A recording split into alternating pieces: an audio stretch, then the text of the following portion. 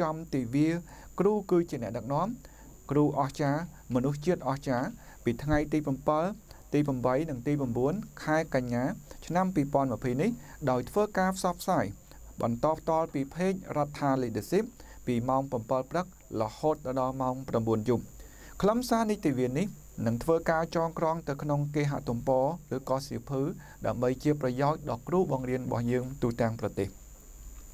គោលបំណង ដែលយើងរៀបចំទិវាគ្រូគឺជាអ្នកដឹកនាំនេះគឺមានទី1យើងរួមគ្នាអភិវឌ្ឍស្មារតីគ្រូគឺជាអ្នកដឹកនាំគ្រូអស្ចារ្យមនុស្សជាតិអស្ចារ្យទី2យើងរួមគ្នាពង្រឹងតួនាទីភារកិច្ចនិងបេសកកម្មដ៏ពិសិដ្ឋរបស់គ្រូបង្រៀនយើងរួមរបស់គ្រូបង្រៀនយើងទី3យើងរួមគ្នាពង្រីកសមត្ថភាពសក្តានុពល និងភាពអស្ចារ្យរបស់គ្រូបង្រៀនយើង។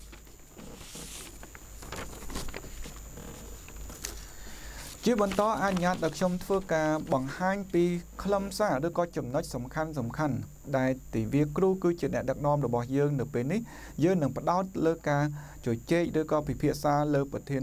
លើចំណុចមួយចំនួនដូចខាងក្រោមទី1គ្រូគឺជាអ្នកដឹកនាំទី2គ្រូមានសិលធម៌និងគុណធម៌ខ្ពស់ទី3គ្រូមានចំណេះដឹងខ្ពង់ខ្ពស់ទី4គ្រូមានសមត្ថភាពរៀនបង្រៀននិងពន្យល់ ទី5គ្រូមានភាពជាឪពុកម្ដាយនៃមនុស្សជាតិនិងទី6ចុងក្រោយ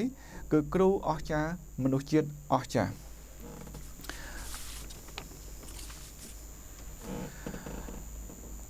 ក្នុងគណៈនេះយើងកំពុងតែនៅក្នុងទិវាគ្រូគឺជាអ្នកដឹកនាំហើយវគ្គទី2ដែលយើងមានវាគ្មិនពីររូប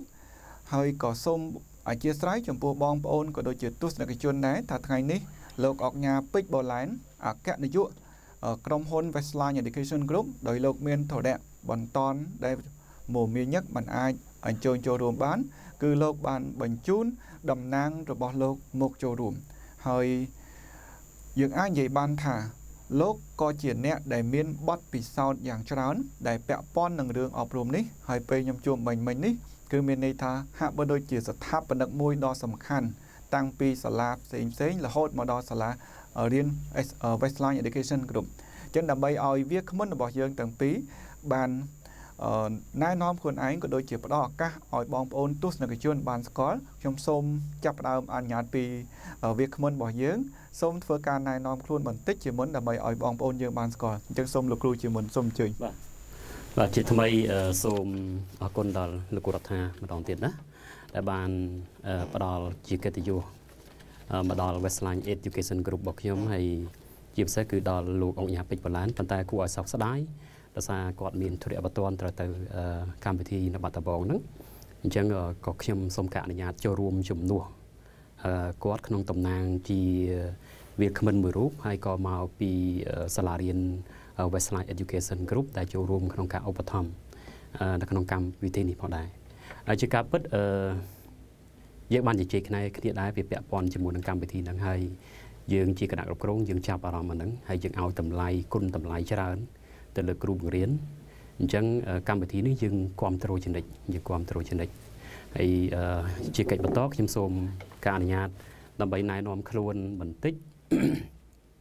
ខ្ញុំឈ្មោះគង់សំនៀងខ្ញុំគឺជាអគ្គនាយករងរបស់ Westline Education Group ហើយខ្ញុំមានបទពិសោធន៍នៅក្នុងវិស័យអប់រំហើយទាំងគ្រូបង្រៀនទាំងការបង្រៀនហ្នឹងគឺជាងពីឆ្នាំ2000មកមកដល់2020ហ្នឹងគឺយើងគិតទៅវា20ឆ្នាំហើយទាំងការដឹកនាំទាំងការបង្រៀនផ្ទាល់ទាំងការដឹកនាំក្រុមតូចទាំងការដឹកនាំក្រុមធំពីព្រោះយើងជាគ្រូបរិញ្ញាហ្នឹងគឺយើងគិតថាយើងគឺជាអ្នកដឹកនាំហើយទោះបីខ្ញុំបរិញ្ញាមួយថ្នាក់ក៏ដោយគ្រូនឹងបរិញ្ញាពីរថ្នាក់ក៏ដោយជាងគ្រូនឹងគឺដឹកនាំពីរថ្នាក់ហ្នឹងហើយ ហើយបើពីរថ្នាក់បើយើងគិតមើលបើសិនបើមួយថ្នាក់វា20 30នាក់អញ្ចឹងពីរថ្នាក់ហ្នឹងវា60នាក់60នាក់គឹងជាងគាត់គឺជាអ្នកដឹកនាំមួយដល់60នាក់អញ្ចឹងខ្ញុំបរៀនផងរាប់ឆ្នាំទៅហើយហើយខ្ញុំដឹកនាំស្ថាប័នពីទីតាំងតូចរហូតដល់ទីតាំងធំរហូតដល់ពេលនេះយើងមាន11ទីតាំងនៅបាត់ដំបងដែលយើងកំពុងតែបង្កើតនេះបាទអរគុណបាទអរគុណច្រើនលោកគ្រូអឺអឺគង់សំនៀង ជាបន្តសូមអញ្ជើញលោកគ្រូសេងវណ្ណរិទ្ធសូមមេត្តាណែនាំខ្លួនឲ្យបងប្អូនទស្សនិកជនរបស់យើងបានស្គាល់សូមអញ្ជើញលោកគ្រូបាទសូមបញ្ចឹងជាបឋមខ្ញុំបាទសូមគ្រប់ចំពោះបងរដ្ឋាក៏ដូចជាលោកគ្រូសំនៀងផងដែរបងថ្ងៃនេះមានកិត្តិយសកំពុងខ្ពស់ជាទីបំផុតដោយបានអឺរដ្ឋា leading បាទអញ្ជើញជាវាគ្មិនហើយបានជួបជាមួយលោកគ្រូសំលៀងផងដែរដែល សុទ្ធតែអ្នកបានស្គាល់គ្នាពីមុនមកនៅក្នុងវិស័យអប់រំដូចគ្នាហើយខ្ញុំចំពោះប្រធានបទនៅក្នុងថ្ងៃនេះគឺគ្រូជាអ្នកដឹកនាំនេះខ្ញុំពិតជាពេញចិត្តដោយសារតែរហូតមកខ្ញុំតែងតែបាទស្រឡាញ់គោរពហើយនឹងដឹងគុណជាទីបំផុតចំពោះលោកគ្រូអ្នកគ្រូបាទទាំងទាំងគ្រូរបស់ខ្ញុំ ដែលខ្ញុំធ្លាប់បានរៀនសូត្រជាមួយគាត់កន្លងមក ហើយជាមួយនឹងក្នុងភាពខ្លួនឯងនេះជាគ្រូផងហើយក៏ឥឡូវនេះក៏ជាអ្នកដឹកនាំគ្រូបង្រៀនផងដែរបើអញ្ចឹងខ្ញុំសូមធ្វើការណែនាំខ្លួនបន្តិចពាក់ព័ន្ធនឹងអំពីខ្ញុំខ្ញុំបាទសេងវណ្ណរិទ្ធបាទជាអគ្គនាយកនៃសាលាអន្តរជាតិជុងអ៊ីងហើយសាលាអន្តរជាតិជុងអ៊ីងត្រូវបានបង្កើតឡើងនៅក្នុងកិច្ចសហប្រតិបត្តិការជាមួយលោកគ្រូអមសេងបារា CEO Master Club បាទហើយមកទល់ពេលនេះគឺយើងមាន5សាខា សាខាទី1នៅឈុកមាសពោធិ៍ចន្ទង់សាខាទី2នៅក្រុងតាខ្មៅសាខាទី3នៅអ៊ីអន2សាខាទី4នៅផ្សារដេប៉ូនិងសាខាទី5គឺនៅទួលទំពងបាទអញ្ចឹងដោយសារតែយើងស្រឡាញ់វិស័យអប់រំហើយដោយសារតែយើងគោរពនិងឲ្យតម្លៃទៅលើគ្រូអញ្ចឹងយើងចូលរួមគ្នាដើម្បីកសាងបុគ្គលជាគ្រូបង្រៀនហើយគ្រូបង្រៀនជាអ្នកដឹកនាំបាទបាទអញ្ចឹងខ្ញុំមានប៉ុណ្ណឹងបាទសូមអរគុណបាទ បាទអរគុណច្រើនចំពោះលោកកណយុក៏ដូចជាលោកកណយុរងដែលបានអញ្ជើញចូលមកដល់ក្នុង studio រដ្ឋា leading របស់យើងហើយយើងកំពុងតែនឹងជជែកគ្នាពាក់ព័ន្ធនឹងទិវាគ្រូគឺជាអ្នកដឹកនាំគ្រូអស្ចារ្យមនុស្សជាតិរបស់យើងអស្ចារ្យហើយខ្ញុំគិតថាវត្តមានរបស់លោកនាយកទាំងពីរគឺពិតជាផ្ដល់តម្លៃដ៏សំខាន់សម្រាប់ទិវាគ្រូគឺជាអ្នកដឹកនាំរបស់យើង ហើយយើងជឿថាក្នុងបេសកកម្មដែលយើងរួមគ្នា គ្រូគឺជាអ្នកដឹកនាំហើយអ្នកដឹកនាំគឺជាគ្រូនេះគឺពិតជាយើងពួកយើងអាចចាប់ផ្ដើមមួយ ដែលដ៏ល្អបំផុតសម្រាប់ការចូលរួមក្នុងការអភិវឌ្ឍប្រទេសជាតិរបស់យើងចឹងដើម្បីកុំឲ្យខាត់ពេលខ្ញុំសូមធ្វើការចាប់ផ្ដើមពីចំណុចទី1មានន័យថាយើងតែងតែលឺឬក៏យើងធ្លាប់ដឹងខ្លះខ្លះពាក់ព័ន្ធនឹងគ្រូគឺជាអ្នកដឹកនាំឬក៏អ្វីដែលជា ប្រយោគឬក៏ clear ដែលបានលើកឡើងថាគ្រូគឺជាអ្នកដឹកនាំអញ្ចឹងក្នុងនាមលោកអគ្គនាយកក៏ដូចជាលោកមានបទពិសោធន៍ពាក់ព័ន្ធនឹងរឿងអប់រំហ្នឹងតើមានចំណុចអីខ្លះដែលជាតឹកតាងឬក៏ជាតដហិកដែលអាចបញ្ជាក់ថា គ្រូគឺជាអ្នកដឹកនាំដើម្បីឲ្យលោកគ្រូអ្នកគ្រូរបស់យើងក៏ដូចជាជនរួមជាតិរបស់យើងបានយល់កាន់តែច្បាស់ថាគ្រូគឺជាអ្នកដឹកនាំអញ្ចឹងសូមអញ្ជើញពីលោកវណ្ណរិទ្ធមុនសូមអញ្ជើញ បាទសូមអរគុណចំពោះសំណួរមួយនេះពាក់ព័ន្ធនឹងគ្រូជាអ្នកដឹកនាំដោយយើងយោងទៅលើចំណុចអីខ្លះដែលយើងសន្មត់ថាគ្រូជាអ្នកដឹកនាំបើតាមការយល់ឃើញរបស់ខ្ញុំខ្ញុំគិតថាគ្រូដូចជាប្រច័នចឹងបំភ្លឺរាត្រី ជួយសិស្សប្រុសស្រីចាក់ផុតងងឹតអញ្ចឹងបុគ្គលដែលផ្ដល់នៅចំណេះដឹងដឹកនាំមនុស្សពីទីងងឹតទៅទី ភ្លឺអញ្ចឹងបុគ្គលនឹងគឺគ្រប់គ្រាន់នឹងអាចទៅជាអ្នកដឹកនាំបាត់ទៅហើយហើយយើងមកយល់ពាក្យថាដឹកនាំពាក្យថាដឹកនាំនឹងបានន័យថាដឹកគេឲ្យធ្វើបាទដឹកគេឲ្យធ្វើនាំគេទៅ បានអ្វីដែលខ្ញុំកំណត់ពាក្យថាដឹកនាំគឺខ្ញុំកំណត់បែបហ្នឹងដឹកគេឲ្យធ្វើនាំគេទៅ បានន័យថាកូនសិស្សពេលដែលគាត់មករៀនជាមួយគ្រូគាត់អត់ចេះទេអញ្ចឹងពេលដែលគាត់ចូលមកដល់ គឺគ្រូត្រូវមានតួនាទីដឹកគាត់ឲ្យធ្វើ ដឹកគាត់ឲ្យរៀនអញ្ចឹងដឹកដៃគាត់រៀនដឹកដៃគាត់ទៅសេដឹកដៃគាត់អនុវត្តរហូតដល់គាត់ចេះហើយនាំគាត់ទៅទៅទៅណា ទៅរកគោលដៅនៃជីវិតរបស់គាត់ទៅរកភាពត្រឹមត្រូវប្រកបដោយសិលធម៌ប្រកបដោយគុណធម៌របស់មនុស្សក្នុងភាពជាអ្នកដឹកនាំហើយបើសិនជាអ្នកដឹកនាំនៅក្នុងស្ថាប័នវិញ ជាមេនោះ ជាមេដឹកនាំនោះក៏ខ្ញុំឲ្យតម្លៃថាជាគ្រូដែរព្រោះអីពេលដែលគេបុគ្គលិកមកធ្វើការជាមួយយើង គឺគាត់អត់ចេះដូចគ្នា ហើយបើគាត់ចេះក៏ចេះមិនច្បាស់ដែរអញ្ចឹងពេលដែលគាត់ចូលមកមេបើសិនជាតាំងខ្លួនថាជាគ្រូហើយ គឺដឹកដៃគាត់ធ្វើដូចគ្នា ពេលដែលដឹកដៃគាត់ធ្វើរហូតតាំងពីគាត់មិនចេះ រហូតដល់គាត់ចេះរហូតដល់គាត់ស្ទាត់ជំនាញរហូតដល់គាត់ប៉ាកែហើយ យើងឈប់ដឹកគាត់ហើយយើងនាំគាត់ទៅវិញនាំគាត់ទៅណានាំគាត់ទៅរកចក្ខុវិស័យរបស់ស្ថាប័នដែលត្រូវសម្រេចទៅក្នុងថ្ងៃអនាគតនាំគាត់ទៅសម្រេចផែនការអាជីវកម្មប្រចាំឆ្នាំនាំគាត់ទៅសម្រេច KPI ដែលហៅថា Key Performance Indicator ដែលយើងចង់ឲ្យគាត់សម្រេចនៅក្នុងទូនាទីមួយមួយរបស់បុគ្គលិកហ្នឹងអញ្ចឹងខ្ញុំគិតថាពាក្យថាគ្រូហ្នឹងគឺស្មើពាក្យថាមេហើយស្មើមេហ្នឹងគឺស្មើពាក្យថាម៉ែ បានន័យថាគ្រូជាមេមេជាម៉ែម៉ែជាគ្រូអញ្ចឹងបុគ្គលជាម្ដាយឪពុកគេ បុគ្គលជាគ្រូរបស់គេ បុគ្គលរបស់ជាមេរបស់គេហ្នឹងគឺជាបុគ្គលដែលមានតម្លៃបំផុត នៅក្នុងមនុស្សជាតិបាទមនុស្សកើតមកគឺមានគ្រូ3នាក់ដែលសំខាន់សំខាន់ដែលជាគ្រូដែលមានតម្លៃបំផុតនៅក្នុងជីវិតរបស់មនុស្សតាមពិតមនុស្សគឺគ្រប់គ្នាអាចធ្វើជាគ្រូរបស់មនុស្សបាន មិនបានន័យថាដោយសភាសឹករបស់លោកខុងជឺគាត់និយាយថាខ្ញុំសូមនិយាយជាភាសាចិនគេថាសានយិនសិងពីយោអសឺបានន័យថាក្នុងនាមក្នុងមនុស្សមនុស្សគ្រប់គ្នាអាចធ្វើជាគ្រូរបស់យើងបានបើសិនជាគាត់មានចំណុចវិជ្ជមានយើងអាចរៀនសូត្រហើយយើងអាចធ្វើតាមគាត់ហើយធ្វើឲ្យបានប្រសើរជាងគាត់ទៅទៀតបើគាត់មានចំណុចអវិជ្ជមានវិញយើងអាចរៀនសូត្រផងដែរក៏ប៉ុន្តែរៀនសូត្រដើម្បីគុំអនុវត្តតាម បើសិនជាយើងដឹងខាងមុខហ្នឹងមានអឺមានរណ្ដៅអញ្ចឹងយើងដឹងយើងត្រូវជៀសអញ្ចឹងបានហើយយើងអាចរៀនសូត្រពីមនុស្សគ្រប់គ្នាបាន ហើយអញ្ចឹងមនុស្សគឺមានគ្រូសំខាន់សំខាន់3ទី1គឺអ្នកដែលបានផ្ដល់កំណើតឲ្យគាត់អញ្ចឹងអ្នកដែលបានផ្ដល់កំណើតឲ្យគាត់នឹងគឺជាឪពុកម្ដាយបង្កើតជាឪពុកម្ដាយទី1ហើយក៏ជាគ្រូទី1ដែរបាទអញ្ចឹងបានន័យថា ក្នុងនាមជាឪពុកម្ដាយត្រូវតែធ្វើជាគ្រូដែលល្អបំផុតជាគ្រូទី1ដែលល្អបំផុតដល់មនុស្សជាតិទី2ពេលដែលគាត់ដល់អាយុចូលសាលាគឺឪពុកម្ដាយទី1ហ្នឹងជាគ្រូទី1ហ្នឹងគឺយកទៅផ្ញើជាមួយឪពុកម្ដាយទី2ដែលហៅថាជាអ្នកជាគ្រូទី2ហើយគឺជាអ្នកផ្ដល់ចំណេះដឹងដល់មនុស្សបាទហើយទី3ពេលដែលគាត់រៀនចប់គាត់ចេញទៅធ្វើការគាត់មានធ្វើការនៅស្ថាប័នធ្វើការនៅក្រុមហ៊ុនរបស់គាត់ គាត់នឹងមានមេរបស់គាត់អញ្ចឹងមេរបស់គាត់នឹងក៏ជាឪពុកម្ដាយទី3របស់គាត់ហើយក៏ជាគ្រូរបស់គាត់ផងដែរអញ្ចឹងមនុស្សគឺត្រូវតែដឹងគុណ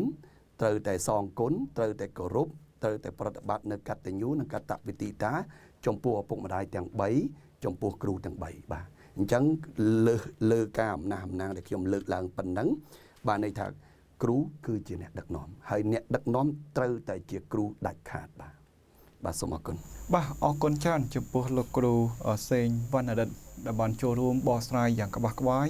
ពាក់ព័ន្ធទៅនឹងគ្រូគឺជាអ្នកដឹកនាំហើយលោកឲ្យតម្លៃខ្លាំងថាគ្រូគឺជាមេមេគឺជាម៉ែម៉ែគឺជាគ្រូ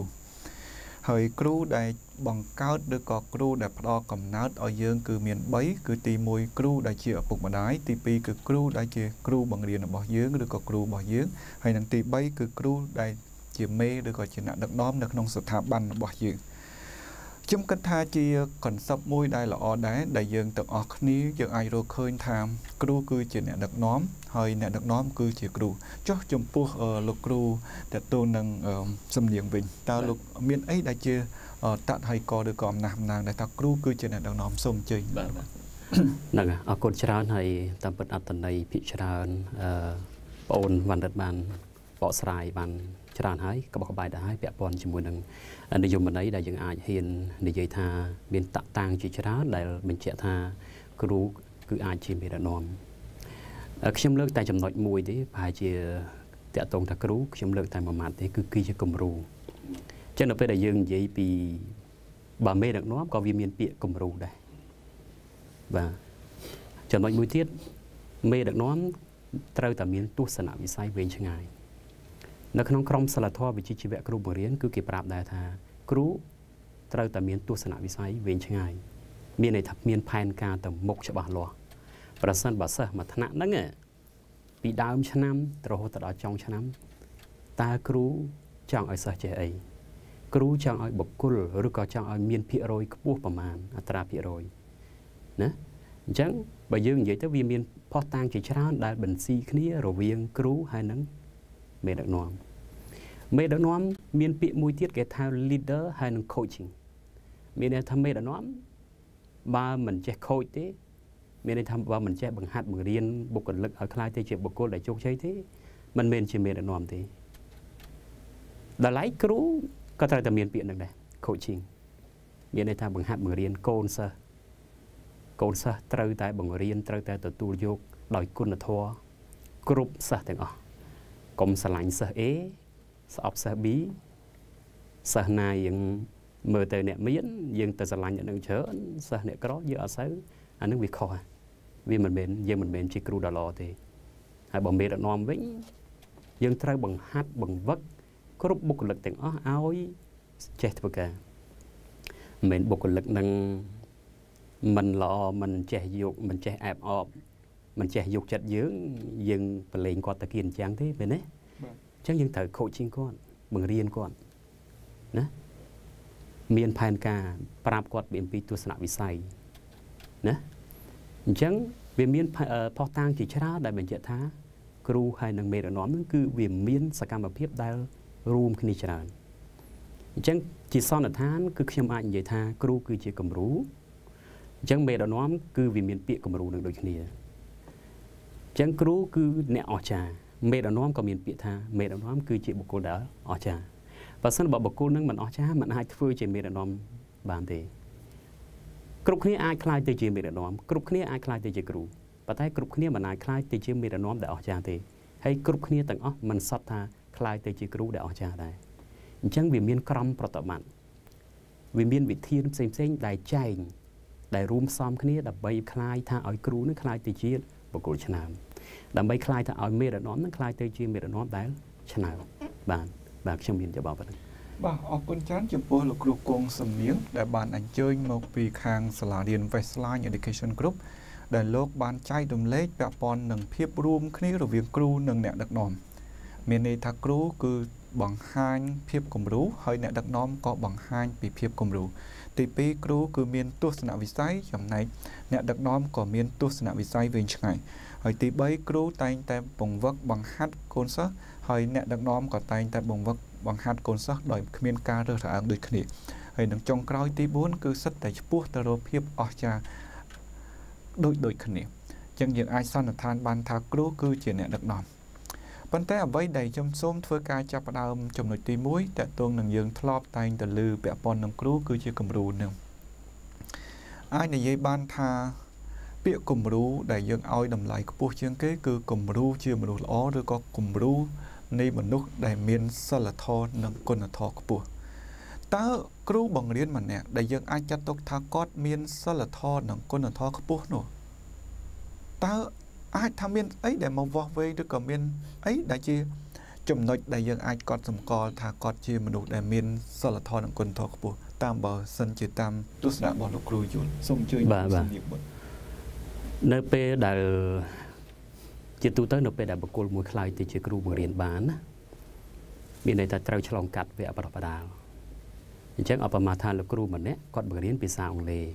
លោកគ្រូម្នាក់គាត់បង្រៀនគណិតវិទ្យាឬក៏រូបវិទ្យាអញ្ចឹងគាត់ត្រូវឆ្លងកាត់គេហៅថាចំណេះដឹងជំនាញរយៈពេល4ឆ្នាំឧទាហរណ៍ខ្ញុំជាគ្រូគណិតអញ្ចឹងខ្ញុំឆ្លងកាត់គឺបរិញ្ញាបត្រគណិតវិទ្យាហ្នឹងគឺ4ឆ្នាំនៅសាកលវិទ្យាល័យភូមិភ្នំពេញ បន្ទាប់មកខ្ញុំចូលសាលាគ្រប់កសលនឹង1ឆ្នាំនៅពេលដែលយើងចូលសាលាគ្រប់កសល1ឆ្នាំហ្នឹងគឺយើងរៀនទាំងគណិតហើយរៀនមុខវិជ្ជាមួយទៀតគេហៅថាមុខវិជ្ជាក្រមសិលធម៌វិជ្ជាជីវៈនៅពេលដែលយើងនិយាយអំពីក្រមសិលធម៌វិជ្ជាជីវៈគ្រប់តំណែងគ្រប់ទូរទីគ្រប់មុខងារគ្រប់អីក៏ដោយគឺត្រូវតែមានអានឹងទាំងអស់ពេទ្យក៏ត្រូវតែមានក្រមសិលធម៌វិជ្ជាជីវៈប៉ូលីសក៏ត្រូវតែមានក្រមសិលធម៌វិជ្ជាជីវៈអញ្ចឹងតម្លៃគ្រូគឺត្រូវមានក្រមសិលធម៌វិជ្ជាជីវៈ នៅក្នុងក្រមសិលធម៌វិជ្ជាជីវៈគឺវាមានតាំងរៀនបង្ហាត់យើងអំពីសិលធម៌គុណធម៌វិន័យជាគំរូសម្រាប់បុគ្គលដែលជាសិស្សសម្រាប់សហគមន៍ចឹងដល់ពេលដែលយើងនិយាយអំពីគុណធម៌យើងនិយាយអំពីសិលធម៌តាំងពីការដើរដេកឈរអង្គុយតាំងពីការស្លៀកពាក់បាទអញ្ចឹងដូចលោកបណ្ឌិតយើងអានឹងស្លៀកពាក់ស្អាតមានកបាត់កមានស្អីអីចឹងទៅបាទ គ្រូខ្ញុំផ្ដាំខ្ញុំមួយម៉ាត់ហ្មងគឺខ្ញុំចាំរហូតថាយើងទៅធ្វើជាគ្រូមិនមិនស្រួលទេជាមុខតំណែងជាទូនាទីមិនស្រួលទេតាមពិតអឺសួរថាចុះបលិសមុខជំនាញបលិសមុខជំនាញអីផ្សេងផ្សេងទៀតវាពិបាកឲ្យវាស្រួលដែរអត់ទេក៏មិនស្រួលដែរប៉ុន្តែគេហាក់បីដូចជាគេសេរីភាពទទួលនៅសេរីភាពជាងយើងយើងយើងនៅពេលដែលយើងនិយាយពីក្រមសិលធម៌ឬក៏សិលធម៌គុណធម៌ការរស់នៅ វាពិបាកអមថាឥឡូវឧទាហរណ៍ចុះ ពាក្យមួយម៉ាត់ដែលគ្រូខ្ញុំផ្ដាំ គឺសុំបីតែដេកដើរឈរអង្គុយត្រូវតែប្រយ័ត្នប៉ុន្តែសួរតែគ្រូជាព្រះអត់ទេមិនមែនជាព្រះទេជាមនុស្សសូម្បីតែព្រះហ្នឹងនៅពេលណាគឺនៅមានឆក់ល្វែងដែរប៉ុន្តែគ្រូក៏មានពេលឆក់ល្វែងដែរប៉ុន្តែព្យាយាមធ្វើភាពជាគំរូឲ្យបានច្រើនបំផុតដែលអាចធ្វើបានហើយបើសិនបើចូលថាអើតផឹកស្រាផឹកប៊ីយ៉ែអីកុំឲ្យគេឃើញ បើជ្រុលជាចូលការ៉ាអូខេបាត់ផ្លាកលេខឡានកុំឲ្យគេឃើញបាទអញ្ចឹងយើងគំរូទាំងអស់តាំងពីដេកដើរឈរអង្គុយអង្គុយយើងយ៉ាងម៉េចឧទាហរណ៍ខ្ញុំចាំពាក្យគាត់មួយម៉ាត់ថាសូម្បីតែទៅញ៉ាំអីនៅខាងក្រៅណាអង្គុយមានលក្ខណៈសមរម្យជាបុគ្គលហើយយើងដឹងហើយតម្លៃតំណែងគ្រូបង្រៀនហ្នឹងគឺបើយើងនិយាយពីជំនាន់សង្គមរាជនិយមគឺគេឲ្យតម្លៃណាគឺគេឲ្យលំទោនគាត់ គ្រូចំនួនហ្នឹងយើងខ្ញុំអាចហ៊ាននិយាយថាគាត់ពិតជាមេដឹកនាំដែលល្អប៉ុន្តែសួរថាយើងក៏ចង់បណ្ដោះដោយកម្មវិធីថ្ងៃនេះជាងខ្ញុំអស់អរគុណច្រើនយើងជាចង់បណ្ដោះគ្រូចំនួនក្រៅៗហ្នឹងឲ្យคล้ายទៅជាមេដឹកនាំដោយចំនួនរាជនិយមអញ្ចឹងអញ្ចឹងពាក្យថាមេដឹកនាំដោយចំនួនរាជនិយមគឺទៅណាគេគោរពមែនទេគោរពឲ្យលំទោនប៉ុន្តែសួរថាគេគោរពបានតលតែលោកគ្រូហ្នឹងធ្វើខ្លួនឯងគឺជាមេដឹកនាំដែលល្អដែរ អញ្ចឹងខ្ញុំត្រឡប់ទៅវិញថាអាសុជីវធម៌គុណធម៌ដែលត្រូវនឹងគឺនឹងប្រយ័ត្នប្រយែងយ៉ាងតាំងពីការដើរដេកឈរអង្គុយគឺប្រយ័ត្នប្រយែងណាស់ញ៉ាំញ៉ាំអីហ្នឹងក៏ត្រូវប្រយ័ត្នប្រយែងតែពាក្យសម្ដីអាកប្បកិរិយាក្នុងសហគមន៍ណាប៉ុន្តែសួរថាសុទ្ធតែយើងធ្វើបានទាំងអស់ទេពេលខ្លះវាពិបាកធ្វើដែរមានបុគ្គលខ្លះគាត់ជោគជ័យក្នុងអាជីពការងារជាគ្រូបង្រៀនប៉ុន្តែគាត់បរាជ័យជាមួយលក្ខណៈគូសាររបស់គាត់មាន សូម្បីតែគ្រូហ្នឹងក៏ដោយក៏ជាគ្រូសិលធម៌វិជ្ជាជីវៈទៀតដែលបង្រៀនខ្ញុំទៀតគាត់ជោគជ័យក្នុងអាជីពគ្រូបង្រៀនរបស់គាត់ប៉ុន្តែគាត់មិនអាចជោគជ័យក្នុងជីវភាពជីវភាពគ្រួសារអញ្ចឹងវាពាក់ព័ន្ធមួយអីអញ្ចឹងបានខ្ញុំកន្លែងនេះខ្ញុំចង់បញ្ជាក់ថាมันប្រកាសថាបុគ្គលទាំងអស់ធ្វើជាគ្រូម្នាក់ដែលជោគជ័យហើយคล้ายទៅជាមេដឹកនាំដែលជោគជ័យទាំងអស់គ្នាបានទេបាទ បាទអរគុណច្រើនចំពោះលោកគ្រូអគង់សំនៀងដែលបានចូលរួមចែករំលែកពាក់ព័ន្ធនឹងរឿងសិលធម៌ក៏ដូចជាក្រមសិលគុណសិលធម៌និងគុណធម៌របស់គ្រូ ជាពិសេសពាក់ព័ន្ធនឹងគ្រូទោះបីជាយើងមានចំណេះដឹង មានគរុកុសលក៏ទៀមទីឲ្យយើងគោរពទៅតាមគោលការណ៍ក្រមសិលធម៌វិជ្ជាជីវៈហើយនៅក្នុងក្រមសិលធម៌វិជ្ជាជីវៈនោះគឺបានសង្កត់ធ្ងន់ទៅលើវិន័យសិលធម៌និងគុណធម៌ ទាំងដេកដោឈរអង្គុយនិងការស្លៀកពាក់ជាដើមចឹងអាចនិយាយបានថានៅពេលដែលយើងជ្រើសភាពជាគ្រូគឺត្រូវតែជ្រើសភាពជាគំរូអាចថាធ្វើឲ្យយើងមានភាពខ្លះមិនសនុកសុខស្រួលទៅលើសេរីភាពរបស់យើង ទាំងការដេកដោឈរអង្គុយរបស់យើង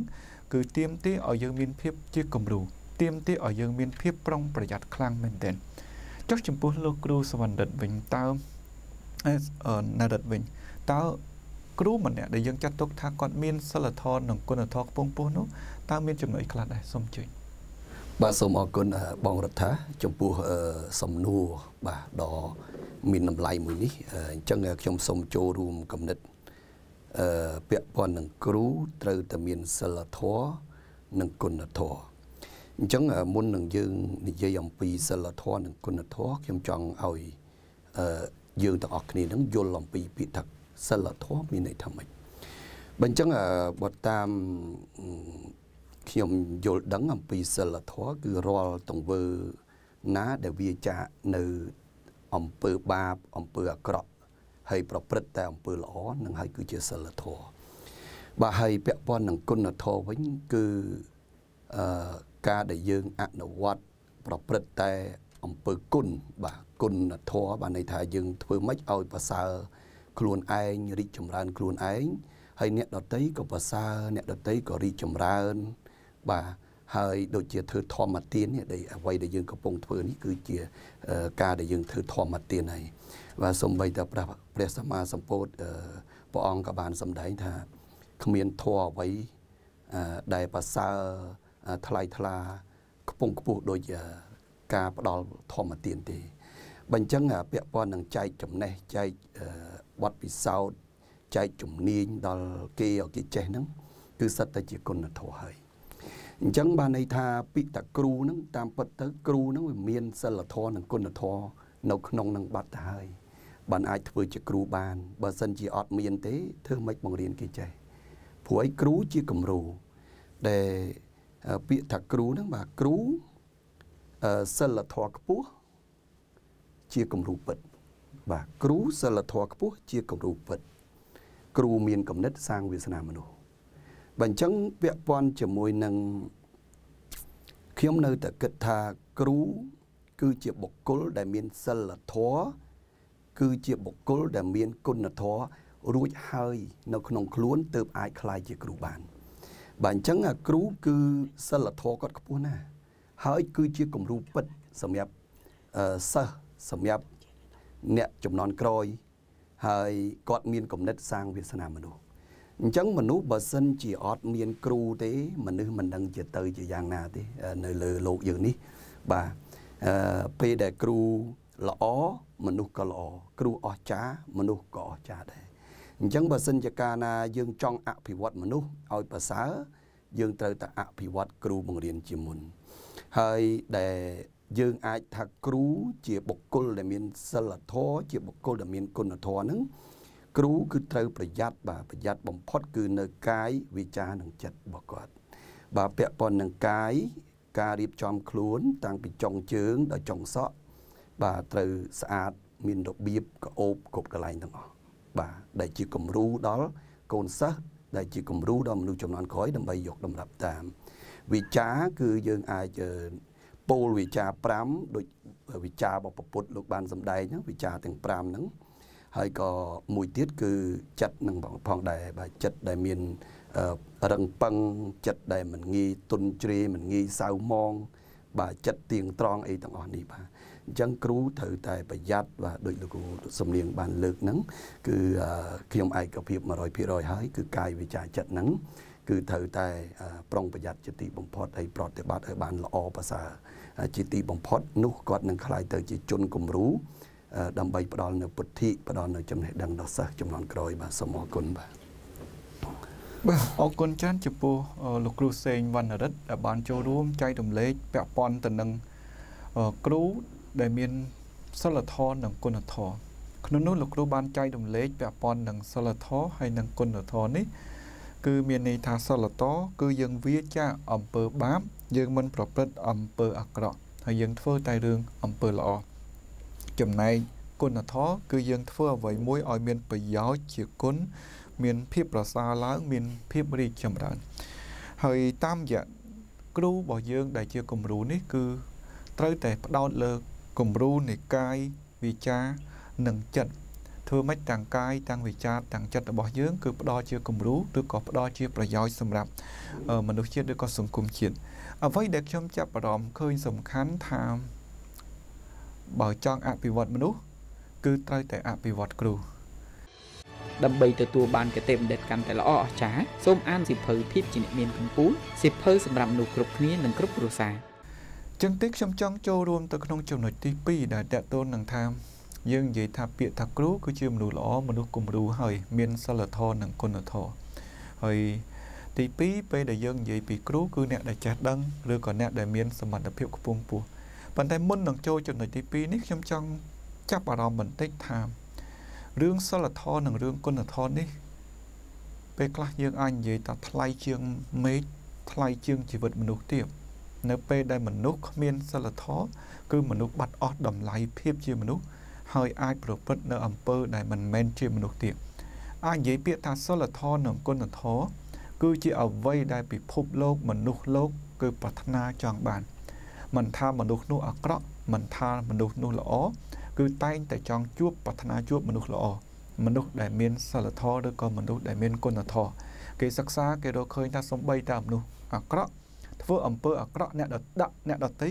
ក៏ចង់ឲ្យអ្នកដតីធ្វើល្អដាក់ខ្លួនដែរ បាទអញ្ចឹងអាចនិយាយថាជាការ challenge មួយដ៏ធំដែលថាពាក្យនេះ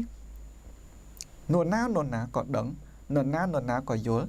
ថាមនុស្សដែលមានសិលធម៌និងគុណធម៌ខ្ពង់ខ្ពស់នេះគឺថ្លៃជាងមិនទៅទៀតថ្លៃជាងអ្វីៗទៅទៀតប៉ុន្តែភាគច្រើនវាអត់កើតអញ្ចឹងតើធ្វើម៉េចដើម្បីឲ្យមនុស្សអាចកសាងនៅសិលធម៌និងគុណធម៌ឲ្យកើតនៅក្នុងខ្លួនជាពិសេសលោកគ្រូរបស់យើងសូមសូមអញ្ជើញពីលោកគ្រូវណ្ណរិទ្ធមុន បាទសូមអរគុណបងរដ្ឋាម្ដងទៀតបាទពាក់ព័ន្ធនឹងការដែលយើងធ្វើម៉េចឲ្យមនុស្សបាទមានសិលធម៌និងគុណធម៌ហ្នឹងដើម្បីឲ្យមនុស្សសេចជាតិមានសិលធម៌និងគុណធម៌យើងធ្វើម៉េចឲ្យគ្រូមានជាមុនសិនបាទធ្វើម៉េចឲ្យគ្រូមានអញ្ចឹងពាក់ព័ន្ធជាមួយនឹងការអភិវឌ្ឍគ្រូហ្នឹងគឺយើងត្រូវធ្វើម៉េចឲ្យគ្រូហ្នឹងគឺคล้ายទៅជាបុគ្គលបកែរៀនហើយ ពូកែបង្រៀនហើយពូកែដឹកនាំទៀតអញ្ចឹងខ្ញុំអាចនិយាយមួយម៉ាត់ឲ្យខ្លីថាពូកែរៀនពូកែបង្រៀនពូកែដឹកនាំមិនពូកែរៀនមិនពូកែបង្រៀនមិនពូកែដឹកនាំអញ្ចឹងអ្វីទាំងឡាយនៅលើโลกនេះដែលយើងធ្វើការបណ្ដោះនៅមនុស្សចំនួនក្រោយយើងបណ្ដោះអ្នកចំនួនក្រោយគឺបណ្ដោះតាមរយៈការបង្រៀនហើយការបង្រៀនហ្នឹង គឺមិនមែនជារឿងមួយថ្ងៃពីរថ្ងៃទេ ដែលគេហៅថាបើយើងចង់បានស្រូវយើងចំណាយពេល1ឆ្នាំ ដើម្បីដាំវាបើយើងចង់បានដើមឈើយើងចំណាយពេល10ឆ្នាំដើម្បីដាំវាតែបើយើងចង់បានធនធានមនុស្សវិញគឺចំណាយពេលអស់មួយជីវិតអញ្ចឹងបានន័យថារស់ដល់ស្លាប់រៀនដល់ចាស់បាទរស់ដល់ស្លាប់រៀនដល់ចាស់អានេះគឺជាសុភាសិតចិនមួយដែរគេហៅថាហួតោឡោសៀតោឡោរស់ដល់ចាស់ រៀនដល់ស្លាប់បានន័យថាយើងមិនលើកទឹកចិត្តឲ្យបុគ្គលខ្លះគាត់ថាគាត់រៀនដល់ថ្នាក់អនុបណ្ឌិតហើយគាត់រៀនដល់ថ្នាក់បណ្ឌិតហើយហើយគាត់ឈប់រៀនហើយគាត់ថាគាត់អស់គ្រូហើយគាត់ថាគាត់ចេះជាងគេហើយបុគ្គលបែបហ្នឹងអត់គួរឲ្យសរសើរទេបុគ្គលបែបហ្នឹងអត់គួរឲ្យខ្លាចទេបើសិនជាយកមកធ្វើដៃគូប្រកួតប្រជែងក្នុងអាជីវកម្មក្នុងការដឹកនាំគឺគេអត់ខ្លាចបុគ្គលបែបហ្នឹងទេ តែគេខ្លាចបុគ្គល ដែលមានគំនិតថារស់ដល់ស្លាប់រៀនដល់ស្លាប់ទោះបីគាត់រៀនចប់បណ្ឌិតហើយក៏ដោយមិនទាន់ជាប់ក៏ដោយគាត់ចាប់ទុកមនុស្សគ្រប់គ្នាអាចជាគ្រូគាត់បានគ្រប់គ្នាអ្នកណាក៏ជាគ្រូគាត់អ្នកណាក៏គាត់ដាក់ខ្លួនរៀនពីគេបុគ្គលបែបហ្នឹងមិនអាចយកធ្វើជាសត្រូវបានទេបុគ្គលបែបហ្នឹងមិនអាចយកធ្វើជាដៃគូបដិបកបានទេ អាចត្រឹមតែយកធ្វើជាមិត្តភ័ក្តិអាចត្រឹមតែយកធ្វើជាដៃគូព្រោះអីបើសិនតែយើងយកគាត់ជាសត្រូវដល់តែគាត់យើងធ្វើដូចគាត់ បាទរកគ្រូគ្រប់កន្លែងអ្នកណាក៏អាចធ្វើជាគ្រូបានហើយបើសិនតែធ្វើដូចគាត់មិនប្រកាសតែឈ្នះគាត់ទៀតបាទព្រោះអីស្ថិតនៅការខិតខំប្រឹងប្រែងអញ្ចឹងខ្ញុំលើកទឹកចិត្តឲ្យអឺការដឹកនាំសិស្សបង្រៀនសិស្សការដឹកនាំស្ថាប័នបង្រៀនបុគ្គលិកការដឹកនាំកូនចៅ នៅក្នុងគ្រួសារបង្រៀនកូនចៅបង្រៀនអឺ នៅក្នុងគ្រួសារក៏ដោយនៅក្នុងស្ថាប័នក៏ដោយនៅក្នុងសាលារៀនក៏ដោយបានដើម្បីយើងបណ្ដុះមនុស្សឲ្យមានគុណភាពប្រកបទៅដោយសិលធម៌និងគុណធម៌នោះខ្ញុំសូមឲ្យទាំងអស់គ្នាជឿជាក់លើប្រព័ន្ធអប់រំ បាទពង្រឹងប្រព័ន្ធអប់រំហើយការអប់រំនេះមិនមែនជារឿងមួយថ្ងៃទេដូចខ្ញុំនិយាយអញ្ចឹងគឺធ្វើហើយធ្វើទៀតភាពច្រំដែលដដែលដដែលនោះហើយជាគុណភាពនៃការអប់រំ ភាពច្រំដែលដដែលដដែលនោះហើយជាគុណភាពនៃការអប់រំបើចង់ឲ្យមានការអប់រំប្រកបទៅដោយគុណភាព ដល់តែយើងធ្វើដដែលដដែល រំលឹកហើយរំលឹកទៀតបង្រៀនហើយបង្រៀនទៀតបាទអញ្ចឹងបើសិនជាតាមរយៈការដែលខ្ញុំចែករំលែកនេះ គឺយើងអាចកសាងនៅសិលធម៌និងគុណធម៌របស់គ្រូបង្រៀន ហើយឲ្យគ្រូបង្រៀនកសាងសិលធម៌និងគុណធម៌ទៅតាម ទៅលើសិស្សរបស់គាត់ដើម្បីបង្កើតមនុស្សចំនួនក្រោយប្រកបទៅដោយសិលធម៌និងគុណធម៌តាមរយៈរបៀបធ្វើបែបនេះមិនមែនត្រឹមតែកសាងសិលធម៌និងគុណធម៌ទេទោះបីជាអ្វីក៏ដោយក៏យើងអាចកសាងទៅអ្នកចំនួនក្រោយយើងបានដែរឲ្យតែយើងជឿជាក់លើការអប់រំបាទសង្កត់ធ្ងន់លើការបង្រៀនចំណាយពេលវេលាចំណាយចំណាយធនធាន វិនិយោគទៅលើការរៀននិងការបង្រៀនបាទចឹងខ្ញុំមានកំណត់ប៉ុណ្ណឹងបងបាទសូមអរគុណច្រើនចំពោះលោកគ្រូវណ្ណរិទ្ធដែលបានចែករំលែកតទៅទៅនឹងការកសាងឲ្យលោកគ្រូអ្នកគ្រូរបស់យើង គឺមានទាំងសិលធម៌និងគុណធម៌ខ្ពង់ខ្ពស់គឺជាពិសេសលោកឲ្យតម្លៃទៅលើ ប្រព័ន្ធនៃការអប់រំឬក៏ការអប់រំដែលយើងអាចនិយាយថាធ្វើហើយធ្វើទៀតធ្វើច្រំដែលច្រំដែរ រំលឹកហើយរំលឹកទៀតបង្រៀនហើយបង្រៀនទៀតនោះនឹងភាពសិលធម៌និងគុណធម៌នឹងកើតឡើងហើយក្នុងនោះដែរលោកបានក៏លើកទស្សនៈនៅសុភាសិតចិនដែលតែងនិយាយថារៀនដល់ស្លាប់រៀនដល់រស់ដល់ស្លាប់រៀនដល់រស់ដល់ចាស់រស់ដល់ចាស់រៀនដល់ស្លាប់សន្ទុះមានន័យថាបើសិនជាអ្នកមិនពូកែរៀនមិនពូកែបង្រៀនគឺមិនពូកែអាចខ្លាយជាអ្នកដឹកនាំពូកែនោះទេ អញ្ចឹងដើម្បីកសាងនៅគុណធម៌ឬក៏សិលធម៌នេះ គឺតាមរយៈការរៀនតាមរយៈប្រព័ន្ធអប់រំចុះចំពោះលោកគ្រូសំនៀងវិញតើធ្វើម៉េចដើម្បីឲ្យសិលធម៌និងគុណធម៌នឹងកើតមាននៅចំពោះលោកគ្រូអ្នកគ្រូរបស់យើងបាទអឺ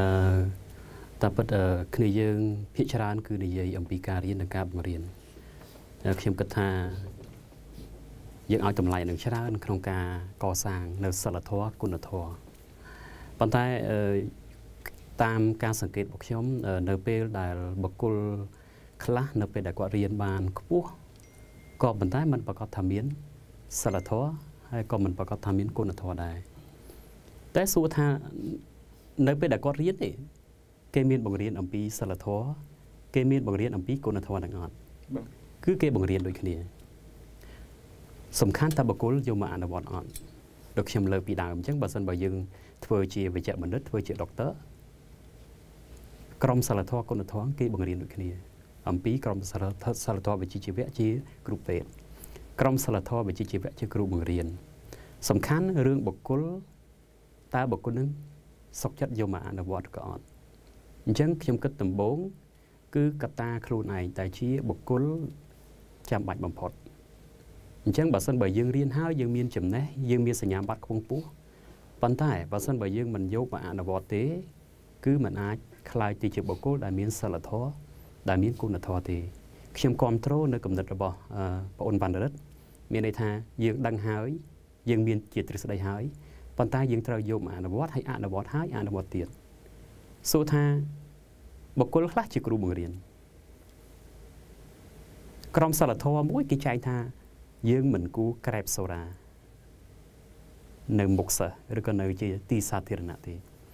ប៉ុន្តែតម្រាំធ្វើកែអតចរិតបែបបត់នឹងបានមិនងាយទេតើតើយើងលុតដំបន្តិចខ្លួនឯង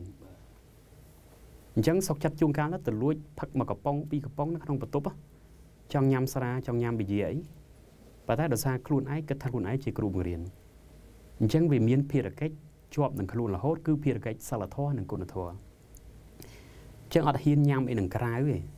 ប៉ុន្តែអ្នកខ្លះដឹងហើយឮហើយនៅពេលដែលជួបមិត្តភ័ក្តិគឺប្រយុទ្ធអស់ពីដៃ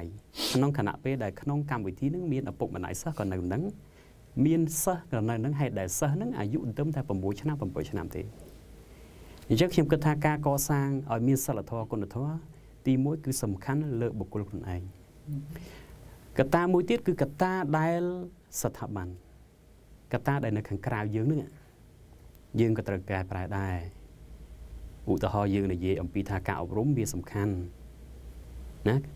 ចាំបាច់សម្រាប់កសាងធនធានមនុស្សឲ្យក្លាយទៅជាបុគ្គលដែលជោគជ័យប៉ុន្តែបើសិនបើប្រព័ន្ធអប់រំយើងมันបានរំលេចឲ្យមានសិលធម៌มันបានរំលេចឲ្យមានគុណធម៌ក៏มันអាចធ្វើឲ្យបុគ្គលនឹងជោគជ័យបានដែរអញ្ចឹងបានដូចជា ខាងខ្ញុំខ្ញុំមានបញ្ចូលនៅកម្មវិធីមួយគេហៅថាទម្លាប់ល្អទាំង7ក្នុងទម្លាប់ល្អទាំង7ហ្នឹងវាមានពាក្យមួយគេហៅថា synergize sing win win គិតបែបឈ្នះឈ្នះហើយធ្វើការជាក្រុមប្រកបទៅដោយជារភាពគិតបែបឈ្នះឈ្នះហ្នឹងគឺចង់និយាយថាកុំឈ្នះតែឯងតែអ្នកដទៃគឺចាញ់ពេលខ្លះត្រូវចាញ់គាត់គឺចាញ់ពេលខ្លះប្រសិនបើសិស្សនឹងឧទាហរណ៍ មិនល្អគាត់ចងេងយ៉ាងណាសួរថាយើងចង់ឈ្នះសិស្សនោះទេក្នុងនាមយើងជាគ្រូបង្រៀនគ្រូបង្រៀនខ្លះឲ្យតែមានទូរទស្សន៍ថាខ្លួនឯងជាគ្រូបង្រៀនគិតថាខ្លួនឯងដូចជាឪពុកអញ្ចឹងអញ្ចឹងសិស្សតែស្ដាប់យើងចូលទៅដល់ក្នុងថ្នាក់គឺដឹងតែសឡុតសិស្សមិនប្រើប្រាស់វិធីសាស្ត្រក្នុងការបង្រៀនមិនប្រើប្រាស់ក្រមសីលធម៌វិជ្ជាជីវៈដែលខ្លួនឯងបានរៀនពីសាលាគរុកសលទៅសាបព្រោះទៅសិស្សទេអញ្ចឹងខ្ញុំគិតនិយាយឲ្យខ្លីទៅការកសាងសិលធម៌ការកសាងគុណធម៌ ទី1ត្រូវផ្ដើមពីកតាបុគ្គលខ្លួនឯងសិនយើងបានឆ្លងកាត់ហើយគឺរបបខ្មែរក្រហមមែនទេ3ឆ្នាំ8ខែមេដឹកនាំមួយចំនួនគាត់ទៅដល់បារាំងប៉ុន្តែគាត់យកចំណេះដឹងដែលជំនាញដែលគាត់មកបង្រៀនហ្នឹងគឺមកមកមកសាបព្រោះក្នុងប្រទេសយើងធ្វើឲ្យប្រទេសយើងគឺសាបលៀន0តែម្ដងអញ្ចឹងកតាខ្លួនឯងហើយនិងកតាខាងក្រៅជុំវិញហ្នឹងគឺជាកតាដែលកសាង សិលធម៌គុណធម៌ខ្ញុំបញ្ជាក់មួយទៀតគឺកតាខ្លួនឯងហើយនិងកតាខាងក្រៅអមតខ្ញុំជាគ្រូមករៀនអញ្ចឹងមិត្តភ័ក្ដិខ្ញុំឲ្យតែល្ងាចឡើងទេហៅខ្ញុំទៅញ៉ាំអីជុំគ្នាហើយបើសិនបើខ្លួនឯងមិនរឹងមាំខ្លួនឯងតាមខាងក្រៅទៅហើយទៅខាងក្រៅវាជាទីសាធារណៈចង់មិនចង់យើងនឹងបង្ហាញឲ្យគេឃើញថាយើងមិនមែនជាគ្រូដែលមានក្រមសិលធម៌សិលធម៌គុណធម៌ទេ បាទខ្ញុំមានប៉ុណ្ណឹងបាទអរគុណច្រើនចំពោះលោកគ្រូសំនៀងដែលតេតទៅនឹងការចូលរួមធ្វើយ៉ាងណាដើម្បីឲ្យគ្រូរបស់យើងមានសិលធម៌និងគុណធម៌គឺកត្តាពីរដែលសំខាន់គឺកត្តាខ្លួនឯងនិងកត្តាស្ថាប័នទោះបីជាយើងមានសិលធម៌គុណធម៌យើងរៀនសូត្របានយ៉ាងណាក៏ដោយបើយើងមិនយកទៅអនុវត្តវាទេ បើយើងមិនព្យាយាមលុតដំខ្លួនឯងដើម្បីឲ្យធ្វើទាំងអស់នោះទេ ហើយបង្កើតឲ្យទៅជាទម្លាប់ ល្អល្អបន្ថែមទេ គឺយើងមិនអាចបង្កើតវាបាននោះទេប៉ុន្តែខ្ញុំជឿថាគ្មានពីណាម្នាក់ដែលចង់អាក្រក់អ្នកណាក៏ក៏ចង់បានល្អប៉ុន្តែអាចលើកបន្តិចមើលថាបើសិនជាបុគ្គលនឹងគាត់មានគេហៅថាគ្រូនឹងគាត់មានសិលធម៌និងគុណធម៌ខ្ពស់តើវាផ្ដល់ផលប្រយោជន៍ស្អីហើយបើសិនជាគាត់មានគេហៅគុណធម៌និងសិលធម៌នឹងវាទៀប វាផ្ដល់ផលវិបាកស្អីដើម្បីឲ្យគ្រូយើងកាន់តែយល់ថាចាំបាច់ណាស់បើយើងជាគ្រូត្រូវតែមានគុណធម៌ខ្ពស់បើមិនមានគុណធម៌ខ្ពស់ទេតើយើងនឹងជួបផលវិបាកអ្វីខ្លះដែលកើតឡើងចាសសូមលោកគ្រូមុនបាទអញ្ចឹងបានយើងកន្លែងនេះយើងចង់បញ្ជាក់ថាបើសិនបើមានសិលធម៌មានគុណធម៌ល្អហើយនឹងចំណុចមួយទៀតគឺ ចុះបើសិនបើមិនមានសិលធម៌មិនមានគុណធម៌ល្អវិញតើសួរថាវាជះអតិពលយ៉ាងម៉េចទៅដល់ក្មេងៗជំនាន់ក្រោយក៏ដូចជាខ្លួនគាត់ដូចជាខ្លួនគាត់ផងដែរបាទធម្មតាគ្រូយើងលើកពាក្យដដែលចុះជាគំរូហើយបាទអញ្ចឹងបើពាក្យថាជាគំរូគឺគំរូទាំងកាយវិជាចិត្តទាំងការដើរដេកឈរអង្គុយនឹងគឺគាត់ត្រូវតែរក្សាឲ្យបាននៅក្រមសិលធម៌សិលធម៌វិជ្ជាជីវៈអញ្ចឹងបើសិនបើគាត់មានសិលធម៌ល្អទាំងនៅខាងក្នុងស្ថាប័ន ទាំងនៅសហគមន៍គឺគាត់អាចคล้ายទៅជាបុគ្គលមួយដែលមានតម្លៃដែលខ្ញុំលើកពីដើមណានៅក្នុងសម័យសង្គមរស់រាជនិយមចាំមិនក៏សិស្សមិនក៏ឪពុកម្ដាយសិស្សក៏ឲ្យតែឃើញគ្រូម្នាក់ហ្នឹងដាក់អនលំទោររហូតតែថាគ្រូជំនាន់គឺគាត់មានសិលធម៌គាត់មានសិលធម៌ល្អគុណធម៌ហ្នឹងយ៉ាងម៉េចជួនកាលមានតែសិលធម៌ប៉ុន្តែអាគុណធម៌វាអត់មានគុណធម៌ហ្នឹងគឺសំដៅថាយ៉ាងម៉េចចង់ថា យើងចេះជួយអ្នកដែលនៅជុំវិញខ្លួនយើងជួយមិត្តភ័ក្តិយើងអមថាបើសិនបើយើងប្រកែអ្នកខ្លះសំដីផ្អែមលហែប៉ុន្តែគាត់ប្រកែប៉ុន្តែគាត់អត់ចេះជួយអ្នកដទៃជាងគាត់ជោគជ័យតែខ្លួនឯងអានេះវាពាក់ព័ន្ធមួយទ្រឹស្ដីនៃនៃមេរណមគេថាបើចង់ឲ្យស្ថាប័នមួយជោគជ័យកុំជោគជ័យតែឯងត្រូវបណ្ដោះអ្នកជោគជ័យនៅនៅជុំវិញខ្លួនយើងអញ្ចឹងមានន័យថាគុណធម៌សំខាន់ យើងជួយអ្នកដទៃជុំវិញខ្លួនយើងមិត្តភ័ក្តិយើងគ្រូបង្រៀនដូចគ្នាឲ្យខ្លាយទៅជាបុគ្គលជោគជ័យគឺយើងខ្លាយទៅជាបុគ្គលដែលអស្ចារ្យនៅក្នុងស្ថាប័នជាមួយសិស្សដូចគ្នាប្រសិនបើយើងអត់មានសិលធម៌ទេណាយើងបង្រៀនសិស្សខ្ញុំតែងតែលើកពាក្យមួយគេហៅថាគ្រូកុំព្យូទ័រណាណាគាត់បង្រៀនសិស្សណាសិស្សហ្នឹងជួនកាលសិស្សស្រីគាត់ចេះកាន់ម៉ៅហើយគាត់កាន់ម៉ៅណាតែគ្រូនេះជួនកាលគាត់ថាងាកម៉ៅនឹងគេកាន់មិន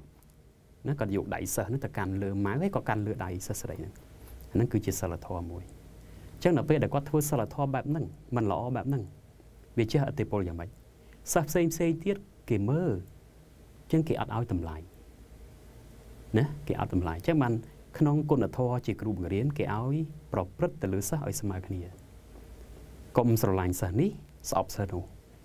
សិស្សមួយថ្នាក់30នាក់40នាក់ស្រឡាញ់ទាំងអស់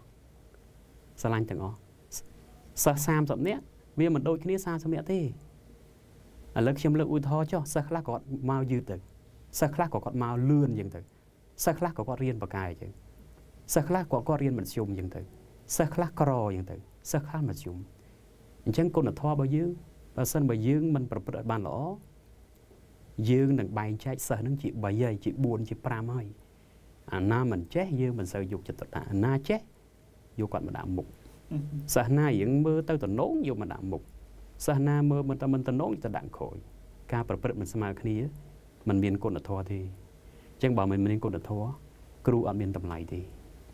បើអត់តម្លៃខ្លាចទៅជាបុគ្គលដែលឯកោអញ្ចឹងទាំងសាអាគមទាំងកូនសិស្សមិនសូវឲ្យរាប់អានមិនសូវទទួលស្គាល់គេខ្លាចក្នុងតួនាទីជាគ្រូបង្រៀនជាសិស្ស ខ្លាចក្នុងតួនាទីជាគ្រូបង្រៀនប៉ុន្តែទៅខាងក្រៅហ្នឹងហើយសុយសិស្សនឹងជិះពីក្រៅហ្នឹងស៊ីផ្លេប៉ែតប៉ែតដាក់អត់មានតម្លៃចេះបានខ្ញុំប្រៀបធៀបថាប្រសិនបើមានសិលធម៌ដូចជាជំនាន់សង្គមរាជនិយមចឹងហើយគ្រប់គ្នាទាំងអស់ខ្ញុំជឿថាมันអាចប្រកែកបានទេជំនាន់គ្រូបរិញ្ញាសង្គមរាជនិយមគាត់យ៉ាងម៉េចជំនាន់ហ្នឹងគ្រូកាចត្រូវទេធ្លាប់លឺទេគ្រូកាចបាទប៉ុន្តែគាត់ជាគំរូអញ្ចឹង ម្នាក់ម្នាក់ចេះតែដឹងគុណគាត់ជួនកាលគាត់វាយ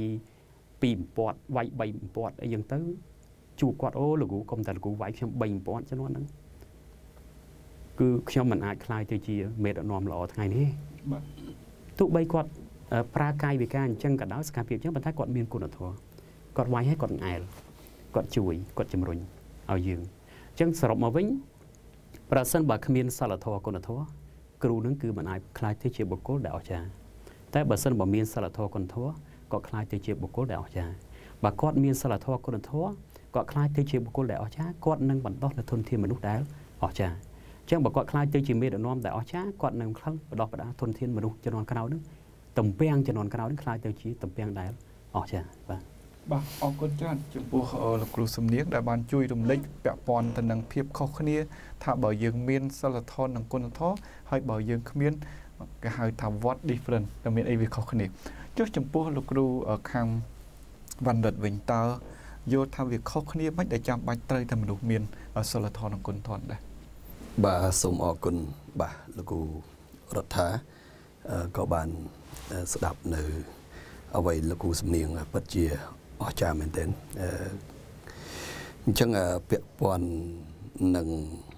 គ្រូមានសិលធម៌និងគុណធម៌ នឹងយ៉ាងម៉េចហើយគ្រូដែលអត់មានសិលធម៌និងគុណធម៌នឹងយ៉ាងម៉េចអញ្ចឹងខ្ញុំចង់ឆ្លោះបញ្ចាំងឡើងវិញបន្តិចពាក់ព័ន្ធនឹងពាក្យថាគ្រូចឹងសូមបងប្អូនជនរួមជាតិបាទហើយយើងយើងមកមើលគ្រូបន្តិចបានន័យថាខ្ញុំនិយាយពីដើមហ្នឹងបាទថាគ្រូជាមេមេជាម៉ែម៉ែជាគ្រូអញ្ចឹងបានន័យថាបុគ្គលទាំង3ហ្នឹង ឪពុកម្ដាយគេ គ្រូលោកគ្រូអ្នកគ្រូរបស់គេ និងមេរបស់គេ មេដឹកនាំមេហ្នឹងចំសំដៅលើមេដឹកនាំរបស់គេសុទ្ធតែជាគ្រូទាំងអស់អញ្ចឹងបុគ្គលទាំង3បើសិនជាកូនសិស្សហ្នឹងកូនហ្នឹងកើតក្នុងតកូលឪពុកម្ដាយដែលជាគំរូល្អដល់គាត់អត្តចរិតគាត់ចេញមកគឺយើងមើលទៅគួរឲ្យគោរពគួរឲ្យស្រឡាញ់តែម្ដង ហើយបើសិនជាឪពុកម្ដាយហ្នឹងរើសសាលាឲ្យត្រូវបញ្ជូនទៅសាលាត្រូវបញ្ជូនទៅឪពុកម្ដាយទី2គ្រូទី2របស់គាត់ត្រូវទៀតកូននឹងកាន់តែល្អមែនទេដល់ទៅពេលដែលគាត់ចេញពីសាលារៀនគាត់ទៅធ្វើការនៅក្រុមហ៊ុនទី1របស់គាត់ក្នុងកំឡុងអាយុគាត់20ទៅ30ឆ្នាំគាត់កុំតន់ខ្វល់តែក្រុមហ៊ុននឹងជាក្រុមហ៊ុនធំប៉ុណ្ណាស្តង់ដារប៉ុណ្ណាល្បីឈ្មោះប៉ុណ្ណាសំខាន់មេរបស់គាត់ទី1ហ្នឹង ជាមនុស្សបែបម៉េចមេរបៀបម៉េចបើសិនជាមេគាត់ល្អទៅទៀតមនុស្សម្នាក់ហ្នឹងកូនសិស្សម្នាក់ហ្នឹងគឺដាច់ខាតត្រូវតែคลายទៅជាអ្នកដឹកនាំដ៏អស្ចារ្យសម្រាប់ប្រទេសជាតិយើងសម្រាប់ពិភពលោកទាំងមូលចឹងខ្ញុំហ៊ាននិយាយបានថានេះបានតែគ្រូក៏ដោយម្ដាយឪពុកក៏ដោយ អ្នកដឹកនាំក៏ដោយត្រូវយកខ្លួនជាគំរូនៀកបង្កើតនៀក ហងបង្កើតហងក្អែកបង្កើតក្អែកចឹងបើយើងចង់ឲ្យកូនយើងសិស្សយើង កូនចៅយើងคลายទៅជានៀកคลายទៅជាហង្សយើងធ្វើខ្លួនឲ្យបានคลายទៅជានៀកคลายទៅជាហង្សដែលជាគំរូគាត់ ឲ្យគាត់មើលបាទឲ្យគាត់មើលហើយអ្វីដែលយើងធ្វើឲ្យគាត់មើលគឺជាការសម្ដែងឲ្យគាត់មើលមើលឃើញទាំងរូបភាព មើលឃើញទាំងកាយវិការមើលឃើញស្ដាប់ឮទាំងសំឡេងអាការអប់រំបែបនេះគឺមានប្រសិទ្ធភាពជាទីបំផុតឪពុកម្ដាយខ្ញុំជឿប្តីប្រពន្ធខ្ញុំជឿថាចានក្នុងរាវវាតែងតែប៉ះទង្គិចគ្នាក៏ប៉ុន្តែឪពុកម្ដាយជាឪពុកម្ដាយគេត្រូវតែមានសិល្បៈបើសិនជាប៉ះទង្គិចគ្នា យើងត្រូវតែខំអត់សិនហើយរួចយើងទៅឲ្យផុតពីមុខកូនហើយយើងជជែកគ្នាទៅ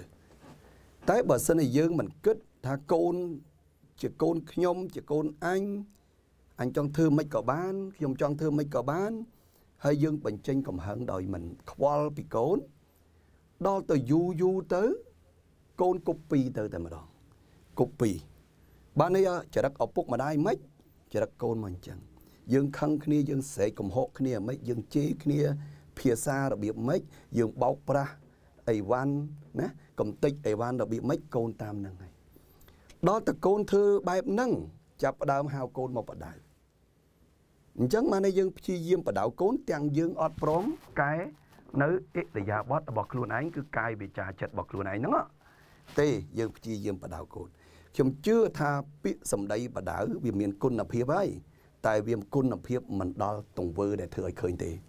ទង្វើដែលធ្វើឲ្យឃើញឃើញទាំងរូបភាព ឃើញទាំងកាយវិការឬទាំងសម្លេង តែបដៅខនតែពាក្យសម្ដីអត់មានរូបភាពទេគុណភាព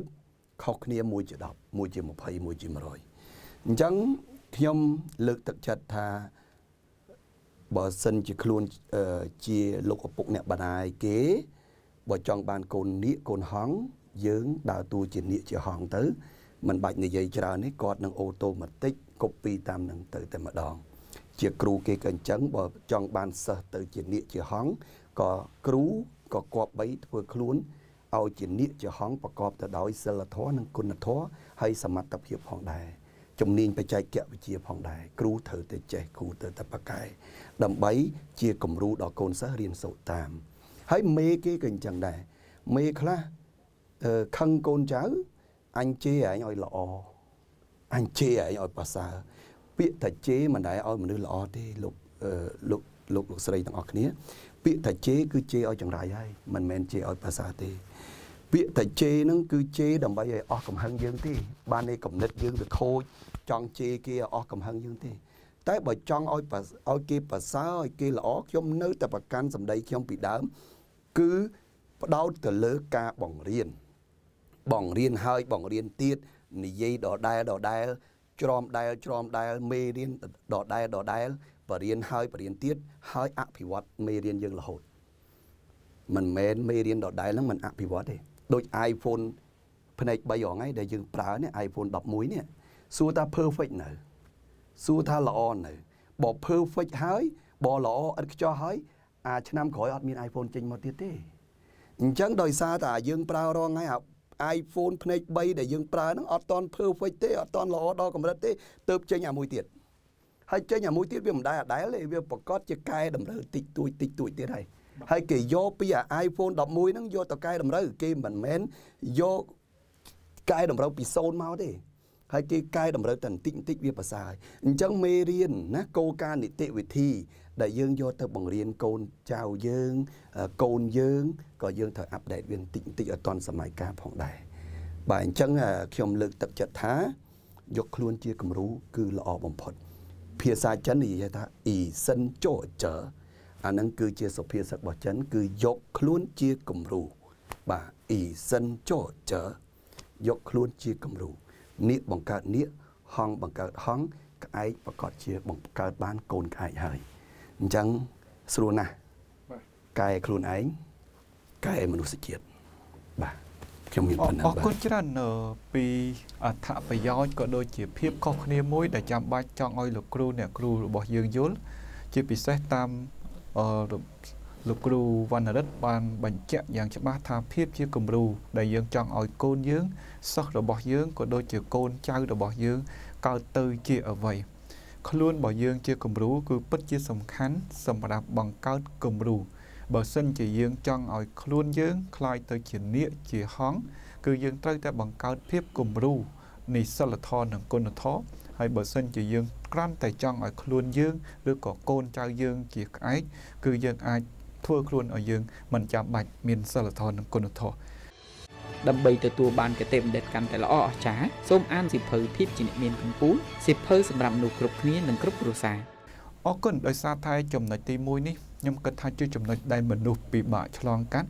ប៉ុន្តែយ៉ាងណាក៏ដោយភាពល្អរបស់មនុស្សក៏វាមិនតាន់គ្រប់គ្រាន់វាត្រូវការមនុស្សដែលមានសមត្ថភាពឬក៏មានចំណេះដឹងហើយលោកគ្រូអ្នកគ្រូរបស់យើងគឺជាអ្នកដែលប្រកបមុខរបរទៅលើអាជីពនៃការចេះដឹងនឹងតែម្ដង អាចនិយាយថាគាត់គឺជាអ្នកដែលរស់ដោយសារតែចំណេះដឹងមិនមែនរស់ដោយសារតែគាត់ល្អមួយមុខនោះទេអញ្ចឹងក្នុងនាមលោកគ្រូដែលជាថ្នាក់ដឹកនាំកម្ពូលមួយនៅក្នុងស្ថាប័នអប់រំរបស់យើងតើគ្រូបង្រៀនម្នាក់ដែលលោកនាយកទាំងពីរចាត់ទុកថាគាត់ជាមនុស្សម្នាក់ដែលមានចំណេះដឹងខ្ពង់ខ្ពស់ហ្នឹងតើមានចំណុចអីខ្លះដែលអាចសបញ្ជាក់ថាគាត់គឺជាគ្រូដែលមានចំណេះដឹងខ្ពង់ខ្ពស់ សូមអញ្ជើញពីលោកគ្រូវ៉ាន់វ៉ាន់រិតមុនបាទសូមអរគុណបងរដ្ឋាបាទពាក់ព័ន្ធនឹងចំណុចដែលបង្ហាញថាគ្រូហ្នឹងគាត់មានចំណេះដឹងខ្ពង់ខ្ពស់ខ្ញុំគិតថាសញ្ញាបត្រគឺជារឿងមួយហើយក៏ប៉ុន្តែសញ្ញាបត្រមិនមែនជាទីបញ្ចប់នៃចំណេះដឹងទេ អញ្ចឹងដើម្បីយើងសន្និដ្ឋានថាគ្រូនឹងជាបុគ្គលដែលមានចំណេះដឹងខ្ពង់ខ្ពស់ដល់ទៅមនុស្សនឹងគ្រូនឹងជាបុគ្គលដែលចូលចិត្តរៀនចូលចិត្តបង្រៀនហើយចូលចិត្តធ្វើធម្មទានបានន័យថាចែករំលែកចំណេះដឹងទៅគេវិញនេះជាមូលហេតុដែលខ្ញុំមកចូលរួមកម្មវិធីជាមួយរដ្ឋា leading នៅក្នុងថ្ងៃនេះគឺជាធម្មទានមួយ ដែលខ្ញុំគិតថាគំនិត របស់ខ្ញុំទោះបីជាផលប្រយោជន៍បានតិចក្តីច្រើនក្តីទៅកាន់ជនរួមជាតិទាំងអស់ហ្នឹងខ្ញុំគិតថាវានឹងអាចមានជាប្រយោជន៍ខ្លះសម្រាប់ថ្ងៃនេះបើអញ្ចឹងពាក់ព័ន្ធជាមួយនឹងគ្រូបុគ្គលមនុស្សម្នាក់ឬក៏គ្រូម្នាក់ខ្ញុំឲ្យតម្លៃទៅលើ សកម្មភាពរបស់គាត់ ដែលគាត់ជាមនុស្សពូកែរៀនពូកែបង្រៀន ទើបគាត់ជាមនុស្សដែលមានចំណេះដឹង ហើយពាក្យថាគ្រូត្រូវតែមានចំណេះជំនាញឯកទេសវិជ្ជាជីវៈនៅក្នុងទួនាទីរបស់គាត់ជាគ្រូ ហើយគាត់ក៏ត្រូវតែចេះជំនាញបច្ចេកវិទ្យាសម័យទំនើបនេះផងដែរចេះប្រើណាគ្រឿងសម្ភារៈដែលជាពាក់ព័ន្ធជាមួយនឹងបច្ចេកវិទ្យាថ្មីថ្មីដោយសារតែក្នុងសម័យកាលនេះគឺជារបត់ធំណាស់ សម្រាប់ពិភពលោកបាទដោយសារតែយើងមានជួបនៅជំងឺ Covid ហ្នឹងអញ្ចឹងមនុស្សភាគច្រើនគឺគេអភិវឌ្ឍបច្ចេកវិទ្យា Digital ឡើងហើយហើយពាក់ព័ន្ធនឹងការងារបច្ចេកវិទ្យានេះ គឺយើងត្រូវតែរៀនសូត្របន្ថែម បាទហើយគ្រូគឺត្រូវតែជាបុគ្គលដែលមានសុខភាពល្អទាំងកាយទាំងចិត្តហើយជាបុគ្គលដែលពូកែសរសេរពូកែស្ដាប់ ពូកែអានពូកែកាត់អត្តន័យយល់ចេះសង្ខេបឲ្យវាខ្លីខ្លឹមហើយចំគោលដៅសុទ្ធតែជាអ្វីដែលមនុស្សអឺដែលមានសមត្ថភាព ដែលគ្រូមានសមត្ថភាពហើយអញ្ចឹងទាំងអស់ហ្នឹងហើយដែលគេយើងអាចសន្មតថាគ្រូហ្នឹងគឺមានសមត្ថភាពបុគ្គលហ្នឹងគឺមានសមត្ថភាពបាទ អរគុណច្រើនចំពោះលោកគ្រូដែលបានចែករំលែកតទៅនឹងគ្រូម្នាក់ដែលមានចំណេះដឹងខ្ពង់ខ្ពស់គឺវាស់វែងទៅដោយសញ្ញាបត្រគឺជារឿងមួយប៉ុន្តែត្រូវបូកជាមួយនឹងពូកែឬក៏ចូលចិត្តរៀនចូលចិត្តបង្រៀនបូកនឹងចូលចិត្តចែករំលែកគឺមិនត្រឹមតែមានចំណេះជំនាញបូកចំណេះជំនាញតកតងនឹងអ្វីដែលខ្លួនបង្រៀនទេថែមទាំងត្រូវយល់ដឹងពីបច្ចេកវិទ្យាក៏ដូចជាពាក់ព័ន្ធនឹងការសរសេរឬក៏ការផ្សេងផ្សេងចុះលោកគ្រូអឺ សំដៀងវិញលោកគ្រូយល់ថាគ្រូម្នាក់ដែលលោកចាត់ទុកថាជាមនុស្សដែលមានចំណេះដឹងពងពោះហ្នឹងតើវាស់វែងនៅចំណុចខ្លះសូមជឿបាទអរគុណលោករដ្ឋាយើងវាស់វែងបុគ្គលមួយ ដែលថាមានចំណេះដឹងខ្ពង់ខ្ពស់ហ្នឹងគឺជាការពិត គឺតាមរយៈសញ្ញាបត្រហ្នឹងហើយមានន័យថាដូចជាយើងជំនាន់តម្រាំបានរៀនមហាវិទ្យាល័យក៏យើងរៀនវិទ្យាល័យយើងមានសញ្ញាបត្រវិទ្យាល័យហើយបានយើងរៀនមហាវិទ្យាល័យកើត អ្នកខ្លះរៀនចប់វិទ្យាល័យយើងទៅក៏បន្តយុគអនុបណ្ឌិតរហូតដល់ទៅដល់បណ្ឌិតអីចឹងទៅចឹងមានគ្នាយើងខ្លះជាពិសេសគឺបញ្ញវន្តមួយចំនួនភាគច្រើនគាត់បានបន្តទាំងបណ្ឌិតនៅក្នុងស្រុកក្រៅស្រុកអីដូចគ្នាចឹងទៅប៉ុន្តែសួរថាអានឹងវាបង្ហាញទេសញ្ញាបត្រមួយសន្លឹកពីរសន្លឹកហ្នឹងវាបង្ហាញថាគាត់មានចំណេះដឹងខ្ពង់ខ្ពស់ទេត្រូវថែមមួយទៀតទី1បន្តការរៀនបន្តការរៀនហើយពាក្យថាបន្តការរៀនហ្នឹង គ្រប់សម័យកាលទាំងអស់លើកយកមកនិយាយរហូត គេហៅថារៀនរហូតទៅដល់ចាស់រៀនរហូតទៅដល់ចាស់ lifelong learning ហ្នឹងគឺបន្តរៀនបន្តការស្រាវជ្រាវស្រាវជ្រាវហ្នឹងគឺស្អីខ្លះចាំមកខ្ញុំត្រឡប់ទៅវិញថាបើគ្រូនឹងមានចំណេះដឹងខ្ពស់ទី1ត្រូវតែគ្រូនឹងមានចំណេះដឹងជំនាញដែលគ្រូបង្រៀនអមថាបង្រៀនគណិតត្រូវ skill មានសញ្ញាបត្របរិញ្ញាបត្រផ្នែកគណិតបើអាចបន្តយកអនុបណ្ឌិត បើអាចបន្តយកបណ្ឌិតផ្នែកគណិតវិទ្យាចំណុចមួយទៀតត្រូវតែមានឆ្លងកាត់គឺចំណេះដឹងទូទៅ ចំណេះដឹងសកល ចំណេះដឹងទូទៅចំណេះដឹងសកលនឹងវាច្រើនវាចំណេះដឹងទូទៅនឹងវាពង្រីកវាធ្វើឲ្យអាអាការបង្រៀនរបស់យើងវាវាវាល្អខ្ញុំលើកឧទាហរណ៍មួយយើងនិយាយអំពីមកថាឥឡូវព្រៀនភាសាអង់គ្លេសមួយចុះអញ្ចឹងយើងចេះពីអីប្រាសាទអង្គរវត្តច្បាស់ជាយើងនិយាយថាថាអង្គរវត្ត temple ប៉ុន្តែបើសិនបើយើងអត់មានចំណេះដឹងទូទៅនិយាយអំពីប្រាសាទអង្គរវត្តសួរថាយើងមានគំនិតបែកក្នុងការបង្រៀនអត់អញ្ចឹងចំណេះដឹងជំនាញត្រូវមានចំណេះដឹងមួយទៀតគឺចំណេះដឹងសកលយល់អំពីរបត់នៃការផ្លាស់ប្ដូរសកលលោកទាំងសេដ្ឋកិច្ចណាទាំងបច្ចេកវិទ្យាកាលមុនគេអត់និយាយអំពីបច្ចេកវិទ្យាទេឥឡូវគេនិយាយអំពីបច្ចេកវិទ្យាអញ្ចឹងបច្ចេកវិទ្យាឥឡូវនេះកុំនិយាយថាតើអ្នកនឹងបរិញ្ញាបត្រ IT បាននិយាយរឿងបច្ចេកវិទ្យា No ឥឡូវនេះគឺយើងនិយាយអំពីបច្ចេកវិទ្យាអ្នកណាក៏ជាបច្ចេកវិទ្យាក៏ដែរអ្នកណាក៏ជាអ្នកបច្ចេកវិទ្យាបានដែរมันចាំបាច់តប្អូនប្អូននឹងតចាប់បរិញ្ញាបត្រ IT ទេបាននេះគ្រូយើងក៏ជាអ្នកបច្ចេកវិទ្យាដែរប៉ុន្តែដោយសារនៅក្នុងស្រុកយើងដោយសារបច្ចេកវិទ្យានឹងរៀងយឺតជាងបណ្ដាប្រទេសនៅក្នុងអាស៊ានអញ្ចឹងលោកគ្រូអ្នកគ្រូមួយចំនួនក៏មិនមែនថាគាត់មិនប្រឹងប្រែងទេគាត់ប្រឹងប្រែងសម្បើមណាស់ចាំមកសម័យកាល Covid នេះគេហៅថាគ្រូបង្រៀនជំនាញទៅសិស្ស តែសិស្សបង្រៀនបច្ចេកវិទ្យាអត់មកមកគ្រូឥឡូវនេះគេបង្រៀនតាមអី Zoom មែនទេតែគ្រូចេះ Zoom អត់មកឥឡូវគ្រូគាត់ជំនាន់គាត់អាយុ60 70គាត់បរៀនគណិតរូបគីមីគាត់អត់ចេះទេតែខ្ញុំសួរថាចំលោកគ្រូឲ្យមិនមកឥឡូវលោកគ្រូមិនប្រើកើតកូនសិស្សខ្ញុំប្រាំបាទកូនសិស្សខ្ញុំប្រាំអញ្ចឹងទី1ចំណេះដឹងសកលចំណេះដឹងថ្មីថ្មីដែលយើងអាចទទួលយកបានគឺយើងទទួលអញ្ចឹងខ្ញុំនៅពេលនេះយើងនិយាយពីបច្ចេកវិទ្យាបច្ចេកវិទ្យាវាជាអ្វីដែលថ្មីអញ្ចឹងគឺត្រូវទទួលយកត្រូវទទួលយកមិនត្រឹមតែប៉ុណ្្នឹងទេត្រូវតែស្វែងយល់អំពីវិធីសាស្ត្រប្លែកប្លែកបង្រៀនវិធីសាស្ត្របង្រៀនថ្មីថ្មីណាហេតុអីបានជាខ្ញុំនិយាយអញ្ចឹងបញ្ជាក់ថាបកគលមួយជោគជ័យខ្ញុំនិយាយតែមួយម៉ាត់ទេមានលទ្ធផលអត់បញ្ជាក់ថាបកគលនឹងជោគជ័យបកគលនឹងមានចំណេះដឹងខ្ពង់ខ្ពស់យើងទៅមើលសិស្សយើង បើសិស្សនឹងបរៀនមួយថ្នាក់គាត់បានមធ្យមភាព8ក្បៀស9ក្បៀសសឹងទាំងអស់បុគ្គលនឹងគ្រូនឹងគឺមានចំណេះដឹងខ្ពស់តែបើសិនបើគាត់អនុបណ្ឌិតរៀនបណ្ឌិតគណិតវិទ្យាដល់បង្រៀនសិស្សសិស្សនឹងធ្លាក់ចង់ជាងពាក់កណ្ដាលថ្នាក់ខ្ញុំធ្លាប់រៀនគណិតវិទ្យាជាមួយគ្រូមួយគាត់ស្វឹងរហូតគាត់បរៀនប្រសិនបើសិស្សនឹងខ្សោយរៀនជាមួយគាត់អត់កើតទេ គាត់បង្រៀនបែបអ្នកសិស្សខ្លាំងបែបសិស្សខ្លាំងគាត់បង្រៀនសម្រាប់សិស្សខ្លាំងចឹងគ្រូដែលជោគជ័យអត់អញ្ចឹងទេគ្រូដែលជោគជ័យគឺគឺជាគ្រូដែលធ្វើឲ្យបុគ្គលទាំងអស់សិស្សទាំងអស់ជោគជ័យទាំងអស់គ្នាជោគជ័យទាំងអស់គ្នាមិនមែនជោគជ័យវាមានកម្រិតអមថាឥឡូវកម្រិតជាប់មធ្យមពាក្យ5កបៀតែបើសិនបើសិស្សនឹងគាត់បង្រៀនមួយឆ្នាំសាប់សិស្សជាងពាក់កណ្ដាលធ្លាក់ក្រោមមធ្យមភាគ30% 20%បានតែជាប់មធ្យមភាគអត់តន់ជោគជ័យទេ អត់តន់ជោគជ័យទេអញ្ចឹងនិយាយឲ្យខ្លីបុគ្គលដែលជោគជ័យឬក៏បុគ្គលដែលមានចំណេះដឹងជំនាញដែលបង្ហាញតែចំណេះដឹងជំនាញគឺយើងមើលទៅលើ result ហើយសួរថា result បានជោគជ័យ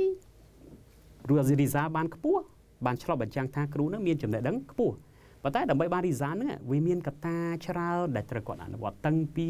ចំណេះដឹងជំនាញខ្ពស់តាំងវិធីសាស្ត្របង្រៀនប្លែកប្លែកឥឡូវនេះគេអនុវត្តកាលពីមុន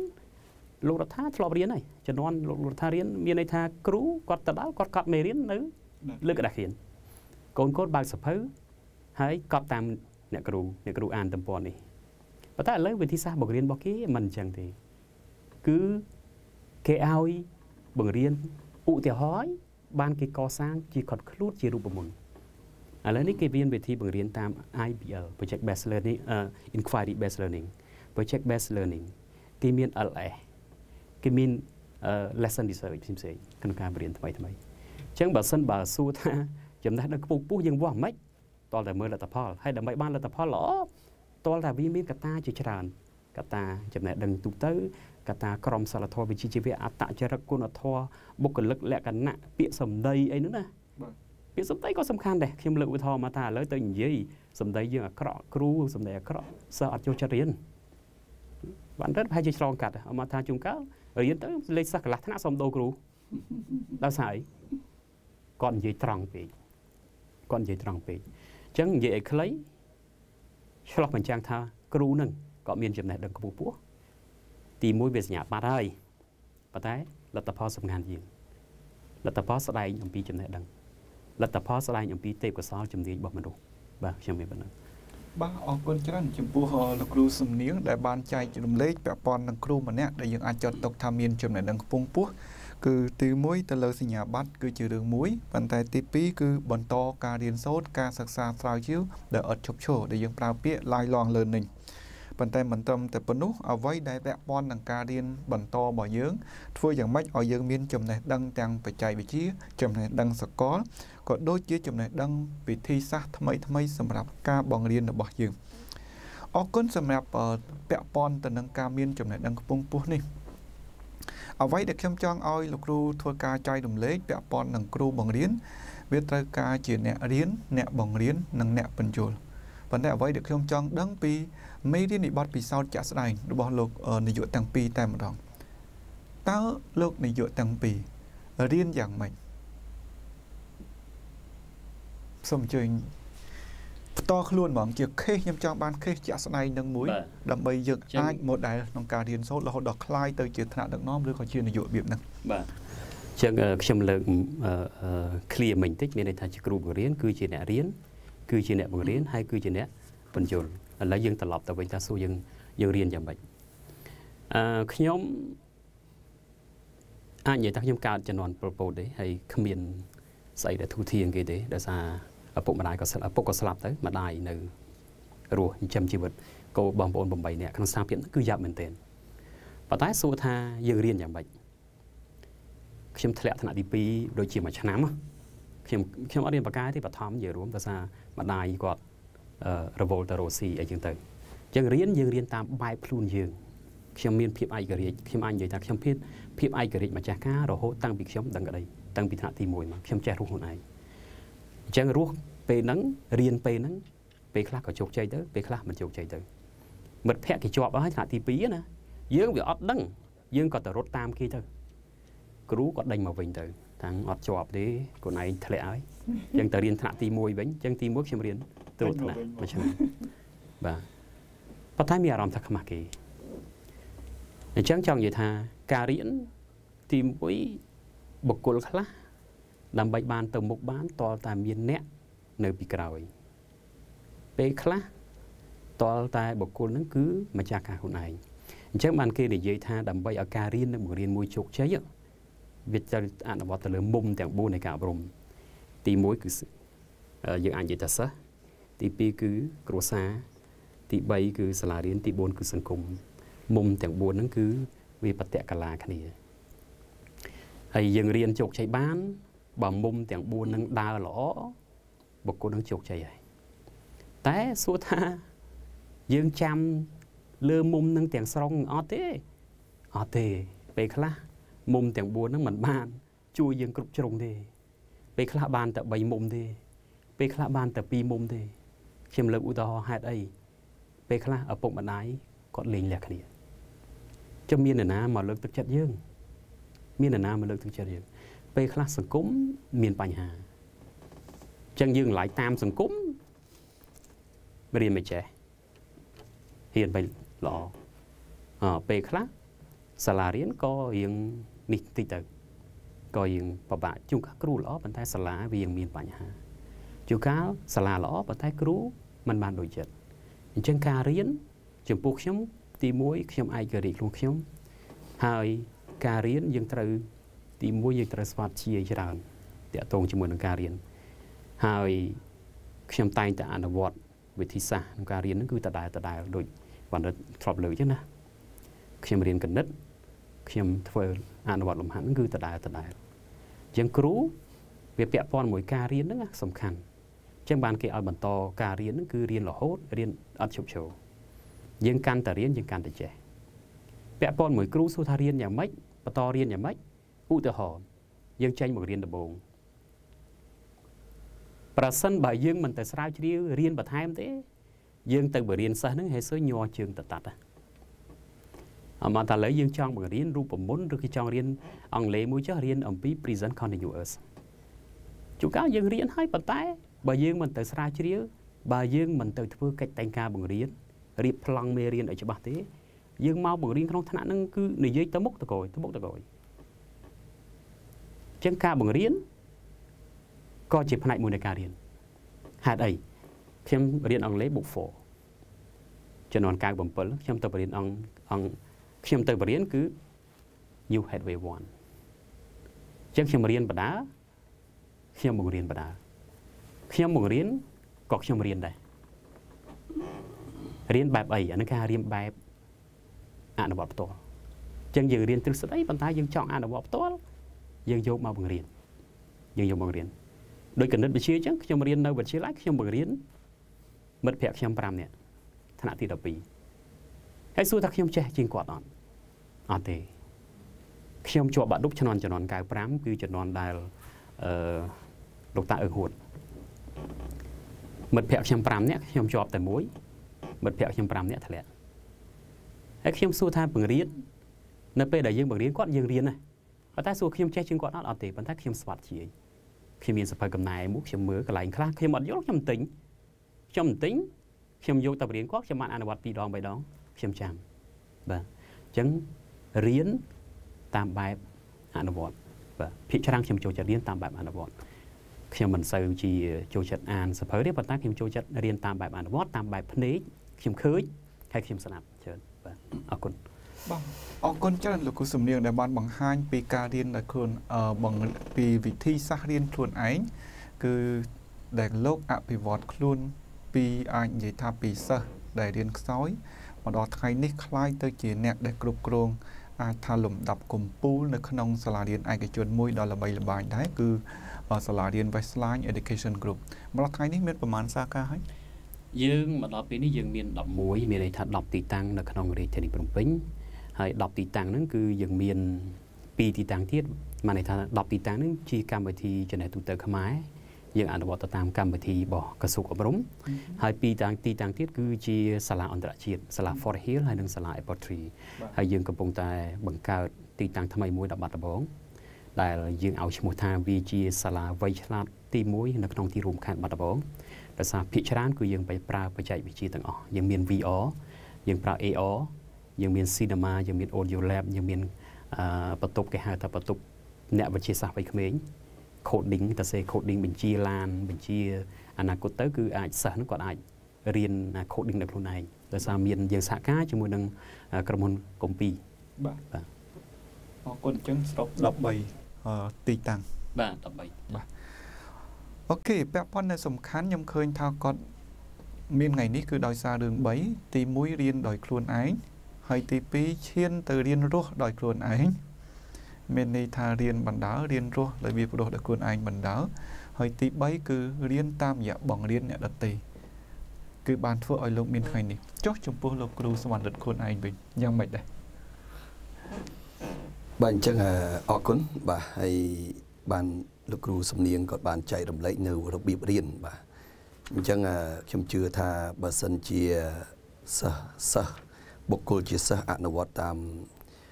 ការណែនាំរបស់លោកគ្រូនឹងខ្លាយទៅជាសិស្សបកែបាទនឹងរៀនសូត្របានលឿនហើយចេះអឺខ្ញុំចែករំលែកពាក់ព័ន្ធនឹងការរៀនហ្នឹងមែនតើទៅមនុស្សកើតមករៀនពីគ្រូទាំង3ដែលខ្ញុំបានលើកលើកតាំងពីដើមនោះថាគ្រូទី1គឺឪពុកម្ដាយបង្កើតរបស់ខ្លួនហ្នឹងគឺថាភាគរយធំមែនទែនដែលគាត់រៀនពីឪពុកម្ដាយរបស់គាត់ ហើយទី2គឺបុគ្គលជាគ្រូលោកគ្រូអ្នកគ្រូនៅសាលារៀនគឺគាត់រៀនពីលោកគ្រូអ្នកគ្រូនៅសាលារៀនហើយរៀនទី3នោះគឺគាត់រៀននៅពេលដែលគាត់ចេញទៅសង្គមគាត់រៀនពីមេរបស់គាត់បាទនេះគឺជាគ្រូសំខាន់របស់គាត់ទាំង3បន្ទាប់ពីនឹងទៅទៀតនោះគឺគាត់អាចរៀនពីមនុស្សគ្រប់គ្នាដោយយើងអាចថាអឺ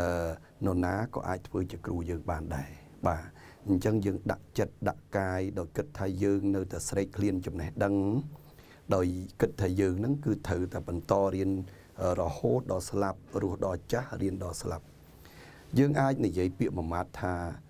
អឺយើងអាចយកពិភពលោកធ្វើជាថ្នាក់រៀនហើយយកធម្មជាតិធ្វើជាក្តារខៀនទៅដល់ណាក៏រៀនរៀនគ្រប់ពេលរៀនគ្រប់ទីកន្លែង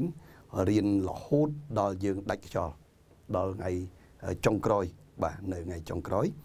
ហើយពាក់ព័ន្ធនឹងការរៀនដើម្បីជោគជ័យគឺយើងត្រូវផ្ដោតបាទយើងត្រូវផ្ដោតពីដើមដល់ចប់បាទរៀនហើយរៀនទៀតរៀនដដែលដដែលទន្ទិញចងចាំបាទហើយត្រូវតែយល់មិនទន្ទិញចាំតែមាត់អត់យល់ទេយើងត្រូវយល់អត្ថន័យខ្លឹមសាររបស់វាហើយគិតពិចារណាឲ្យបានស៊ីជម្រៅ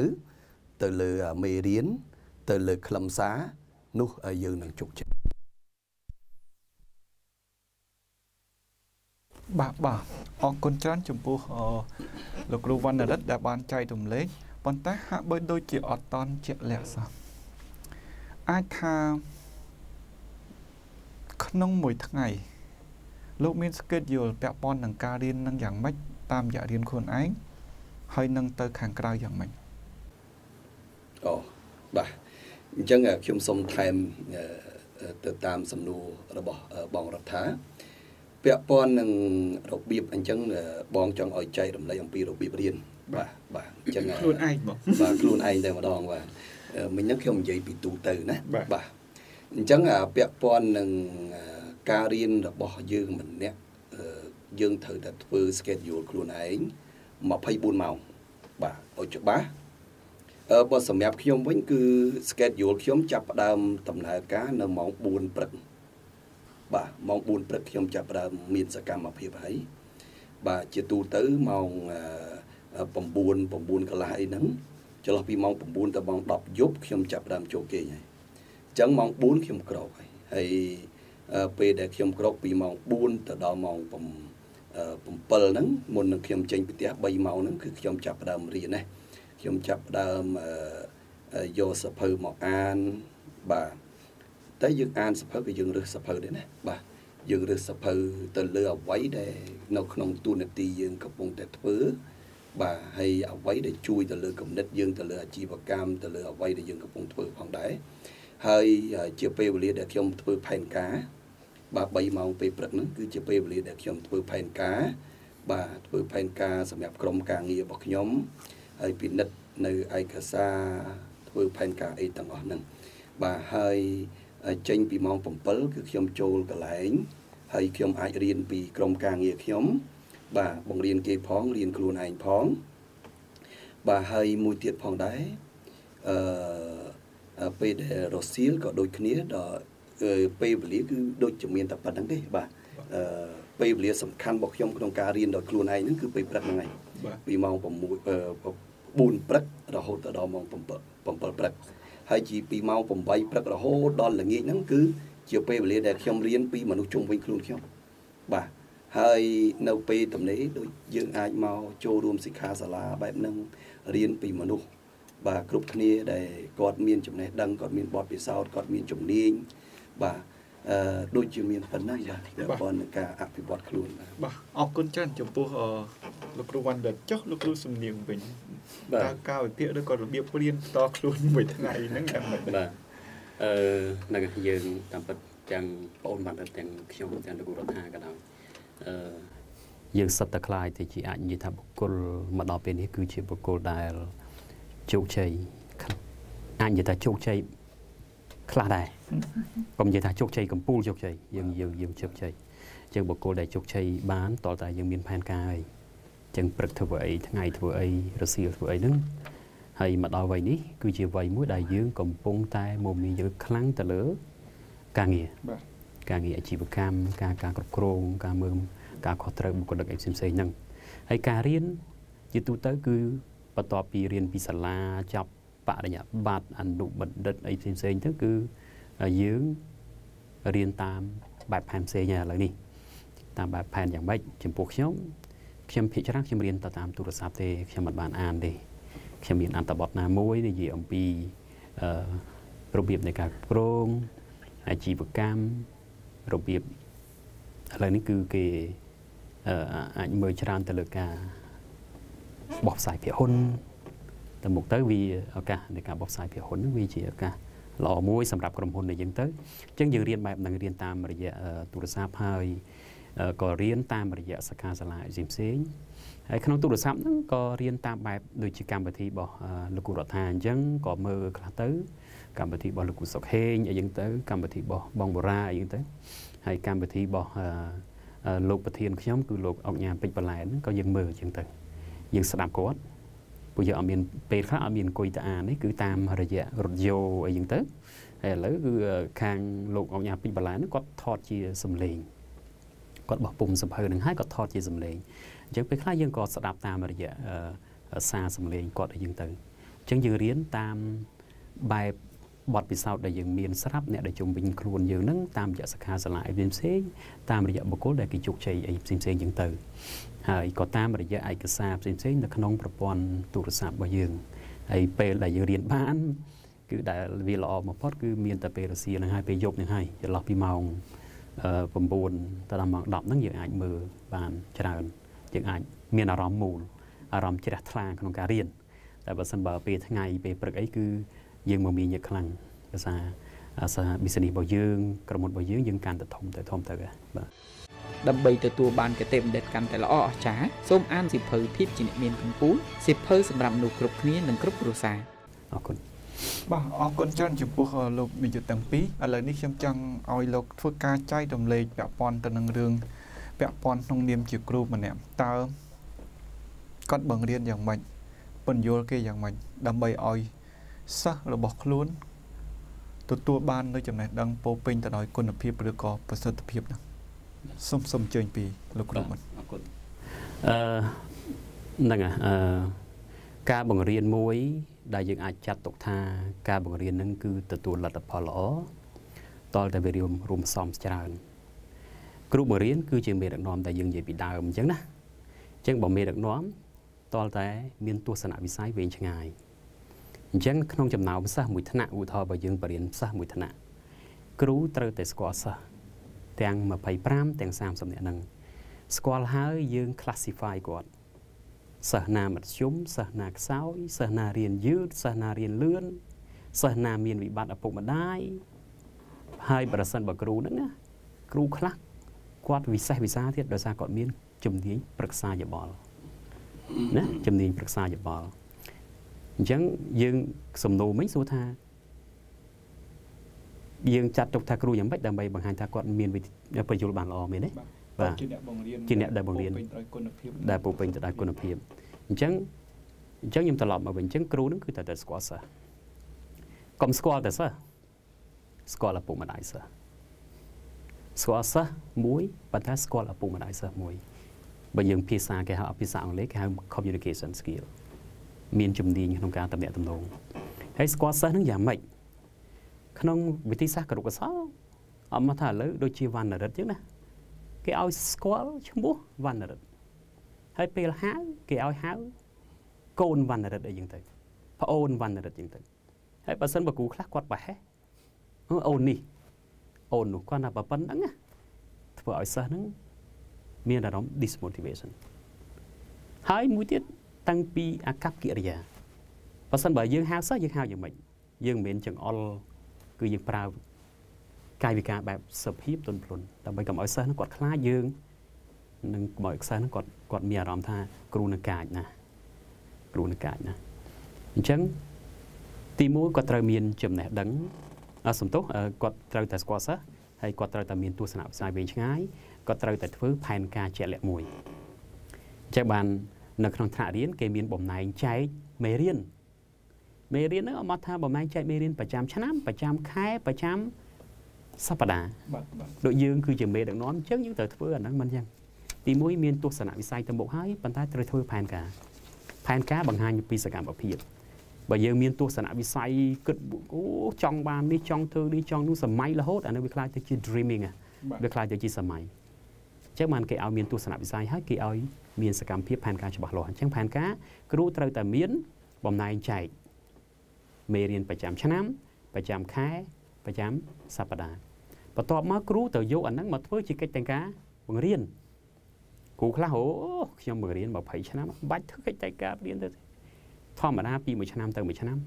សិស្សអត់ដូចគ្នាទេអញ្ចឹងបានគេឲ្យស្គាល់សិស្សធ្វើផែនការតម្រូវទៅតាមសិស្សហ្នឹងធ្វើ lesson plan តម្រូវទៅសិស្សហ្នឹងអញ្ចឹងនៅពេលដែលមាន lesson plan ហើយបានយើងយកទៅបរៀននៅពេលដែលយើងធ្វើផែនការមានន័យថាយើងបានត្រៀមគ្រប់គ្រាន់ណាស់ ទាំងសម្ភារៈទាំងចំណេះដឹងទាំងពីបទពិសោធន៍ទាំងពីឧទាហរណ៍ទាំងពីលំហាត់ខ្ញុំអត់លម្អិតរឿងថាតើកិច្ចទាំងការនឹងវាមានអីវាវែងឆ្ងាយអញ្ចឹងមានផែនការមានធ្វើផែនការមេរៀនធ្វើប្លង់មេរៀនឲ្យច្បាស់លាស់ហើយបានយកទៅបង្រៀននៅពេលដែលយើងបង្រៀននឹងទៀតយើងត្រូវប្រើក្រមសីលធម៌វិជ្ជាជីវៈរបស់យើងទាំងកាយវិជាចិត្តពាក្យសម្ដីគុណធម៌ឲ្យបានស្មើភាពគ្នាណា បង្រៀនឲ្យស្មើភាពគ្នាបង្រៀនទៅគាត់ឲ្យស្មើភាពគ្នាណាបង្រៀនឲ្យគាត់ផាសភាពគ្នាបន្ទាប់ពីបង្រៀនហើយយើងត្រូវមានមួយទៀតគឺតាមដានលទ្ធផលចឹងហើយបាននៅក្នុងថ្នាក់រៀនគេឲ្យយើងធ្វើតេស្តធ្វើអីហ្នឹងណាដើម្បីវាស់ស្ទង់គាត់តាមដានហើយសិស្សណាមានបញ្ហាយ៉ាងម៉េចយើងត្រូវជួយគាត់យើងត្រូវជួយគាត់ចឹងសួរថាប៉ុណ្្នឹងចប់អត់ទេអត់ទេត្រូវតែអភិវឌ្ឍខ្លួនឯងរហូត អញ្ចឹងនៅពេលដែលធ្វើអញ្ចឹងហើយជួនកាលវាអត់ជោគជ័យយើងទៅរកវិធីសាស្ត្រផ្សេងមួយទៀតដើម្បីយកមកជំនួសវិធីសាស្ត្រចា៎អញ្ចឹងយកអ្វីដែលថ្មីថ្មីយកមកដាក់បញ្ចូលធ្វើកិច្ចតែងការជាប្រចាំសួរថាចុះកិច្ចតែងការឆ្នាំនឹងខ្ញុំធ្វើហើយហើយឆ្នាំក្រោយខ្ញុំមិនបាច់ធ្វើបានអត់អត់ទេត្រូវតែយកមកមើលឡើងវិញពេលខ្លះត្រូវដូរសកម្មភាពពេលខ្លះត្រូវដូរផ្លូវដើរព្រោះនៅក្នុងកិច្ចតែងការគេលម្អិតណា តាំងពីរបៀបនិយាយតាំងពីរបៀបសំណួរចោតសួរអីផ្សេងផ្សេងៗកិច្ចការផ្ទះអីផ្សេងផ្សេងៗណាហើយកិច្ចការផ្ទះហ្នឹងគេត្រូវដាក់ទៀតគេមានមេកម្រិតនៃកិច្ចការផ្ទះទៀតណាអញ្ចឹងបានគេទី1គ្រូដែលជោគជ័យត្រូវតែស្គាល់សិស្សហើយអស់បើស្គាល់សិស្សមិនអស់ទេបង្រៀនទាំងត្រឡប់តបតិនបង្រៀនទាំងខ្លួនឯងចូលទៅរៀនចាប់មកចេញទៅវិញអត់ខ្វល់អត់ជោគជ័យទេអត់ជោគជ័យទេបាទអរគុណ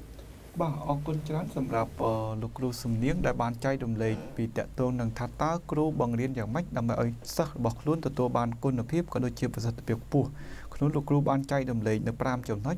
មានន័យថាក្នុងនាមជាគ្រូគឺជាអ្នកដឹកនាំគឺត្រូវតែមានទស្សនវិស័យអឺវែងឆ្ងាយទី2គឺត្រូវតែស្គាល់សិស្សហើយទី3គឺត្រូវតែមានអឺផែនការជាក់លាក់ហើយនិងទី4ត្រូវតែមានក្រមសីលធម៌វិជ្ជាជីវៈ ហើយនឹងចុងក្រោយទី5ត្រូវតែមានវិធីសាស្ត្រឬក៏របៀបបង្រៀនថ្មីថ្មីចុះលោកគ្រូអឺសវណ្ណអឺវណ្ណរិទ្ធវិញសូមអញ្ជើញបាទសូមអរគុណអឺបងរដ្ឋាបាទអឺពាក់ព័ន្ធនឹងការងារជំនាញបង្រៀននេះអឺឃើញថាលោកគ្រូសំនៀងគាត់បានអឺបកស្រាយនឹងបញ្យលក្បោះក្បាយមែនទែនអញ្ចឹងអឺសម្រាប់ខ្ញុំគឺខ្ញុំឯកភាពហើយនឹងអឺ អឺអ្វីដែលលោកគ្រូបាននិយាយហ្នឹងខ្ញុំមិនអឺនិយាយជន់គ្នាទេក៏ប៉ុន្តែខ្ញុំគិតថាពាក់ព័ន្ធនឹងការងារបរិញ្ញាមួយដែលជោគជ័យគឺផ្ដើមចេញពីទី1គ្រូដែលមានគុណភាពប្រកបទៅដោយសិលធម៌និងអឺគុណធម៌ទី1ទី2បុគ្គលដែលជាគ្រូបង្រៀនជាអ្នកផ្ដល់ពុទ្ធិផ្ដល់ចំណេះឲ្យសិស្សហ្នឹងគឺត្រូវតែមានអឺគេហៅថាការទទួលខុសត្រូវ ការទទួលខុសត្រូវមានន័យថាម៉េច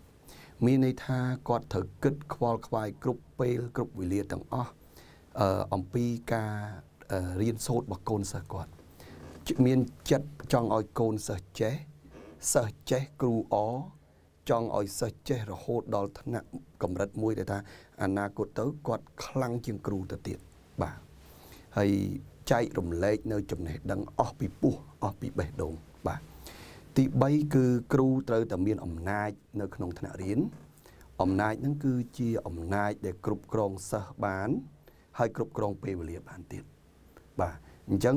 ពាក់ព័ន្ធនឹងផែនការមេរៀនគឺយើងរៀបចំយ៉ាងម៉េចគឺយើងត្រូវតែធ្វើឲ្យមានប្រសិទ្ធភាព បាទអញ្ចឹងគ្រប់គ្រងសិស្សឲ្យមានរបៀបឲ្យមានវិន័យហើយគ្រប់គ្រងពេលវេលាចប់ទៅតាម ទៅតាមពេលវេលាដែលបានកំណត់ បើហើយទី4នោះ គ្រូត្រូវតែចេះបង្កើតនៅភាពសប្បាយរីករាយនៅក្នុងការរៀននិងការបង្រៀនដោយសារតែអាការរៀននេះក្មេងយើងធ្លាប់រៀនដូចគ្នា យើងធ្លាប់ជាសិស្សដូចគ្នាអឺបើសិនតែជួបគ្រូខ្លះទៅគាត់ចេះបង្កើតភាពសប្បាយនៅក្នុងការរៀនបានន័យថាឲ្យក្មេងរៀនឲ្យក្មេងលេងដើម្បីរៀនបាទលេងដើម្បីរៀនរៀនផងលេងផងសប្បាយផងចេះផង អាហ្នឹងគឺទៅជាយុទ្ធសាស្ត្រជោគជ័យនៅក្នុងការបង្រៀនហើយបើសិនជាគ្រូខ្លះចូលមកសោះមិនទាន់បានរៀនមានអារម្មណ៍ថាធុញថប់ដូចដូចចង់ខ្លាចគ្រូចង់រត់ចេញពីថ្នាក់ហ្នឹងហើយហើយបើគ្រូខ្លះទៀតគ្រាន់តែឈានជើងចូលភ្លាមសិស្សផ្ទះដៃអបអរសាទរតែម្ដងអញ្ចឹងអត់មានអីពីក្រៅពីសិល្បៈក្នុងការធ្វើឲ្យក្មេងអឺសบายចិត្តនៅក្នុងការរៀនរៀនផងសบายផង ចេះផងសบายផងទេ ហើយចំណុចទី5ចំណុចចំណុចដែលសំខាន់ដែលខ្ញុំគិតថាសំខាន់បំផុតនោះ គឺគ្រូត្រូវកំណត់នៅដែលហៅថាចុងបញ្ចប់នៃមេរៀនបកតថាតើសិស្សចេះអីអ្វីដែលត្រូវបង្រៀនក្មេងមុនពេលបង្រៀនត្រូវរៀបចំ lesson plan ឲ្យច្បាស់ណារៀបចំច្បាស់លាស់ហើយពេលចូលបង្រៀនបង្រៀនចប់សិស្សចេះអីកាន់តែសំខាន់បាទអញ្ចឹងយើងរៀបចំធ្វើម៉េច ឲ្យកូនសិស្សយើងហ្នឹងគាត់អឺបាននៅចំណេះដឹងបន្ទាប់ពីចប់មេរៀន1ម៉ោង1ម៉ោងហ្នឹងបាទហើយមានសមត្ថភាពអាចប្រើការបាន អាចធ្វើបាន អាចប្រឡងជាប់អាចមានចំណេះដឹងកាន់តែទូលំទូលាយបាទខ្ញុំមានប៉ុណ្ណឹងបាទសូមអរគុណបាទអរគុណច្រើនចំពោះលោកគ្រូវណ្ណរិទ្ធតកតូននឹងថាការបង្រៀនរបស់គ្រូ គឺត្រូវតែចាប់ផ្ដើមពីខ្លួនឯងមានគុណភាព មានសិលធម៌និងគុណធម៌ជាមុន ហើយបន្តមកគឺត្រូវតែទទួលខុសត្រូវទៅលើអ្វីដែលខ្លួនចង់ឲ្យសិស្សចេះពិតប្រាកដហើយក៏មានអំណាចក្នុងការគ្រប់គ្រងតាំងពីថ្នាក់រៀនតាំងពីសិស្សតាំងពីពេលវេលាឬក៏មេរៀនហើយទី4ត្រូវតែបង្កើតភាពសប្បាយរីករាយដល់សិស្សដើម្បីឲ្យសិស្សចង់រៀនឬក៏លេងដើម្បីរៀនហើយនឹងចុងក្រោយថាតើអ្វីដែលជាពិតប្រាកដដែលចង់ឲ្យសិស្សចេះប៉ុន្តែក្នុងនេះខ្ញុំឃើញថាមានចំណុចមួយទៀតដែលគ្រូក៏មានអំណាចឬក៏មានអ្វីដែលអស្ចារ្យមួយគឺការបញ្យល់ ចង់ឲ្យសិស្សនឹងឆាប់ចាប់បានឬក៏សិស្សនឹងឆាប់ចេះហើយអាចសង្គមជាតិរបស់យើងនឹងក៏រៀនពីកន្លែងនឹងដែរដែលធ្វើឲ្យមនុស្សចេះនិយាយគ្នាបញ្យល់គ្នាទៅវិញទៅមកអញ្ចឹងធ្វើម៉េចដែលយើងអាចនិយាយបានថាជាគ្រូដែលអាចថាបញ្យល់សិស្សឲ្យឆាប់យល់បានហ្នឹងសូមអញ្ជើញពីលោកវណ្ណរិទ្ធមួយបាទអរគុណបងរដ្ឋាពាក់ព័ន្ធជាមួយនឹងជំនាញបញ្យល់បុកបានន័យថាយើងអាចបង្រៀន ក្មេងអាយុ3ឆ្នាំឲ្យយល់យើងអាចបង្រៀនក្មេងបញ្យលបាទយើងអាចនិយាយថាយើងអាចបញ្យលក្មេងអាយុ3ឆ្នាំឲ្យយល់បើសិនជាយើងយល់ច្បាស់ជាមុនសិនតែបើសិនជាបុគ្គលជាគ្រូបង្រៀនអត់យល់ច្បាស់ជាមុនសិនទោះបីជាគាត់ទៅបញ្យលបណ្ឌិតបណ្ឌិតក៏អត់ចេះដែរបាទអញ្ចឹងខ្ញុំចង់ចែករំលែកនៅកតិបណ្ឌិតនេះមួយបាទន័យថាបុគ្គលជាគ្រូបង្រៀន ដើម្បីបកកែបញ្យលដល់តែគាត់យល់ឲ្យច្បាស់ជាមុនសិនហើយមានជំនាញពិតប្រាកដដែលហៅថាជំនាញហ្នឹងបានន័យថាការដែលយើងធ្វើហើយធ្វើទៀតជោគជ័យក៏ធ្វើទៀតបរាជ័យក៏ធ្វើទៀតធ្វើច្រើនខែធ្វើច្រើនឆ្នាំកើតចេញជាជំនាញការងារដ៏អស្ចារ្យមួយ ក្នុងភាពជាគ្រូបង្រៀនបាទអញ្ចឹងពេលដែលគាត់មានជំនាញច្បាស់ហើយគាត់ប្រកាសជាបកកែក្នុងការបញ្យល ហើយមេរៀនមួយមួយ ក្នុងមុននឹងបង្រៀនក្មេងត្រូវស្រាវជ្រាវត្រូវស្វែងយល់ឲ្យបានដល់កម្រិតមួយដែលហៅថាយល់ឲ្យជ្រៅមែនទែនហើយពេលដែលគាត់យល់ជ្រៅយល់អត្តន័យទលំទលាយមានចំណេះដឹងទូទៅទលំទលាយទលាយដើម្បីជាឧទាហរណ៍អមអញ្ចឹងគាត់បញ្យល់ក្មេង3ឆ្នាំក៏គាត់អាចបញ្យល់យល់ដែរហើយបើសិនជាគាត់មិនច្បាស់ខ្លួនឯងទេទោះបីជាបញ្យល់បណ្ឌិតក៏បណ្ឌិតស្ដាប់មិនយល់ដែរ អញ្ចឹងសរុបសេចក្តីមកគឺគ្រូត្រូវតែមានចំណេះដឹងខ្ពង់ខ្ពស់ហើយមានការយល់ដឹងឲ្យច្បាស់អំពីអ្វីដែលយើងត្រូវបង្រៀនគេ បាទខ្ញុំមានប៉ុណ្ណឹងបាទបាទអរគុណមានន័យថាមុននឹងអាចបញ្យល់គេច្បាស់លុះត្រាតែខ្លួនឯងយល់ច្បាស់មុននឹងធ្វើឲ្យគេយល់លុះត្រាតែខ្លួនឯងយល់ហើយគ្រូទៀមទាឲ្យមានចំណេះដឹងជ្រៅជ្រះឬក៏ទូលំទូលាយចុះលោកគ្រូវិញគិតថាតើការបញ្យល់សិស្សយ៉ាងម៉េចឲ្យឆាប់យល់សូមជឿបាទខ្ញុំអរគុណ លោកគ្រូរដ្ឋាអឺគ្រូម្នាក់ម្នាក់ក៏សុទ្ធតែមានសមត្ថភាពក្នុងការបញ្យល់សិស្សគ្រប់គ្រប់គ្នាបាទប៉ុន្តែសំខាន់សួរថាយើងបញ្យល់នឹងយើងបញ្យល់ទៅដល់ណាគេយើងបញ្យល់សិស្សមែនទេបាទបាទជួនកាលខ្ញុំបញ្យល់លោកគ្រូរដ្ឋាជួនកាលពេលខ្លះខ្ញុំបញ្យល់លោកគ្រូវណ្ណរិទ្ធឲ្យយើងទៅអញ្ចឹងបុគ្គលដែលបញ្យល់គេ ទីមួយត្រូវស្គាល់ថាអ្នកដែលយើងបញ្យល់ហ្នឹងជានរណា អ្នកដែលយើងបញ្យល់ហ្នឹងជានរណាអញ្ចឹងបើយើងបញ្យល់សិស្សដូចខ្ញុំនិយាយតដើតដើគ្រូបង្រៀនត្រូវតែស្គាល់សិស្សឲ្យបានអស់បើយើងបញ្យល់សិស្ស20នាក់30នាក់ដូចយើងកំពុងតែ live អញ្ចឹងសួរថាគេស្ដាប់យើងគេយកចិត្តដាក់យើងទាល់តែកម្មវិធីរបស់យើងនឹងឲ្យត្រូវចំណងចំណុចចិត្តរបស់គេអញ្ចឹងសិស្សដូចគ្នាសិស្សខ្លះចេញទៅវិញគាត់ទៅថាអូលោកគ្រូនេះបញ្យលក្បោះក្បាយល្អណា បញ្យលល្អណាស់បញ្យលការបញ្យលរបស់យើង វាតោងឲ្យយើងស្គាល់សិស្សហេតុអីពាក់ព័ន្ធមួយភាសាដែលយើងប្រើភាសាមួយចំនួនយើងប្រើភាសាបាលីសំស្ក្រឹតភាសាអីផ្សេងទៀតប៉ុន្តែអ្នកដែលកំពុងតែស្ដាប់យើងក៏អត់យល់អញ្ចឹងបើសិនបើយើងបរៀនមេរៀនអីមួយយើងត្រូវតែស្គាល់សិស្សឲ្យបានទូលំទូលាយដើម្បីឲ្យយើងការប្រើភាសា ការដាក់កិច្ចការការដាក់លំហាត់ការដាក់មេរៀនរៀបមេរៀននេះឲ្យវាត្រូវវាត្រូវទាំងអស់អមថាឥឡូវដូចខ្ញុំនិយាយថាក្នុងសិស្សមួយថ្នាក់ហ្នឹងមានសិស្សខ្សោយសិស្សមធ្យមហើយនិងសិស្សបកាយបើយើងដាក់លំហាត់ខ្សោយពេកសិស្សមធ្យមសិស្សបកាយគាត់ធុញបើយើងដាក់រៀងខ្លាំងពេកសិស្សមធ្យមសិស្សខ្សោយហ្នឹងគាត់អត់ចេះគាត់ថាយើងបើរៀនមួយគ្រូនឹងអត់យល់ទេបាទទី1ត្រូវស្គាល់សិស្ស ទី2ត្រូវមានចំណេះដឹងខ្លួនឯងនេះឲ្យវាទលំទលាយឲ្យវាទលំទលាយចំណេះដឹងយ៉ាងម៉េចចំណេះដឹងតាក់ទងជាមួយនឹងមុខវិជ្ជាដែលយើងបង្រៀនចំណេះដឹងទូទៅផ្សេងផ្សេងដែលខ្ញុំលើកពីដើមអញ្ចឹងបើយើងបរៀនអង់គ្លេសយើងមានពាក្យអីគេអមថាឥឡូវដើមថ្នោតអង់គ្លេសថាម៉េច palm tree ប៉ុន្តែបើសិនបើយើងអត់យល់ថាអត្ថប្រយោជន៍នៃដើមថ្នោតហ្នឹងវាមានផ្លែឬយកធ្វើអីដើមវាយកធ្វើអី អញ្ចឹងបើសិនបើយើងមានចំណេះដឹងទូលំទូលាយយើងអាចបបែកវា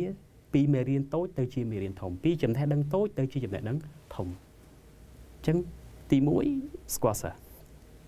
ទី2ចំណេះដឹងទូលំទូលាយក្រៅពីចំណេះដឹងជំនាញដែលយើងបរៀនគឺចំណេះដឹងទូលំទូលាយទី3វិធីសាស្ត្របង្រៀនយើងបរៀនដូចបណ្ឌិតនិយាយអញ្ចឹងអមថាបរៀនសិស្សអាយុ3ឆ្នាំ យើងត្រូវប្រើវិធីសាស្ត្របង្រៀនយ៉ាងម៉េច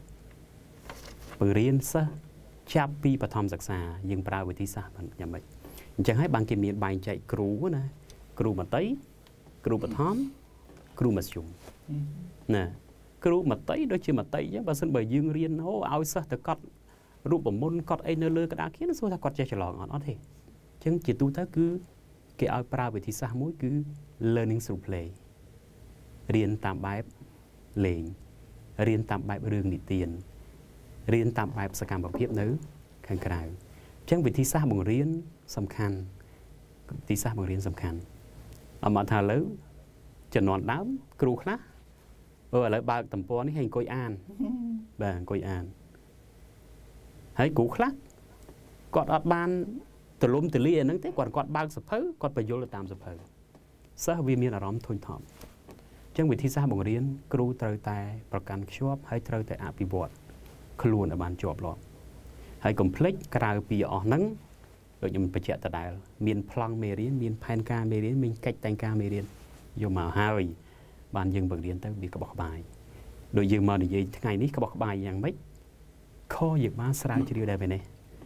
ក៏យ៉ាងហោចហ្នឹងក៏យើងបានមើលដែរអ្នកខ្លះត្រៀមមួយថ្ងៃអ្នកខ្លះត្រៀមពីរថ្ងៃមុនណា ដូចលោករដ្ឋាមានសំណួរអីចាក់ដោតអីច្រើនអញ្ចឹងក៏លោករដ្ឋាត្រៀមច្រើនណាស់ត្រៀមចាក់ដោតដែរបាទអរគុណច្រើនបាទអញ្ចឹងអឺខ្ញុំគិតទី1ស្គាល់សិស្សទី2ចំណេះដឹងខ្លួនឯងទូលំទូលាយចំណេះដឹងជំនាញហើយនិងចំណេះដឹងគ្រប់កសលហើយមួយទៀតគឺអនុវត្តវិធីសាស្ត្រធ្វើកិច្ចតែងការបង្រៀននឹងឲ្យបានច្បាស់លាស់ហើយក៏ចុងក្រោយមួយទៀតចុះបើយើងមានកិច្ចតែងការហើយបើយើងចេះដឹងហើយប៉ុន្តែ អាកប្បកិរិយារបស់យើងបញ្យលទៅសិស្សខ្លាចណាមកដល់និយាយមួយម៉ាត់ធំល្មុតទុំពេញថ្នាក់ធំបរិយក្នុងថ្នាក់សួរថាសិស្សវាចង់ស្ដាប់ទេទោះបីយើងនិទានរឿងដ៏ពីរោះយើងច្រៀងចម្រៀងមួយបទដ៏អស្ចារ្យក៏ដោយប៉ុន្តែបើអាកាយវិចាររបស់យើងណាអាពាក្យសម្ដីរបស់យើងហ្នឹងអាសកម្មភាពរបស់យើងហ្នឹង វាមិនគួរគប្បីដែលគេទទួលសួរថាអត់បានលទ្ធផលទេអត់បានលទ្ធផលទេបាទអរគុណបាទអរគុណច្រើនចំពោះលោកនាយកទាំងពីរដែលបានចូលរួមពាក់ព័ន្ធនឹងការដែលយើងជជែកគ្នា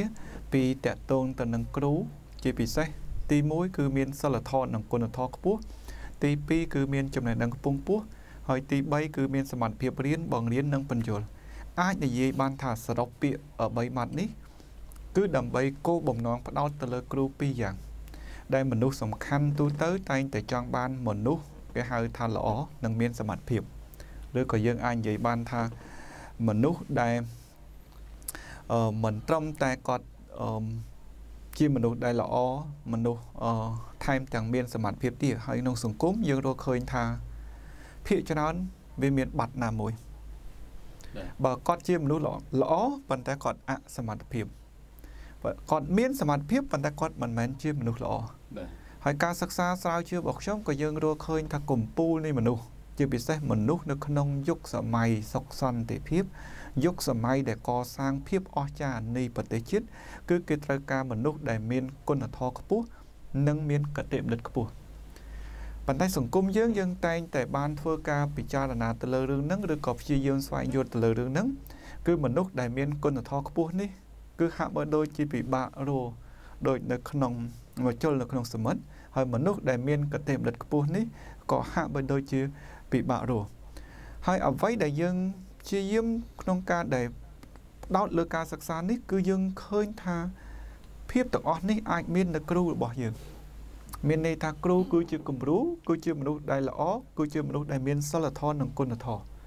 គ្រូគឺជាអ្នកដែលចេះដឹងហើយគាត់មិនត្រឹមតែជាអ្នកចេះដឹងទេ គាត់មិនត្រឹមតែជាមនុស្សដែលមានសមត្ថភាពទេគឺគាត់នៅតែបន្តរៀនបន្តបង្រៀនឬក៏បន្តចែករំលែកឬក៏បញ្យល់អ្នកដទៃប៉ុន្តែរឿងទាំងពីរនេះហាក់បីដូចជាវាអត់កើតឡើងផ្គុំគ្នា គ្រូនឹងល្អប៉ុន្តែគាត់អត់អឺសិលធម៌គាត់អត់គ្រប់វិន័យគាត់អីអញ្ចឹងទៅគាត់មានសមត្ថភាពប៉ុន្តែមានបញ្ហាបញ្ហានោះអញ្ចឹងខ្ញុំចង់បានតាមរយៈលោកនាយកទាំងពីរនេះ អាចជួយបានថាតើធ្វើយ៉ាងម៉េចដើម្បីឲ្យគ្រូយើង មានទាំងគេហៅថាគុណធម៌មានទាំងកតេបនិតគាត់ជាមនុស្សដែលអាចថាគ្មានពីណាម្នាក់ដែលត្រូវសង្ស័យគាត់ទៀតទេ ថាគាត់ជាមនុស្សដែលមិនល្អហើយការចេះដឹងរបស់គាត់គឺមានកម្រិតឬក៏មិនអាចទទួលយកបាន យើងចង់ឲ្យពាក្យថាពាក់ផ្លាកថាគ្រូ គឺគ្រូនឹងគឺជាមនុស្សល្អដោយគ្មានមន្ទិលសង្ស័យ ហើយជាមនុស្សដែលមានសមត្ថភាពដោយគ្មានអ្វីដែលគួរឲ្យស្ទាក់ស្ទើរយើងសូមលោកសមណ្ឌិតមុនសូមជួយបាទសូមអរគុណលោកគូរដ្ឋាបាទ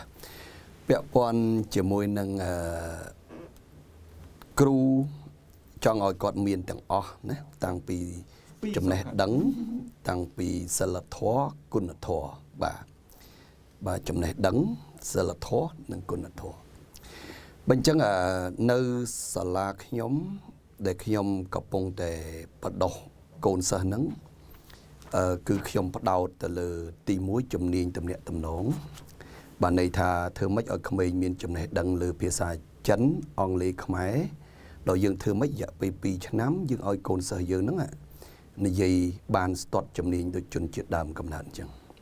ហើយទី2គឺយើងផ្ដោតទៅលើជំនាញបច្ចេកវិទ្យាសម័យទំនើប ដែលសពថ្ងៃនេះយើងមើលឃើញអ្នកដែលមានសមត្ថភាពទៅស៊ី app លោកគ្រូដូចតាក់ស៊ីដូចជា pass app អីហ្នឹងគេប្រើតែ app ឯងតែគេអាចបជាបាទនៅកន្លែងណាក៏ដោយគេអាចចុចឲ្យឡានមកឲ្យម៉ូតូមកយើងអាចជិះបានអញ្ចឹងអ្នកបកកើតដល់អស់ហ្នឹងគឺคล้ายទៅជាអ្នកមានដែរបើអញ្ចឹងកូនសិស្សជុងអ៊ីងក៏យើងកំពុងតែបដោះសមត្ថភាពទៅលើការជំនាញទៅសេអែបនឹងឲ្យគាត់ដែរ ហើយឃើញថាយើងធ្វើនៅវគ្គទី1នេះសិស្សមួយក្រុមនេះឃើញតែបានភាសាឃើញតែគាត់ទៅសេបានហើយទី3យើងចង់ឲ្យគាត់មានជំនាញសហគ្រិនភាពនិងភាពជាអ្នកដឹកនាំបាទទី3និងទី4ហ្នឹងអញ្ចឹងអឺដោយយើងគិតថាអ្វីដែលគាត់មានទាំង4ហ្នឹងជំនាញតំណាក់តំណងជំនាញបច្ចេកវិទ្យាជំនាញសហគ្រិនភាពជំនាញភាពជាអ្នកដឹកនាំហ្នឹង អាហ្នឹងគឺជាចំណេះជំនាញគឺជាបង្ហាញនៅសមត្ថភាពរបស់គាត់ក៏ប៉ុន្តែទន្ទឹមនឹងយើងអប់រំគាត់ទៅលើអាចំណេះជំនាញរបស់គាត់នឹងនេះបង្កើតនៅសមត្ថភាពរបស់គាត់នឹងគឺយើងមិនភ្លេចទេពាក់ព័ន្ធនឹងការអប់រំនៅសិលធម៌និងគុណធម៌ចំពោះគាត់ហើយអ្វីដែលជាសំណួរលោកគ្រូហ្នឹងខ្ញុំនៅតែឆ្លើយដដែលថា គឺនៅតែពឹងផ្អែកទៅលើការបង្រៀននឹងឯងបាទ យើងគិតមើលថាស្វានៅក្នុងសួនសត្វសត្វនៅក្នុងសួនសត្វគេបណ្ដោះឲ្យចេះលេងប៉ាហ៊ីបានណាដែលស្វាអាចដាល់បុកអាចជិះម៉ូតូអាចជិះអីបាន គេសំដែងបាន គេឲ្យខ្លាសំដែងបាន គេឲ្យដំរីសំដែងបានរឿងអីដែលយើងបណ្ដោះក្មេងឲ្យមានសមត្ថភាពចំណេះជំនាញហើយមានសិលធម៌និងគុណធម៌មិនបាន អញ្ចឹងនៅតែពឹងផ្អែកទៅលើបុគ្គលដែលជាគ្រូទាំង3គឺជាអ្នកដែលផ្ដល់កំណើតជាឪពុកម្ដាយទី1ជាគ្រូទី1ហ្នឹងអ្នកផ្ដល់ជំនាញគឺលោកគ្រូអ្នកគ្រូជាឪពុកម្ដាយទី2ជាគ្រូទី2ហើយអ្នកទី3នោះគឺជាមេរបស់គាត់បាទមេរបស់គាត់នៅក្នុងស្ថាប័នអឺការងារនៅក្រុមហ៊ុនហ្នឹងមេដឹកនាំមេដឹកនាំប្រទេសមេដឹកនាំក្រុមហ៊ុនហ្នឹងមេដឹកនាំស្ថាប័ន យើងបដោះពួកគាត់ទាំង3 3ហ្នឹងគ្រូទាំង3ហ្នឹងឲ្យคล้ายទៅជាបុគ្គលដែលមានចំណេះខ្ពង់ខ្ពស់ឲ្យคล้ายទៅជាបុគ្គលដែលមានសិលធម៌ល្អមានគុណភាពមានគុណធម៌ខ្ពស់អញ្ចឹងរឿងអ្វីដែលជាសំណួរបងរដ្ឋាសួរខ្ញុំហ្នឹងគឺត្រូវបានដោះស្រាយដោយ CEO Master Club លោកគ្រូអមសេងបារាហ្នឹងក៏គាត់ព្យាយាមជួយ សង្គមទៅតាមជ្រុងរបស់គាត់គឺជួយបណ្ដោះសហគ្រិន បណ្ដោះ CEO បណ្ដោះអ្នកដឹកនាំអញ្ចឹងអ្នកទាំង3ហ្នឹងសុទ្ធតែជាគ្រូទាំងអស់អញ្ចឹងយើងធ្វើម៉េចជួយគ្រួសារប្តីប្រពន្ធហ្នឹងឲ្យជាគ្រួសារគំរូឲ្យជាឪពុកម្ដាយគំរូយើងជួយធ្វើម៉េចឲ្យគ្រូយើងទាំងអស់នៅតាមសាលាទាំងអស់ហ្នឹងឲ្យជាគ្រូគំរូគ្រូល្អហើយយើងជួយធ្វើម៉េចម្ចាស់ក្រុមហ៊ុនទាំងអស់ណាម្ចាស់ក្រុមហ៊ុនទាំងអស់មេទាំងអស់មេដឹកនាំទាំងអស់ឲ្យមានជំនាញដឹកនាំពិតប្រាកដប្រកបទៅដោយ សិលធម៌គុណធម៌និងព្រហ្មវិហារធម៌ហើយយើងជឿថាគ្រូក៏ដោយមេក៏ដោយអ្នកដឹកនាំក៏ដោយគ្រូក៏ដោយណាមេក៏ដោយឪពុកម្ដាយគេក៏ដោយត្រូវមានធាតុ4នៅក្នុងខ្លួន ទី1មុនគេបង្អស់ប្រាប់គាត់បណ្ដោះគាត់ឲ្យមានសុខភាពល្អជាមុនសិនទោះបីជាចំណេះជំនាញបទពិសោធន៍សិលធម៌គុណធម៌ល្អប៉ុណ្ណាក៏ដោយ ហើយបើសិនជាអត់មានសុខភាពហើយអ្វីអ្វីគឺសូន្យហើយបើអញ្ចឹងខ្ញុំនៅតែប្រកាន់ខ្ជាប់ថាធ្វើម៉េចឲ្យអឺសុខភាពល្អអាយុវែងទើបយើងអាចជួយសង្គមបានច្រើនហើយបើសិនជាយើងក្លាហានហើយយើងក្លាហានពេកដោយយើងមិនគិតអំពីសុខភាព អំពីសុវត្ថិភាពមិនមែនជាអ្នកឆ្លាតទេចំណេះដែលបានរៀនមកគឺចោលទៅទេអត់បានសងទៅសង្គមវិញទេអញ្ចឹងទី1សុខភាព ទី2គុណធម៌នឹងហើយបាទដែលខ្ញុំនិយាយតែងតែនិយាយអំពីគុណធម៌ហ្នឹងគឺជាអ្វីដែលធ្វើធ្វើមិនឲ្យខ្លួនឯងបានប្រសើរហើយអ្នកដតីបានប្រសើរដែរឈ្នះឈ្នះបុគ្គលដែលប្រកាន់ខ្ជាប់នៅភាពឈ្នះឈ្នះគេក៏ឈ្នះយើងក៏ឈ្នះហើយបើយើងឈ្នះគេមិនបានឈ្នះតែគេសប្បាយចិត្តនឹងឲ្យយើងឈ្នះហ្នឹងហើយគឺជាបុគ្គលដែលមានគុណធម៌ហើយទី3គឺសមត្ថភាពគឺចំណេះជំនាញដែលយើងបង្រៀនបំពាក់ឲ្យគាត់នឹងហើយទៅតាមសម័យកាលដែលត្រូវការ ហើយទី4នោះគឺព្រំវិហារធរបាទហើយព្រំវិហារធរហ្នឹងគឺខ្ញុំមិនបាច់បកស្រាយទាំង4ហ្នឹងទេ គឺមានអា4ហ្នឹងនៅក្នុងខ្លួន បាទន័យថាទី1សុខភាព ទី2គុណធម៌ទី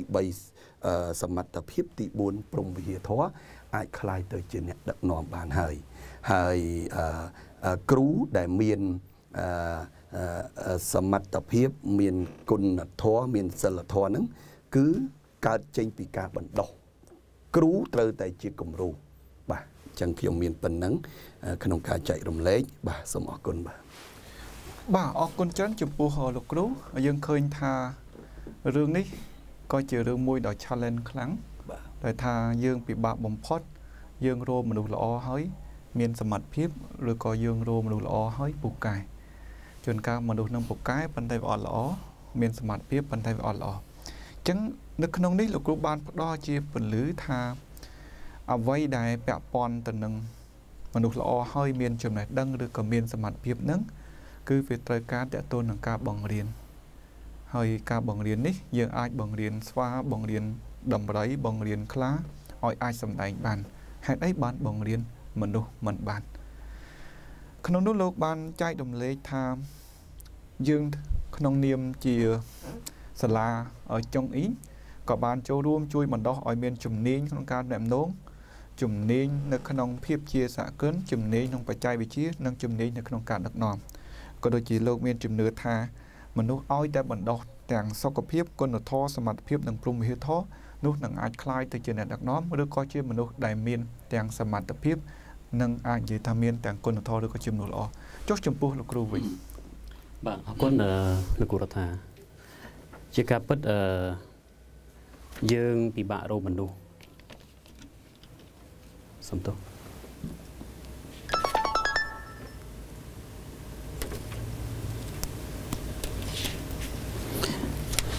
បាទយើងពិបាកក្នុងការរកមនុស្សដែលល្អគ្រប់10ណាអឺខ្លះទៅក៏មានសិលធម៌គុណធម៌ល្អប៉ុន្តែចំណេះដឹងជំនាញហ្នឹងនៅរៀងស្ទើរអីចឹងទៅ ហើយខ្លះទៅក៏មានចំណេះដឹងជំនាញល្អប៉ុន្តែអឺសុជីវធម៌កັບកិរិយា ពាក្យសម្ដីហ្នឹងក៏វាមិនសូវល្អចឹងទៅអាហ្នឹងយើងនិយាយអំពីគ្រូបរិញ្ញាហើយក៏មិនមែនតែគ្រូបរិញ្ញាដែរគ្រប់ទូរនទីគ្រប់អីផ្សេងៗជាពិសេសគឺបុគ្គលក្នុងគ្រួសារក៏ដូចគ្នាដែរនៅពេលដែលមានគ្រួសារជួនកាលគ្រួសារនឹងល្អចេះល្អចុះប៉ុន្តែខ្វះចេះមែនទេបាទ ដោយគូរដ្ឋាអញ្ចឹងសង្ហាអីយ៉ាងទៅណាបកែវោហាស័ព្ទអីយ៉ាងទៅណាបាទប៉ុន្តែខ្វះស្អីមួយប៉ុន្តែខ្វះអីមួយយ៉ាងទៅអញ្ចឹងអាខ្វះហ្នឹងសួរថាយើងដឹងតែខ្លួនឯងខ្វះអត់បើយើងដឹងខ្លួនឯងខ្វះខ្ញុំជឿជាក់ថាតិចនឹងច្រើនណាវានឹងបំពេញយ៉ាងទី1បុគ្គលខ្លួនហ្នឹងគាត់ដឹងថាខ្លួនឯងហ្នឹងនៅត្រង់ណាអញ្ចឹងបើថាទី1បុគ្គលយើងម្នាក់ម្នាក់តែស្គាល់ថា ខ្លួនយើងនៅតាណាខ្វះអីបំពេញអីថែមពាក់ព័ន្ធជាមួយនឹងគ្រូនឹងដូចគ្នាគ្រូខ្លះក៏មានសិលធម៌ល្អមានគ្រូខ្លះក៏មានចំណេះដឹងល្អអីចឹងទៅអញ្ចឹងខ្ញុំនិយាយរឿងពុំវិញដើម្បីបានជាគ្រូបរិញ្ញាតតែឆ្លងកាត់សាលាប្រដប្រាលអញ្ចឹងពុំយើងមិនពុំចំនួនឆ្នាំ2000มันអាចយកពុំ ដែលយើងប្រើក្នុងឆ្នាំ70 75យកមកយកមកប្រើទេខ្ញុំអាចហ៊ាននិយាយអញ្ចឹងណាអញ្ចឹងពុំដែលយើងបដិបដាលសាលាដែលយើងបដិបដាលគ្រូឬក៏កម្មវិធីដែលយើងបដិបដាលគួរតែអាប់ដេតឲ្យទាន់សម័យកាលឲ្យទាន់ការរីកចម្រើនរបស់ពិភពលោកអញ្ចឹងខ្ញុំនិយាយទី1គឺថ្នាលនៃការបដិបដាលទី2នៅពេលដែលបានបដិបដាលទៅហើយ ខ្លួនឯងនេះទៅស្គាល់ថាខ្លួនឯងសំទោស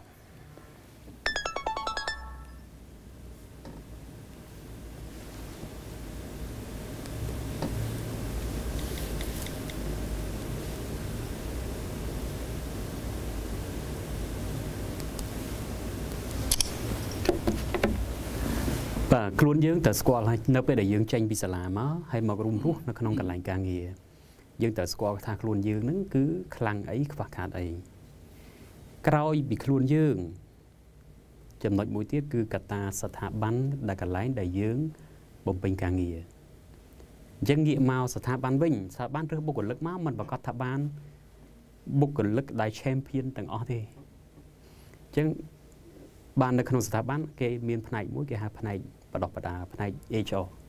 ដែលផ្នែក HR ហ្នឹងគឺមានតួនាទីក្នុងការធ្វើការបដិបដាអភិវឌ្ឍគាត់ដូចនៅកន្លែងខ្ញុំក៏ដោយនៅក្នុងស្ថាប័នរដ្ឋក៏ដោយជាពិសេសនៅក្នុងក្រសួងអប់រំក៏ដោយដែលមានអាយដាមសភាចាហុងជុនរងគាត់ឡើងដឹកនាំនេះគឺគាត់ឲ្យតម្លៃទៅលើ ការបដិបដាច្រើនណាស់ការបដិបដាជួនកាលបដិបដាយ៉ាងម៉េចមានន័យថាជួនកាលបញ្ជូនគ្រូទៅបដិបដានៅក្រៅជួនកាលគាត់ធ្វើការបដិបដានៅក្នុងស្រុកអញ្ចឹងបំពេញគ្នាបដោះបដាបំពេញគ្នា ចឹងស្ថាប័ននៅពេលដែលបានរើសធនធានមនុស្សរើសគ្រូមកហើយចឹងយើងច្បាស់ជាស្គាល់ហើយថាកូនចៅយើងមួយណានឹងខ្វះអីកូនចៅមួយណានឹងត្រូវបំពេញអីជួនកាលគ្រូនឹងដាក់ចូលតែមកប្រើទេជួនកាលគ្រូនឹងគាត់បកកែរឿង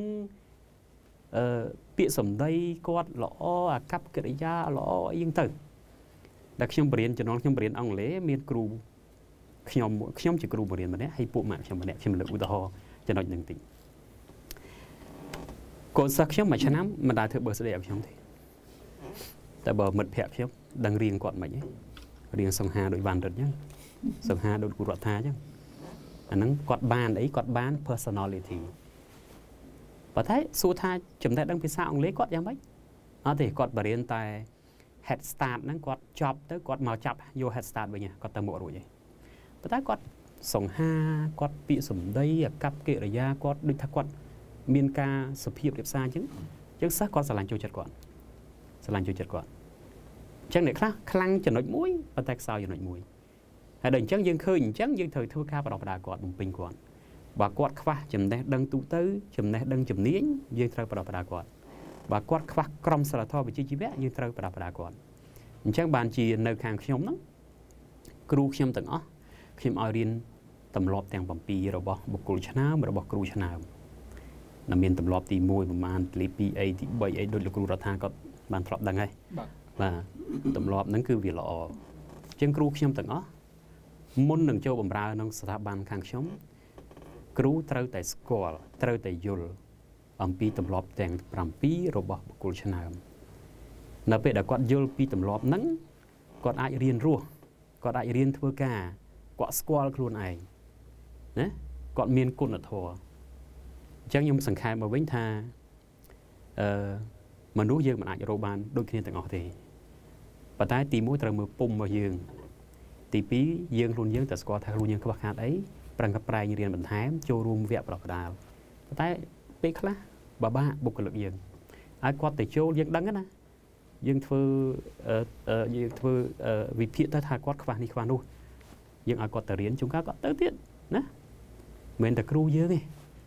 គ្រូយើងទេអ្នកខ្លះក៏អត់ចង់ចូលចិត្តរៀនបន្ថែមដូចយើងទៅអញ្ចឹងខ្លួនឯងថានៅតាណា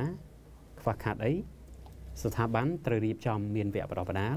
ដើម្បីបំពេញគាត់ណាអានឹងហើយយើងគិតថាយើងអាចคลายយើងអាចយើងអាចទៅមុខយើងអាចទៅមុខដល់សក់ដោយមិនកាំងផ្នែកណាមួយបានទេបាទអរគុណបាទ អឺនៅក្នុងហ្នឹងយើងគិតថាវាជាជំងឺមួយដែលក្នុងសង្គមរបស់យើងក៏កំពុងកើតតែយើងអាចនិយាយថាបើបានមនុស្សល្អហើយមានសមត្ថភាពទៀតគឺវាកាន់តែដើរទៅលឿនប៉ុន្តែអ្វីដែលជាក់ស្ដែងនេះយើងតែងតែប្រឈមនឹងបញ្ហាហ្នឹងអមថាខាងចុងអ៊ីងគាត់បានរកឃើញថាតកតូននឹងការបង្រៀនបង្រៀនបង្រៀននោះយើងនឹងអាចដោះស្រាយបានហើយចំណែកខាងលោកគ្រូខាង Westline បាននិយាយពីរឿងយើងស្គាល់ធ្វើម៉េច ឲ្យគ្រូរបស់យើងស្គាល់ខ្លួនឯងដឹងពីចំណុចស្អីខ្លាំងចំណុចស្អីខ្វះខាតក៏ដូចជាយើងត្រូវបង្កើតពុំយ៉ាងម៉េចដើម្បីអាប់ដេតដើម្បីទទួលបានគតិបណ្ឌិតកាន់តែល្អអស្ចារ្យសូមអានសិភៅភាពជាអ្នកមានកម្ពូលសិភៅសម្រាប់មនុស្សគ្រប់គ្នានិងគ្រប់គ្រួសារ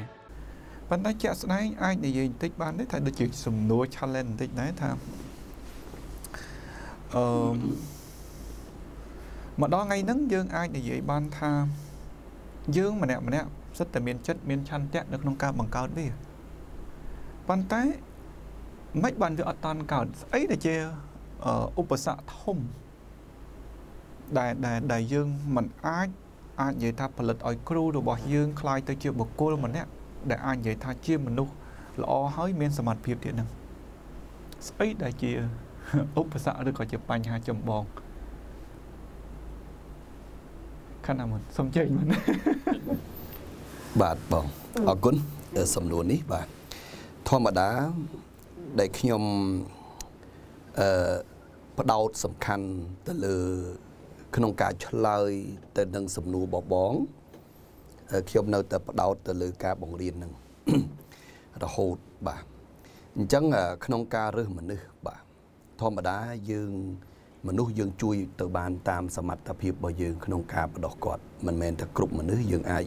ជួយបានទាំងអស់ទេដូចពាក្យចាស់គាត់ថាអាចឈើត្រង់ធ្វើកង់អាចឈើវិចធ្វើកម្មអាចឈើអាចឈើតអាចឈើកោងធ្វើកម្មអាចឈើត្រង់បាទអាចឈើអាចឈើត្រង់ធ្វើកម្មអាចឈើកោងធ្វើកង់អាចឈើចងៀងចងាងហ្នឹងគេយកទៅដុតអស់ធ្វើអស់ដុត បញ្ចឹងយោងទៅតាមពាក្យនេះគឺយើងប្រើមនុស្សយើងជួយមនុស្សទៅតាមសក្តានុពលក្នុងខ្លួនរបស់គាត់ដែលអាចទៅបាន តែបើសិនជាយើងផ្ដោតទៅលើការជួយទៅលើការបង្រៀនទៅលើការយកខ្លួនជាគំរូគាត់នឹងលូតលាស់ទៅតាមលទ្ធភាពគាត់ដែលអាចលូតទៅបាន បាទអញ្ចឹងក្នុងការរើសមនុស្សខ្ញុំគិតថាយើងរើសទី1ទៅលើសិលធម៌បាទនឹងគុណធម៌នឹងហើយហើយទី2បានយើងមើលសមត្ថភាព ហើយពេលដែលយើងយកមកហ្នឹងគឺយើងបណ្ដោះទៅតាមលទ្ធភាពទៅតាមសក្តានុពលទៅតាមអ្វីដែលគាត់អាចលូតលាស់ទៅបាន បាទហើយពេលដែលយើងបណ្ដោះគាត់ហើយយើងឲ្យគាត់នៅជាមួយយើងហើយធ្វើការជាមួយយើងហើយឲ្យទូនាទីគាត់ហើយអញ្ចឹងគាត់នឹងរីកចម្រើនទៅតាមលទ្ធភាពគាត់ដែលអាចទៅបានអញ្ចឹងគ្រប់មនុស្សទាំងអស់យើងអាចជួយបាន គ្រប់មនុស្សទាំងអស់យើងអាចអឺអឺ បង្រៀនគាត់បាន តែលទ្ធផលនិងវាសនារបស់គាត់ គឺទៅតាមសក្តានុពលគាត់ដែលអាចលូតលាស់ទៅបាន បាទបញ្ចឹងបើយើងថាចង់ថាជួយទាំងអស់គឺជួយបានហើយក៏ប៉ុន្តែមិនមែនជួយឲ្យទាំងអស់គ្នាបានលទ្ធផលដូចគ្នាទេ តែសំខាន់គឺបន្ទាប់ពីជួយបន្ទាប់ពីបង្រៀនដឹងតែគាត់ប្រសើរជាងមុនបាទមិននៅដដែលទេដឹងតែទៅមុខដឹងតែចម្រើន តែចម្រើនទៅតាមលទ្ធភាពរបស់បុគ្គលនឹងដែលអាចទៅបានបាទ ចឹងជាសរុបខ្លីមានន័យថាស្អីដែលជាកត្តាស្ទះដោយសារតែមនុស្សនឹងខុសគ្នា មានសមត្ថភាពឬក៏ប្រវត្តិខុសគ្នា បានធ្វើឲ្យយើងមានន័យថាធ្វើការអភិវឌ្ឍរបស់គាត់ហើយនៅតែជាចំណុចស្ទះដែលយើងមិនអាចទទួលបានថាគ្រូរបស់យើងគឺត្រូវតែជាមនុស្សល្អមានសមត្ថភាពនេះ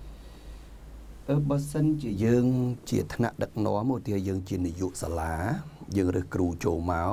យើងជាប្រធានក្រុមរហ៊ុនយើងរើសបុគ្គលិកចូលមក អញ្ចឹងឥឡូវបើយើងថាយើងជានាយកសាលាយើងរើសគ្រូចូលមកអញ្ចឹងអ្វីដែលជាកត្តាបរាជអញ្ចឹងបានតែយើងជាអ្នករើសគាត់ចូលមកធ្វើការបណ្ដោះគាត់បន្តអ្វីដែលជាកត្តាស្ទះបំផុតនោះគឺយើងត្រូវមើលលើឪពុកម្ដាយទី1គ្រូទី1គាត់និងឪពុកម្ដាយទី2គ្រូទី2របស់គាត់ថាតើគាត់កើតនៅក្នុងវងតកូលបែបណាឪពុកម្ដាយគាត់យ៉ាងម៉េចបាទ តើឪពុកម្ដាយគាត់បានធ្វើជាគ្រូទី1ដែលល្អបំផុតសម្រាប់គាត់ណាហើយយើងមើលទៅលើការអប់រំគាត់តាំងពីតូចមកទៀតនិងឪពុកបានន័យថាឪពុកម្ដាយទី2និងគ្រូទី2របស់គាត់អញ្ចឹងយើងជាស្ថាប័នជាស្ថាប័នសាលារៀនអប់រំក៏ដោយជាស្ថាប័នក្រុមហ៊ុនផ្សេងផ្សេងក៏ដោយយើងរើសមនុស្សមកប្រើយើងជាឪពុកម្ដាយទី3ទេបាទយើងជាឪពុកម្ដាយទី3ទេ អញ្ចឹងបើសិនជាបុគ្គលនឹងជួយមិនបាន គឺបញ្ហាវាកើតមកពីឪពុកម្ដាយទី1និងឪពុកម្ដាយទី2របស់គាត់ហើយមិនមែនថាជួយមិនបានទេអ្នកដឹកនាំគឺអ្នកដឹកនាំដឹកដៃគេធ្វើនាំគេទៅអញ្ចឹងទោះបីជានាំគាត់មិនដល់កំពូលភ្នំក៏ដោយក៏យ៉ាងណាក៏ទាញគាត់ចេញពីទីទាបឲ្យមកដល់ចកេះភ្នំដែរបាទមិនមែនថាយើងដឹកមនុស្សទៅដល់កំពូលទាំងអស់ទេ ឲ្យតែផុតពីដីកុំឲ្យតែលិចទឹកទៅបានហើយបាទអញ្ចឹងបានន័យថាគ្រូទី3នេះគឺជាគ្រូដែលនៅជាមួយមនុស្សរហូតដល់ស្លាប់ឪពុកម្ដាយទី3គឺជាឪពុកម្ដាយដែលមានគុណដែលមានសារៈសំខាន់បំផុតសម្រាប់មនុស្សជាតិដែលយើងតែងតែអប់រំមនុស្សឲ្យគាត់មានកតញ្ញូនិងកតវិទីតាចំពោះអ្នកមានគុណទាំង3ហ្នឹងបាទកតញ្ញូបានន័យថាការដឹងគុណ កតវិទីតាបានន័យថាសងគុណហើយឲ្យមនុស្សគាត់ដឹងថាបើគ្មានពន្លឺព្រះអាទិត្យភពផែនដីអត់មានភាពកក់ក្ដៅទេ ហើយបើសិនជាគ្មានទឹកភ្លៀងភពផែនដីក៏អត់មានរុក្ខជាតិខៀវស្ងាត់ដែរហើយបើសិនជាអត់មានប្រភពទឹកភពផែនដីធ្វើម៉េចនឹងមានជីវិតរស់នៅកតិបណ្ឌិតដែលចង់ចែករំលែកនៅក្នុងចំណុចនេះ គឺបើសិនជាគ្មានឪពុកម្ដាយខ្ញុំ អត់មានជីវិតខ្ញុំនៅលើភពផែនដីនេះទេ បើសិនជាអត់មានលោកគ្រូអ្នកគ្រូខ្ញុំអត់មានមនុស្សដូចជាខ្ញុំដែលមានចំណេះដឹងខ្ពង់ខ្ពស់មានសមត្ថភាពដូចជារូបខ្ញុំនៅលើពិភពផែនដីនេះទេ ហើយបើសិនជាអត់មានមេដឹកនាំរបស់ខ្ញុំ បាទដូចសម្ដេចនាយកអញ្ចឹងដែលលោកជាមេដឹកនាំឆ្នើមមេដឹកនាំប៉កែដែលធ្វើឲ្យមនុស្សកើតអឺមកចំនួនមុនចំនួនក្រោយ ក្រមការដឹកនាំរបស់លោកនឹងមានចំណេះមានជំនាញមានជីវភាពល្អប្រសើរគឺដោយសារមេដឹកនាំបើអញ្ចឹងបើសិនជាគ្មានមេដឹកនាំខ្ញុំភពផែនដីក៏គ្មានខ្ញុំដែលប្រកបទៅដោយចំណេះជំនាញនិងបទពិសោធន៍ការងារហើយមានជីវភាពល្អប្រសើរដូចសពថ្ងៃហ្នឹងដែរដូច្នេះខ្ញុំត្រូវតែស្រឡាញ់ខ្ញុំត្រូវតែគោរពខ្ញុំត្រូវតែកតញ្ញូនិងកតវិធីតាដឹងគុណសងគុណចំពោះឪពុកម្ដាយរបស់ខ្ញុំដែលបានបង្កើតខ្ញុំមក ចំពោះលោកគ្រូអ្នកគ្រូដែលបានបង្រៀនខ្ញុំឲ្យមានចំណេះដឹងខ្ពង់ខ្ពស់ចំពោះអឺមេរបស់ខ្ញុំមេដឹកនាំរបស់ខ្ញុំតាំងពីថ្នាក់ដឹកនាំប្រទេសតាំងពីថ្នាក់ដឹកនាំក្រុមហ៊ុនហើយមេខ្ញុំផ្ទាល់នេះដែលបានផ្ដល់ជំនាញការងារចំណេះធ្វើបទពិសោធន៍ដើម្បីឲ្យខ្ញុំមានជីវភាពល្អប្រសើរដល់សពថ្ងៃនេះបើអញ្ចឹងកន្លែងនេះខ្ញុំគិតថានៅតែការបង្រៀននៅតែការបង្រៀនហើយបង្រៀនទៀតបង្រៀនហើយបង្រៀនទៀតហើយ គាត់នឹងលូតបានប៉ុណ្ណាគាត់ដល់ត្រឹមចកេះភ្នំឬក៏ដល់ត្រឹមពាក់កណ្ដាលភ្នំឬក៏ដល់ត្រឹមដល់កម្ពូលភ្នំអានឹងគឺជាសក្តានុពលរបស់គាត់ខ្លួនឯងយើងមិនអាចបន្ទោសយើងអ្នកជួយនឹងបានទេបាទហើយនៅតែលើកទឹកចិត្តគ្រូទី3ឪពុកម្ដាយទី3បន្តធ្វើទៀតបន្តបង្រៀនបន្តបង្រៀនបាទបាទសូមអរគុណមានប៉ុណ្ណឹងបាទបាទអរគុណច្រើនចំពោះលោកសវណ្ណរិទ្ធហើយលោកវណ្ណរិទ្ធ ខ្ញុំគិតថានេះក៏ជាការ challenge មួយដោយសារថាបើសិនជាយើងបង្កើតហើយវាមិនកើតតើស្អីវាជាចំណុចស្ទះ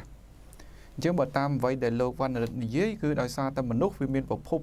ដែលបង្កើតមនុស្សនឹង3គឺឪពុកម្ដាយគ្រូបង្រៀននិងមេដឹកនាំកន្លែងស្ថាប័នឬក៏មេមេដឹកនាំរបស់ខ្លួនអញ្ចឹងហើយធ្វើឲ្យយើងมันអាចមានប្រភពមនុស្សដូចគ្នា ដើម្បីយកមកអភិវឌ្ឍទៅវាទៅដូចគ្នាអញ្ចឹងចំណុចស្ទះ ប្រហែលជាត្រូវបង្កើតឪពុកម្ដាយឬក៏ត្រូវកាត់ចោលឪពុកម្ដាយអូខេចំពោះលោកខាងសំនៀងវិញតើគិតថាស្អីដែលវាស្ទះដែលមិនអាចយើងជាពិសេសឲ្យគ្រូរបស់យើងត្រូវតែคลายទៅជាមនុស្សដែលមានគេហៅថាមនុស្សល្អហើយមានសមត្ថភាពជាបាននឹងសូមជួយចំណុចស្ទះបាទអូខេអឺតែពិតយើងនៅក្នុងវិស័យឯកជនហ្នឹងគឺយើងជួបមិនខុសគ្នាប្រហែលទេដូចគ្នាទាំងអស់ ជួនកាលអាចចំណុចស្ទះហ្នឹងគឺវាពិបាកក្នុងការដោះស្រាយទោះបីយើងប្រឹងរុញយ៉ាងម៉េចក៏ដោយយើងប្រឹងជួយយ៉ាងម៉េចក៏ដោយជ្រោមមិនក៏ដោយពេលខ្លះបានត្រឹមតែចង្កេះភ្នំដល់គាត់នៅ ក្បែរចង្កេះភ្នំនឹងវាយូគាត់ចាប់ផ្ដើមសម្លឹងមើលទៅអាអ្នកកម្ពូលចឹងមិនបានមានឡើងទៅដល់កម្ពូលគឺចាប់ផ្ដើមអង្គុយមានអារម្មណ៍មួយថាចំណែនគេចឹងមិនមេ អានឹងចូលក្រោយឯងសោះមិនក៏វាទៅហួយរត់ចេះជួយរុញទៅឡើងទៅដល់កម្ពូលភ្នំនឹងលឿនម៉េះបុគ្គលិកខ្លះគាត់ហ៊ាននិយាយមកគាត់ថាខ្ញុំនៅស្ថាប័នហ្នឹង10ឆ្នាំហើយបង5ដល់10ឆ្នាំហើយបងมันសំខាន់ថានៅក្នុងស្ថាប័នយូរប៉ុណ្ណាទេប៉ុន្តែសំខាន់សួរថាតើខ្លួនឯងបានផលិត បានជួយឲ្យក្រុមហ៊ុនរីចម្រើនប៉ុណ្ណា ខ្ញុំនិយាយនេះពេលខ្លះវាប៉ះពាល់ទៅលើបុគ្គលិកដែរកុំភ្លេចកុំធ្វើខ្លួនជាបុគ្គលិកដែលគ្រាន់តែបន្ថែមបញ្ជី Excel row មួយនៅខាងក្រោមចុងក្រោយគេ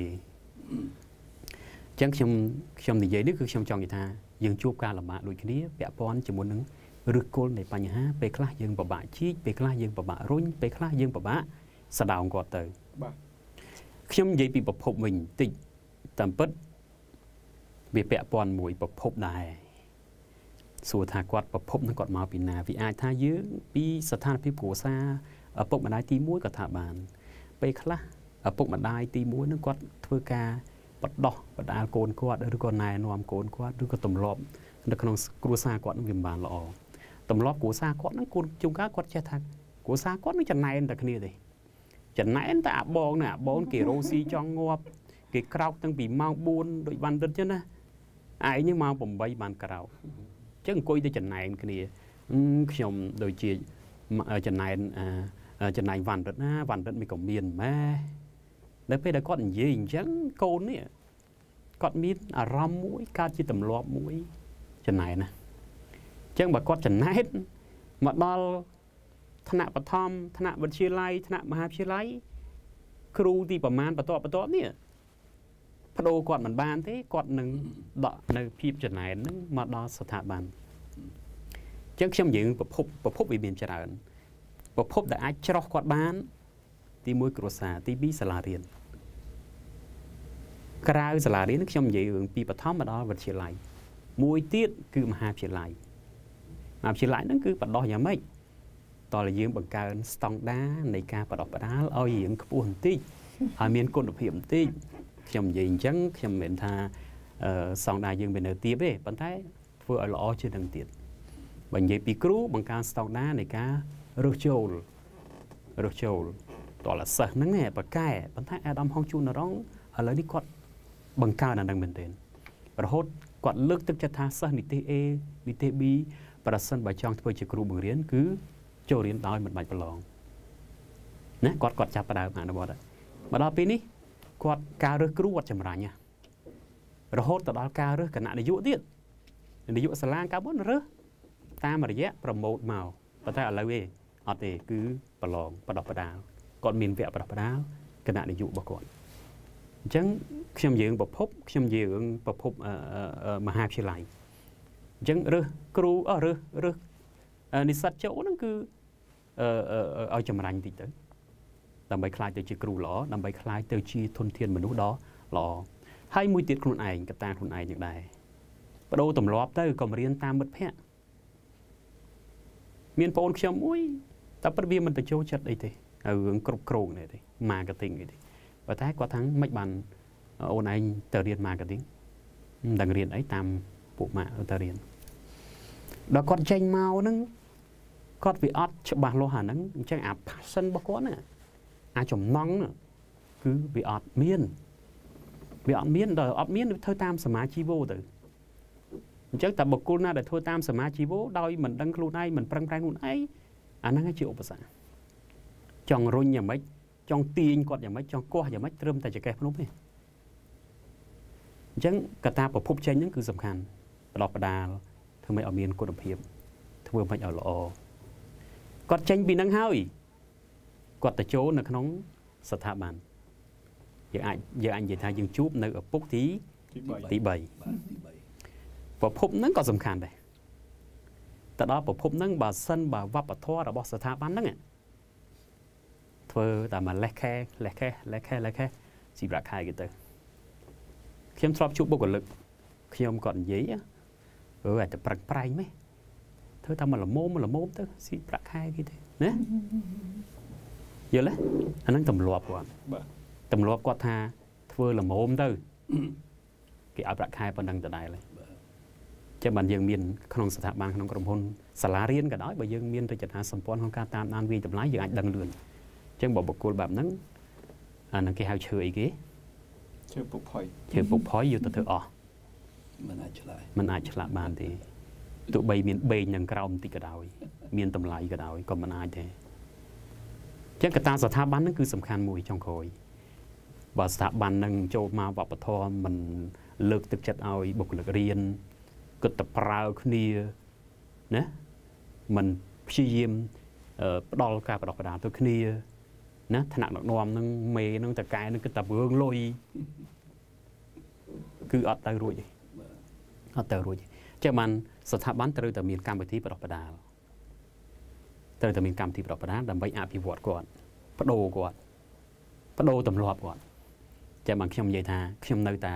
ស្ថាប័នខ្ញុំខ្ញុំនៅតែអានថាខ្ញុំនៅតែអនុវត្តឬក៏យកអាទម្លាប់ទាំង7យកមកអនុវត្តហ្នឹងឯងអាទម្លាប់ទាំង2ទម្លាប់ទី6គេហៅមានទំនួលខុសត្រូវទម្លាប់ទី2គឺ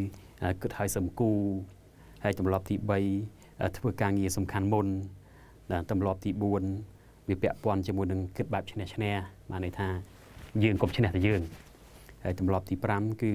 ស្ដាប់គេឲ្យយល់សិនណាទម្លាប់ទី6គឺវាពាក់ព័ន្ធជាមួយនឹង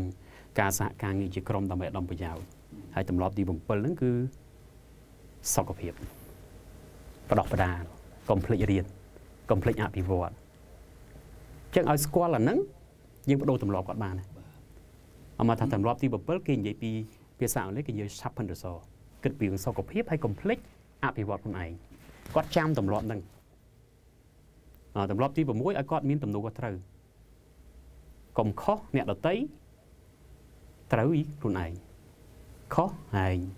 ត្រូវខ្ញុំអត់ទេទំនួលខុសត្រូវហ៊ានចេញហ៊ាននិយាយលើកដៃមុនគេហ្មងអញ្ចឹងខ្ញុំបដោះទម្លាប់ទាំង7ហ្នឹងឲ្យគាត់យល់ឲ្យគាត់នេះហើយបបាក់ណាស់ពេលខ្លះទៅរួចទេដូចខ្ញុំនិយាយថាអាទម្លាប់នឹងគឺបបាក់បដូរទម្លាប់មិនងាយទេអញ្ចឹង ចុងក្រោយយើងគិតក្រៅពីគិតប្រភពអស់នឹងហើយមានតែមើលអាចុងក្រោយហ្នឹងហើយគឺច្បាប់ទម្លាប់យកមកអនុវត្តខ្លះទៅយកនៅអនុវត្តខ្លះទៅចាំអានស្ថាប័នមួយគេត្រូវឲ្យមានច្បាប់ទម្លាប់ហើយសាលាមួយត្រូវតែមានច្បាប់ទម្លាប់ហើយបើសិនបើបញ្ជូនគាត់ទៅបដោះបដាគាត់មិនទៅអានឹងរឿងតែធ្វើមិនមួយគាត់មានអ្នកខ្លះដូចខ្ញុំនិយាយទៅដែរថាបុគ្គលិកបញ្ជូនគាត់ទៅបដោះបដាដល់គៀកថ្ងៃបដោះបដាគាត់ថាគាត់ឈឺពោះ គាត់ដួលម៉ូតូវាវាជាហេតុផលមួយដែលមិនសមរម្យដែលមិនសពហេតុសពផលអញ្ចឹងស្ថាប័នត្រូវតែអនុវត្តច្បាប់ហើយរហូតទៅដល់បានយើងនិយាយថាអាឈើពុកទៅធ្វើអីឈើកោងទៅធ្វើអីអាឈើត្រង់ទៅធ្វើអីហើយអញ្ចឹងទោះបីឈើពុកហ្នឹងដូចខ្ញុំនិយាយថាមានកញ្ញូងម្ដុំចុងក្រោយក៏ដោយក៏វាពិបាកដែរណាពិបាកណាស់បាទអរគុណបាទអរគុណច្រើនចំពោះលោកគ្រូសំនៀងមានន័យថាលោកគ្រូទាំងពីរហាក់បីដូចជាមានការទទួលស្គាល់ដូចគ្នា ទី1ថាដោយសារតែឪពុកម្ដាយទី2ដោយសារតែប្រភពមានន័យថាមើលទៅស្តៀងគ្នាដោយសារតែពនុះមានប្រភពមកផ្សេងគ្នាអញ្ចឹងវាធ្វើឲ្យយើងពិបាកក្នុងការអភិវឌ្ឍមនុស្សជាពិសេសសំបីតែលោកគ្រូអ្នកគ្រូហើយក៏នៅតែមានការលំបាកដើម្បីធ្វើខ្លួនឲ្យคล้ายទៅជាមនុស្សល្អនិងមានសមត្ថភាពនោះដែរក្នុងនេះនេះខ្ញុំគិតថាក៏ជាសញ្ញាណមួយដែលយើងបានរកឃើញពីអ្វីដែលហៅថាជាកតាស្ទះ ជាពិសេសដោយសារតែមានភាពបដិកាលានេះហើយដែលយើងត្រូវការទាំងឪពុកម្ដាយទី1ឪពុកម្ដាយទី2និងឪពុកម្ដាយទី3ទៅធ្វើកិច្ចការសហការគ្នាព្រមព្រំគ្នាទើបយើងអាចកសាងធនធានមនុស្សក៏ដូចជាគ្រូរបស់យើងឲ្យคล้ายទៅជាមនុស្សល្អនិងមានសមត្ថភាពនោះដែរប៉ុន្តែសំណួរចុងក្រោយតកតទៅនឹងរឿងសមត្ថភាពនឹងបន្តិចទៀតខ្ញុំគិតថាវាជារឿងសំខាន់ពីព្រោះអ្វីដែលយើងកំពុងតែចង់ challenge ជាមួយនឹងគ្រូអ្នកគ្រូរបស់យើងគឺជាមនុស្សដែលមានសមត្ថភាពទៅហើយ គាត់ជាមនុស្សល្អគាត់គឺជាមនុស្សដែលមានសមត្ថភាពប៉ុន្តែការពិតវាអត់ទាន់បានកើតឡើងប៉ុន្តែការខ្លះគាត់មិនត្រឹមតែមិនកើតឡើងទេគឺគាត់ក៏គ្មានបំណងអភិវឌ្ឍខ្លួនគាត់ដើម្បីឆ្ពោះទៅមុខដែរហើយអញ្ចឹងយើងឃើញថាវាគួរឲ្យស្ដាយនៅពេលដែលលោកគ្រូអ្នកគ្រូរបស់យើងម្នាក់ម្នាក់មានធាតអស់ទៅហើយទាំងហៅថាទាំងសិលធម៌និងគុណធម៌ដែលយើងហៅថាលោកគ្រូភាគច្រើនខ្មែរយើងចាំថាលោកគំរូហើយទី2ពាក្យថាគ្រូគឺជាអ្នកដែលចេះដឹងហើយ ហើយគួបផ្សំនឹងចំណុចទី3ដែលគាត់អាចមានសមត្ថភាពក្នុងការបន្តការរៀនសូត្របន្តការបង្រៀនឬក៏បន្តការពន្យល់ចែករំលែកនេះទៀតគឺយើងគិតថា cycle ទាំង3នេះគឺវាមានកម្លាំងខ្លាំងមែនទែនដែលអាចរុញច្រានគាត់ឲ្យคล้ายទៅជាមនុស្សដែលអស្ចារ្យមួយនៅក្នុងសង្គមហើយយើងមានជំនឿថាអ្នករៀនអ្នកបង្រៀនមិនបាច់ទៅរកអ្នកណា គឺទៅរកគ្រូរបស់យើង អញ្ចឹងបើសង្គមយើងទោះបីជាមានកង្វះខាតស្អីក៏ដោយយើងអាចបញ្ជូនគ្រូយើងតែ100នាក់តែ1000នាក់ទៅឲ្យគាត់អាចទៅរៀនយកមកបង្រៀនកូនខ្មែររបស់យើងនោះខ្ញុំជឿថាភាពផ្សាយភាយនៃការកំពុងពោះកើតឡើងយើងទទួលស្គាល់ថានៅក្នុងសង្គមមនុស្សខ្លះឲ្យតែគាត់រៀនគឺគាត់រៀនមិនទាំងបានផងហើយឲ្យគាត់បង្រៀនគេគឺបង្រៀនមិនបានទេ ប៉ុន្តែគ្រូគឺជាអ្នករៀនអ្នកបង្រៀនហើយអ្នកបញ្យល់ទៀតអញ្ចឹងមិនថាគាត់ចង់ស្អីទេគឺខ្សិតតែអាចបានសម្រេចបើគាត់មានសមត្ថភាពក្នុងការបញ្យល់អឺអ្នកដទៃអញ្ចឹងថ្ងៃក្រោយរឿងរ៉ាវសង្គមចង់ឲ្យមានការផ្លាស់ប្ដូរគួរតែត្រូវបានពឹងទៅលើគ្រូយើងគ្រូយើងនឹងអាចជួយបញ្យល់អប់រំមនុស្សដើម្បីធ្វើឲ្យមានការផ្លាស់ប្ដូរដោយសារតែភាពសំខាន់គ្រូនេះហើយបានយើងដូចផ្ដើមឲ្យមានទិវាគ្រូគឺជាអ្នកដឹកនាំដើម្បីឲ្យគាត់ឃើញថាគ្រូគឺជាអ្នកដឹកនាំអ្នកដឹកនាំគឺជាគ្រូ អ្នកដឹកនាំជាអ្នកណាមានន័យថាអ្នកគឺជាមនុស្សដឹកនាំគឺដឹកនាំមនុស្សចឹងបើយើងអាចដឹកនាំមនុស្សបានហើយអញ្ចឹងមានន័យថាមនុស្សជាអ្នកបង្កើតអ្វីអ្វីមនុស្សក៏ជាអ្នកបង្កើតបញ្ហាមនុស្សក៏ជាអ្នកបង្កើតភាពរុងរឿងអញ្ចឹងបើសិនជាអ្នកដឹកនាំអាចដឹកនាំមនុស្សបានអាចចូលរួមជួយដោះស្រាយបញ្ហាបាន បង្កើតភាពរុងរឿងបាននោះកម្ពុជារបស់យើងនឹងអស្ចារ្យប៉ុន្តែសំណួរដែលកន្លឹះបន្តិចដោយសារតែលោកគ្រូទាំងពីរជានាយកជាថ្នាក់ដឹកនាំ អញ្ចឹងនៅពេលដែលចង់ឲ្យថាតំណែងខ្លួនយើងជានាយកនេះគ្រូនៅពេលដែលគាត់ធ្វើការនៅក្នុងជាគ្រូគាត់អាចបង្កើតជាវិជ្ជាជីវៈឯកទេសរបស់គាត់នៅគ្រូមួយជីវិតប៉ុន្តែការអភិវឌ្ឍទី2គាត់អាចអភិវឌ្ឍខ្លួនគាត់ឲ្យទៅជានាយកឬក៏ជាអ្នកដឹកនាំឬក៏គ្រប់គ្រងនៅក្នុងស្ថាប័នអញ្ចឹងចំពោះស្ថាប័នរបស់លោកទាំងពីរថាតើដើម្បីឲ្យគ្រូម្នាក់អាចคล้ายទៅជានាយកនៅកន្លែងរបស់លោកតើគាត់ត្រូវមានចំណុចអីខ្លះបានអាចគាត់សមជានាយក ដែលកាន់កិច្ចការងារកន្លែងលោកបន្តសូមអញ្ជើញពីលោកសំនៀងមុនបាទអរគុណបាទនៅគ្រប់ស្ថាប័នទាំងអស់មិនថាសាលារៀនមិនថាក្រុមហ៊ុនទេ គឺគេមានកម្មវិធីស្នងតំណែងបាទកម្មវិធីស្នងតំណែង ប្រសិនបើយើងចង់រើសតួនាទីជានាយកឬក៏ជានាយិកាយើងត្រូវពីមើលពីក្រៅមកមើលអាចមើលសម្លឹងទៅដល់គ្រូអាចសម្លឹងទៅដល់ប្រធានគ្រូអាចសម្លឹងទៅដល់ នាយកឬក៏នាយិការរងអីចឹងទៅអមថាឥឡូវយើងត្រឡប់ទៅគ្រូវិញអញ្ចឹងដើម្បីថាឲ្យគ្រូនេះគាត់មានជំនាញគ្រប់គ្រាន់អាចខ្លាយទៅជានាយកបានតលតែគាត់ខ្លាចទៅជាគ្រូដ៏ល្អហើយខ្ញុំដល់ពេលដែលយើងខ្ញុំនិយាយថាគ្រូដ៏ល្អហ្នឹងវាត្រឡប់ទៅលើអ្វីដែលយើងបានជជែកគ្នាមហោហែមានទាំងពីចំណេះដឹងជំនាញមានទាំងពីចំណេះដឹងគោរពកុសល មានទាំងគុណធម៌សុជីវធម៌សិលធម៌មានទាំងការ passion ឆន្ទៈក្នុងការអភិវឌ្ឍខ្លួនឯងដែរអញ្ចឹងដើម្បីឲ្យคลายថាគុណសម្បត្តិអីខ្លះដើម្បីคลายទៅជានាយកមិនអញ្ចឹងណាលោករដ្ឋាទី1អឺហ្នឹងហើយគាត់អាចខ្លាចគាត់ជានាយកឬក៏នាយករងឬក៏ជាប្រធានគ្រូដ៏ល្អមួយហេតុអីបើគាត់មិនល្អសួរថាអ្នកដតីជុំវិញគាត់គ្រប់គ្រងគាត់អត់ ចឹងបីដើម្បីខ្លាចទៅជាអ្នកដឹកនាំមួយតលតែថ្នាក់ក្រោមហ្នឹងគ្រប់គ្រងគាត់បាទគ្រប់គ្រងហើយយើងមើលឃើញថាគាត់លេចធ្លោហើយគាត់ជា key person ហើយគាត់ជាបុគ្គលម្នាក់ដែលអាចទៅបានហើយយើងធ្វើការបដិបដាគាត់បដិបដាគាត់អញ្ចឹងបដិបដាឲ្យគាត់យល់អំពីតួនាទីភារកិច្ចរបស់នាយកអនាយកតើធ្វើអីនាយកត្រូវគ្រប់គ្រងទូទៅក្តៅតិច ខុសត្រូវណាទទួលខុសត្រូវទៅលើការងាររដ្ឋបាល ការងារគណនេយ្យការងារទីផ្សារការងារអីផ្សេងផ្សេងទូទៅច្រើនការងារកម្មវិធីសិក្សាអញ្ចឹងយើងមើលថា ទេបើសិនបើគាត់ជាគ្រូកម្មវិធីសិក្សា ការបង្រៀនអីគាត់អូខេអញ្ចឹងយើងទៅបដោះបដាទៅលើអីគេមិនថាស្ថាប័នរដ្ឋមិនថាឯកជនទេទៅមុខទៅគឺដូចគ្នាត្រូវបដោះបដាគាត់រឿងការគ្រប់គ្រងរដ្ឋបាល ត្រូវបដោះបដាគាត់រឿងការគ្រប់គ្រងបញ្ជីស្នាមបដោះបដាគាត់ឲ្យយល់អំពីរបៀបធ្វើ marketing នៅក្នុងវិស័យអប់រំបដោះបដាគាត់អំពីរបៀបក្នុងការតំណាក់តំណងគេ communication skill អញ្ចឹងបដោះបដាជំនាញអស់ហ្នឹងអញ្ចឹងនៅពេលដែលគាត់អាចคลายគាត់រៀនគាត់ប្រឹងប្រែងហើយ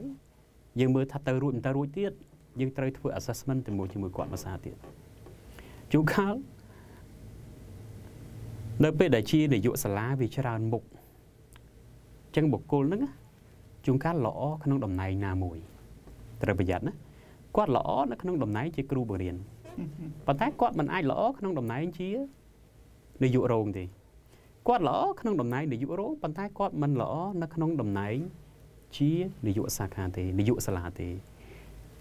ក្នុងតំណែងនាយករោងគាត់កាន់បានប៉ុណ្ណឹង ប៉ុន្តែយើងមើលឃើញអូគាត់ប្រឹងប្រែង commitment ចូលម៉ោង7មកតាំងពីម៉ោង6អូល្អណាស់ប៉ុន្តែយើងមើលតែមួយជ្រុងជួនកាលអត់បានមើលទៅឲ្យបានទលំទលាយអាហ្នឹងយើងនឹងធ្វើបាបគាត់វិញធ្វើបាបគាត់វិញអញ្ចឹង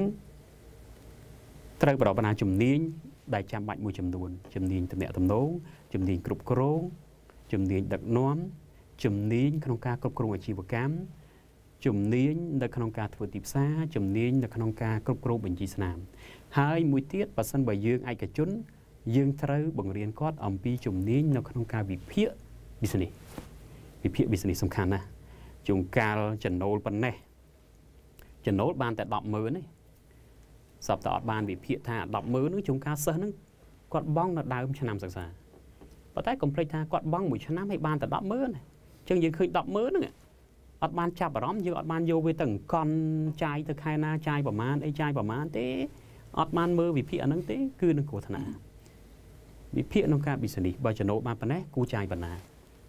ណាបើសិស្សយើងប៉ុណ្ណេះចំនួន500ហើយបង់បានប៉ុណ្ណេះគួរធ្វើយ៉ាងម៉េចបន្តទៀតអញ្ចឹងជំនាញក្នុងការវិភាគ business ហ្នឹងវាជួយគាត់ច្រើនជួយគាត់ច្រើនបាទអរគុណបាទអឺ ខ្ញុំគិតថានេះក៏ជាសារមួយសម្រាប់លោកគ្រូអ្នកគ្រូពីព្រោះយើងកំពុងតែជជែកគ្នានៅក្នុងទិវាគ្រូគឺជាអ្នកដឹកនាំអញ្ចឹងបើគ្រូសំបីតែคล้ายទៅជានាយកនៅកន្លែងស្ថាប័នរបស់ខ្លួនឬក៏សាខារបស់ខ្លួនមិនបានផងនោះហាក់បីដូចជាកត្តាស្ទះមួយដែលមិនអាចឲ្យគ្រូគឺជាអ្នកដឹកនាំនោះទេហើយយើងគួរតែមានការលើកទឹកចិត្តឬក៏យើងចង់ឃើញថា នៅក្នុងស្ថាប័នអប់រំស្ថាប័នបណ្ដុះបណ្ដាលគេ គឺមិនខ្វះអ្នកដឹកនាំទៀតទេមកដល់ថ្ងៃនេះវាជារឿងមួយដែលយើងចង់ឃើញដែរថា នៅក្នុងសង្គមការងារគឺគេមានការប្រមាញ់និងហាន់ធិញអ្នកដែលមានទេពកោសល្យអ្នកដែលមាន talent មែនទែនឬក៏មនុស្សពូកែមែនទែនប៉ុន្តែហាក់បីដូចជានៅក្នុងសង្គមនេះការអប់រំឬក៏ការបង្រៀនរបស់យើង គឺហាក់បីដូចជាមិនតាន់មានការប្រមាញ់និងការប្រកួតប្រជែងទៅលើចរិតរកគ្រូពូកែគ្រូអស្ចារ្យឬក៏នេះនឹងទេអញ្ចឹងយើងចង់ឃើញថាគ្រូរបស់យើងគឺសិតតែអាចបន្តនិរន្តរភាពនៃស្ថាប័នអប់រំរបស់យើងដើម្បីទទួលបានគតិបណ្ឌិតកាន់តែល្អអស្ចារ្យសូមអានសិភៅភាពជាអ្នកមានកម្ពុជាសិភៅសម្រាប់មនុស្សគ្រប់គ្នានិងគ្រប់គ្រួសារចុះចំពោះលោកបណ្ឌិតវិញតើដើម្បីអាចរើសគ្រូម្នាក់ដែលអាចកត់ខ្លាយជានាយកជំនួសលោកបាន តើលោកមើលទៅលើចំណុចអ្វីខ្លះសូមអញ្ជើញបាទសូមអរគុណបងដុតថាចំពោះសំណួរដ៏មានតម្លៃនេះអឺរឿងពិតបាទប្រព័ន្ធរៀបចំអ្នកបន្តវិញពិតជាសំខាន់ឬស័យចាស់ត្រូវតែងាប់ទំពាំងថ្មីត្រូវតែលាស់គេមិនដែលខ្លាចឬស័យចាស់វាងាប់ទេដូចខ្ញុំជាអគ្គនាយករបស់ជុងអ៊ីងបើអត់ពីខ្ញុំទៅខ្ញុំជឿថា អ្នកខាងក្រមខ្ញុំជាច្រើនទៀតដែលសុទ្ធសឹងតែមានសមត្ថភាពអាចជំនួសខ្ញុំហើយអាចធ្វើបានកាន់តែប្រសើរហើយខ្ញុំជឿថាមនុស្សចំនួនថ្មី គឺប្រកាសជាកាន់តែប្រកែហើយសិស្សនិស្សិតខ្មែរយើងដែលចប់សាកលវិទ្យាល័យចេញមួយឆ្នាំទៅមួយឆ្នាំមួយចំនួនទៅមួយចំនួនគឺកាន់តែអស្ចារ្យហើយខ្ញុំហ៊ានជឿថាខ្ញុំហ៊ាននិយាយថាសង្គមខ្មែរយើង គឺដល់របត់ដ៏ធំមួយ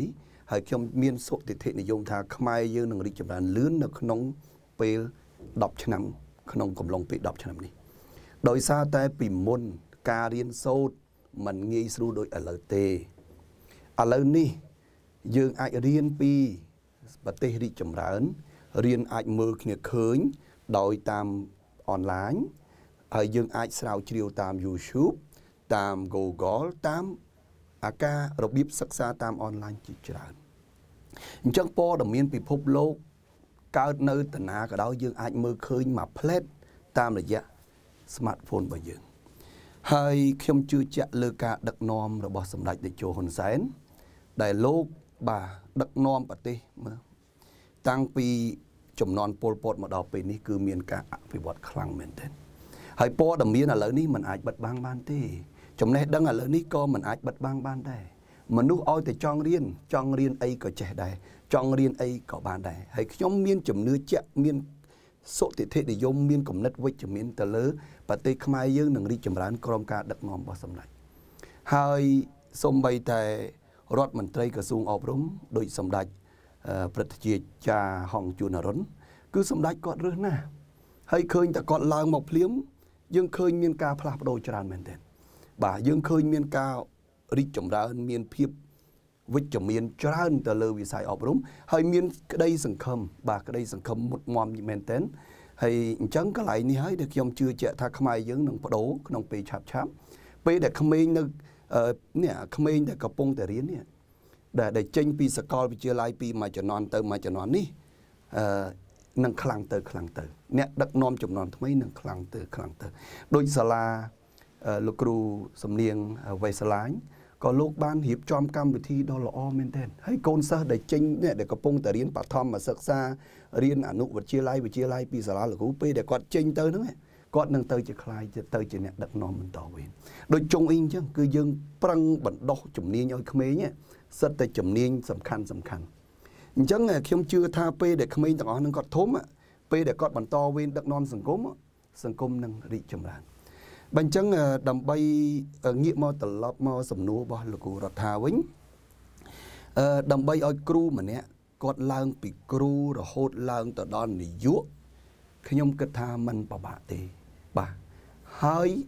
ក៏វាមិនស្រួលពេកដែរបាទមិនស្រួលពេកដែរអញ្ចឹងគ្រូប្រមាណអ្នកត្រូវបានដឹកនាំដោយនាយកម្នាក់នាយកម្នាក់អាចដឹកនាំបុគ្គលិក100នាក់នៅក្នុងសាខាមួយ បាទឬក៏អាចសាខាខ្លះក៏ធំជាងនឹងទៀតអាច2 300នាក់អញ្ចឹងនៅក្នុងស្ថាប័នហ្នឹងមនុស្ស100 200 300នាក់តែមាននាយកតែមួយទេអញ្ចឹងមនុស្ស2 300នាក់រឿងអីយើងរើសមិនបានមួយរឿងអីយើងរើសមិនបានមួយឲ្យតែយើងមានប្រព័ន្ធមានផែនការបណ្ដុះបណ្ដាលឲ្យបានជាប់លាប់ឲ្យបានគុតមុតប្រកបទៅដោយគុណភាពយើងនឹងរើសបានហើយ ពាក់ព័ន្ធនឹងពេលដែលគាត់ចេញពីគ្រូឡើងទៅដល់នាយកបាទមិនមែនថាគាត់គ្រូហើយនាយកភ្លាមទេគាត់ត្រូវឡើងជាប្រធានគ្រូគាត់ត្រូវឡើងទៅជាប្រធានកម្មវិធីគាត់ត្រូវឡើងទៅជាប្រធាន HR ប្រធាន marketing ប្រធានអីឲ្យគាត់យល់360ដឺក្រេអំពីអាជីវកម្មបាទពេលនោះគាត់នឹងឡើងទៅដល់នាយកបានដោយងាយស្រួលដោយគាត់មានការទទួលខុសត្រូវខ្ញុំនឹកឃើញកាលពី ប្រហែលជាជិត20ឆ្នាំមុន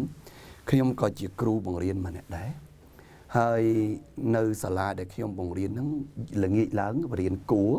ល្ងាចឡើង1ម៉ោង1ម៉ោងហ្នឹងភាសាចិនភាសាអង់គ្លេសហ្នឹងអឺឲ្យតែដាច់ភ្លើងឲ្យតែភ្លៀងគ្រូអត់បរៀនសិស្សទេដោយយល់លេសថាសិស្សអត់មកហើយឬក៏មកតិចតួចអញ្ចឹងសិស្ស2000នាក់ល្ងាចហ្នឹងមានតែថ្នាក់ខ្ញុំមួយរៀន ខ្ញុំបរៀនខ្ញុំថាកូនទាំងអស់គ្នាបើសិនជាកូនឯងអត់មករៀនដោយហេតុផលថាដាច់ភ្លើង ដោយហេតុផលថាភ្លៀងកូនឯងមិនមែនជាសិស្សល្អទេហើយសិស្សម្នាក់ក៏ខ្ញុំបរៀនដែរខ្ញុំយកចកៀងយកទៀនមកដុតបរៀនហើយពេលដាច់ភ្លើង គឺប្រើរបៀបបែបហ្នឹងហើយបើពេលភ្លៀងគាត់ទាំងអស់គ្នាទូលឆាត់ទូលអោភ្លៀងមកគ្រប់គ្នាបើគាត់ដឹងថាគ្រូគាត់គឺបរៀន ហើយបើសិស្សផ្សេងសិស្សមកតែ2 3នាក់មកជជែកលេងមួយគ្រូជជែកបានហើយដល់ម៉ោងទៅវិញតែនាយកពេលហ្នឹងគាត់គ្រប់គ្រងថាគាត់អត់មានវិធានការរឿងហ្នឹងតែគាត់ដឹងថាដាច់ភ្លើងក៏ដោយភ្លៀងក៏ដោយអ្នកឯងត្រូវនៅដល់ចប់ម៉ោងមិនបានទៅវិញមិនបរៀនក៏ដោយហើយគ្រូគ្រូនាំគ្នាទៅហូបពងទាកូនបាទហូបបង្អែមចិត្តហ្នឹងហើយគាត់ដើរកាត់សាលាខ្ញុំគាត់បើកទ្វារមានមិត្តភ័ក្តិម្នាក់ខ្ញុំអត់ចាំនរណាគេទេខ្ញុំនៅចាំដល់ឥឡូវហើយហើយអានេះគឺជាគតិបណ្ឌិតមួយខ្ញុំណែនាំគ្រូខ្ញុំ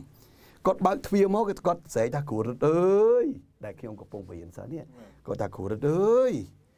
ចង់បានន័យថាខំអីខុសគេបាទនេះចង់បង្ហាញថាការទទួលខុសត្រូវរបស់បុគ្គលម្នាក់ម្នាក់របស់គ្រូមួយមួយអញ្ចឹងមិនមែនខ្ញុំនេះទេគឺខ្ញុំមានការទទួលខុសត្រូវ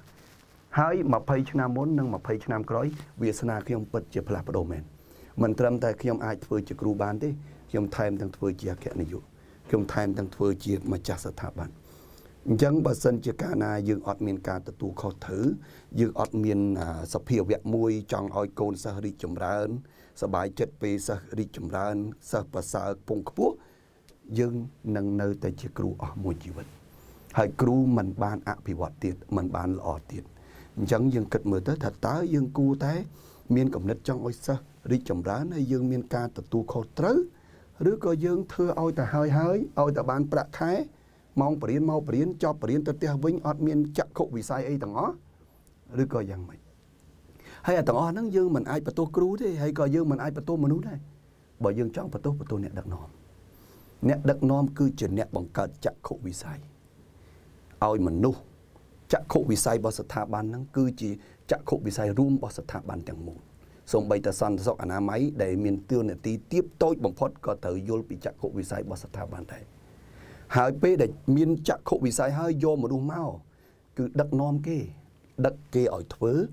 នាំគេទៅដំបងដឹកដៃគេធ្វើ បង្រៀនមួយមួយដោយអត់ធ្មត់ជាទីបំផុត បង្រៀនហើយបង្រៀនទៀតបង្រៀនហើយបង្រៀនទៀតរហូតដល់គេធ្វើបាននាំគេទៅតែម្ដងនាំគេទៅណានាំគេទៅសាងទ្រព្យ សាងកិត្តិយសសាងសេចក្តីសុខសម្រាប់នៅផែនការអាជីវកម្មរបស់ស្ថាប័នសម្រាប់នៅអ្វីដែលស្ថាប័នចង់បាន និងសម្រេចនៅជីវិតតម្រូវការរបស់គាត់ដែលគាត់ចង់បាននៅក្នុងជីវិតរបស់គាត់បើអញ្ចឹងសរុបសេចក្តីមកវិញ គឺដើម្បីឲ្យគ្រូម្នាក់คล้ายទៅជានាយកគឺมันពិបាកទេឲ្យតែបុគ្គលនឹងគាត់មានការទទួលខុសត្រូវហើយគាត់មាន ចក្ខុវិស័យចង់ធ្វើជានាយកហើយគាត់អាចសម័យលើសពីនាយកទៅទៀតគាត់អាចធ្វើជាអគ្គនាយកក៏បានដែរបាទអញ្ចឹងឲ្យតែគាត់មានចក្ខុវិស័យច្បាស់ហើយមានការទទួលខុសត្រូវខំប្រឹងរៀនសូត្របន្ថែមពូកែរៀនពូកែបង្រៀនពូកែដឹកនាំគាត់នឹងខ្លាយទៅជានាយកឬក៏ធំជាងនាយកទៀតក៏ថាបានបាទសូមអរគុណបាទអរគុណច្រើនហើយខ្ញុំគិតថានេះក៏ជាពន្លឺមួយដែលក្នុងនាមជាគ្រូ គឺត្រូវតែមានក្តីសង្ឃឹមដល់ឈ្មោះទៅមុខយ៉ាងហោចណាស់បើយើងមិនធ្វើជាគ្រូដ៏កំពូលក៏អាចคล้ายទៅជាអ្នកដឹកនាំដែលយើងខ្ញុំបានជជែកជាមួយនឹងគ្រូជាច្រើនខ្ញុំសួរលោកគ្រូធ្វើម៉េចដើម្បីលោកគ្រូអាចคล้ายទៅជាអ្នកមានបានចឹងចម្លើយដែលយើងសិក្សាមកវិញគាត់ថាគ្មានស្អីក្រៅពីបង្រៀនគួរប៉ុន្តែខ្ញុំថាបើគាត់អភិវឌ្ឍបន្តិចឲ្យคล้ายទៅជានាយកគាត់អាចឃើញថាកម្ពុជានេះអ្នកដែលមានភាពមានបានចេញពី សាលារៀនដូចជាច្រើនដែរបាទអង្គការពេជ្របូឡែនតែថ្មីថ្មីនេះក៏អាចនិយាយថាស្គាល់គាត់មួយជីវិតមកគឺគាត់នៅតែក្នុងរឿងអប់រំបាទចេញពីគ្រូបង្រៀនទៅជានាយកដែលធ្វើការឲ្យគេរហូតដល់មកនាយកធ្វើការខ្លួនឯងហើយលោកគ្រូក៏ជាផោះតាំងអឺលោកគ្រូវណ្ណរិទ្ធក៏ជាផោះតាំងថាចេញពីគ្រូក៏អាចคล้ายទៅជាម្ចាស់អគ្គនាយកនៅក្នុងភូមិដែរ នេះគ្រាន់តែជាជ្រុងតូចមួយដែលយើងមើលឃើញខ្ញុំជឿថានៅមានរឿងជាច្រើនទៀតដែលយើងអាចនឹងជជែកថាធ្វើម៉េចដើម្បីកសាងភាពមានបានឲ្យគ្រូបង្រៀនរបស់យើងបើគ្រូបង្រៀនបង្រៀនរបស់យើងនៅតែក្រីក្រគឺកុំនិយាយពីពាក្យថ្លៃថ្នូរប៉ុន្តែបើគ្រូបង្រៀនរបស់យើងកសាងភាពខ្ពង់ខ្ពស់តាមរយៈនៃភាពមានបានគឺអាចថ្លៃថ្នូរនឹងគឺកើតឡើងដោយស្វ័យប្រវត្តិហើយខ្ញុំតែងតែចាំថាគ្រូតែងតែយើងនិយាយភាសាខ្មែរយើងថាចេះពីរៀនមានមកពីរក អញ្ចឹងអ្នកចេះគ្មានពីណាជាងគ្រូទៀតបាទហើយយើងមិនអាចរកបានដោយសារតែយើងមិនចេះប៉ុន្តែអ្វីដែលខ្ញុំស្ដាប់លោកគ្រូវ៉ាន់ដិតមិញគឺទោះបីជានាយកសាលាមានតែមួយ គ្រូមានច្រើនក៏ដោយប៉ុស្តិ៍នាយកសាលាអាចមានតែមួយប៉ុន្តែអ្នកដែលមានសមត្ថភាពស្មើនឹងនាយកសាលានឹងលើសពីនាយកសាលាដូចឲ្យមានដៃមានកំណត់ទេ ហើយខ្ញុំមើលក្នុងនេះបើតាមល្បីដែលលោកគ្រូនិយាយមានតែ3ទេបើលោកគ្រូនឹងចង់ខ្លាយទៅជានាយកសាលាជាពិសេសនៅចុងឆុងអ៊ីងចុងអ៊ីង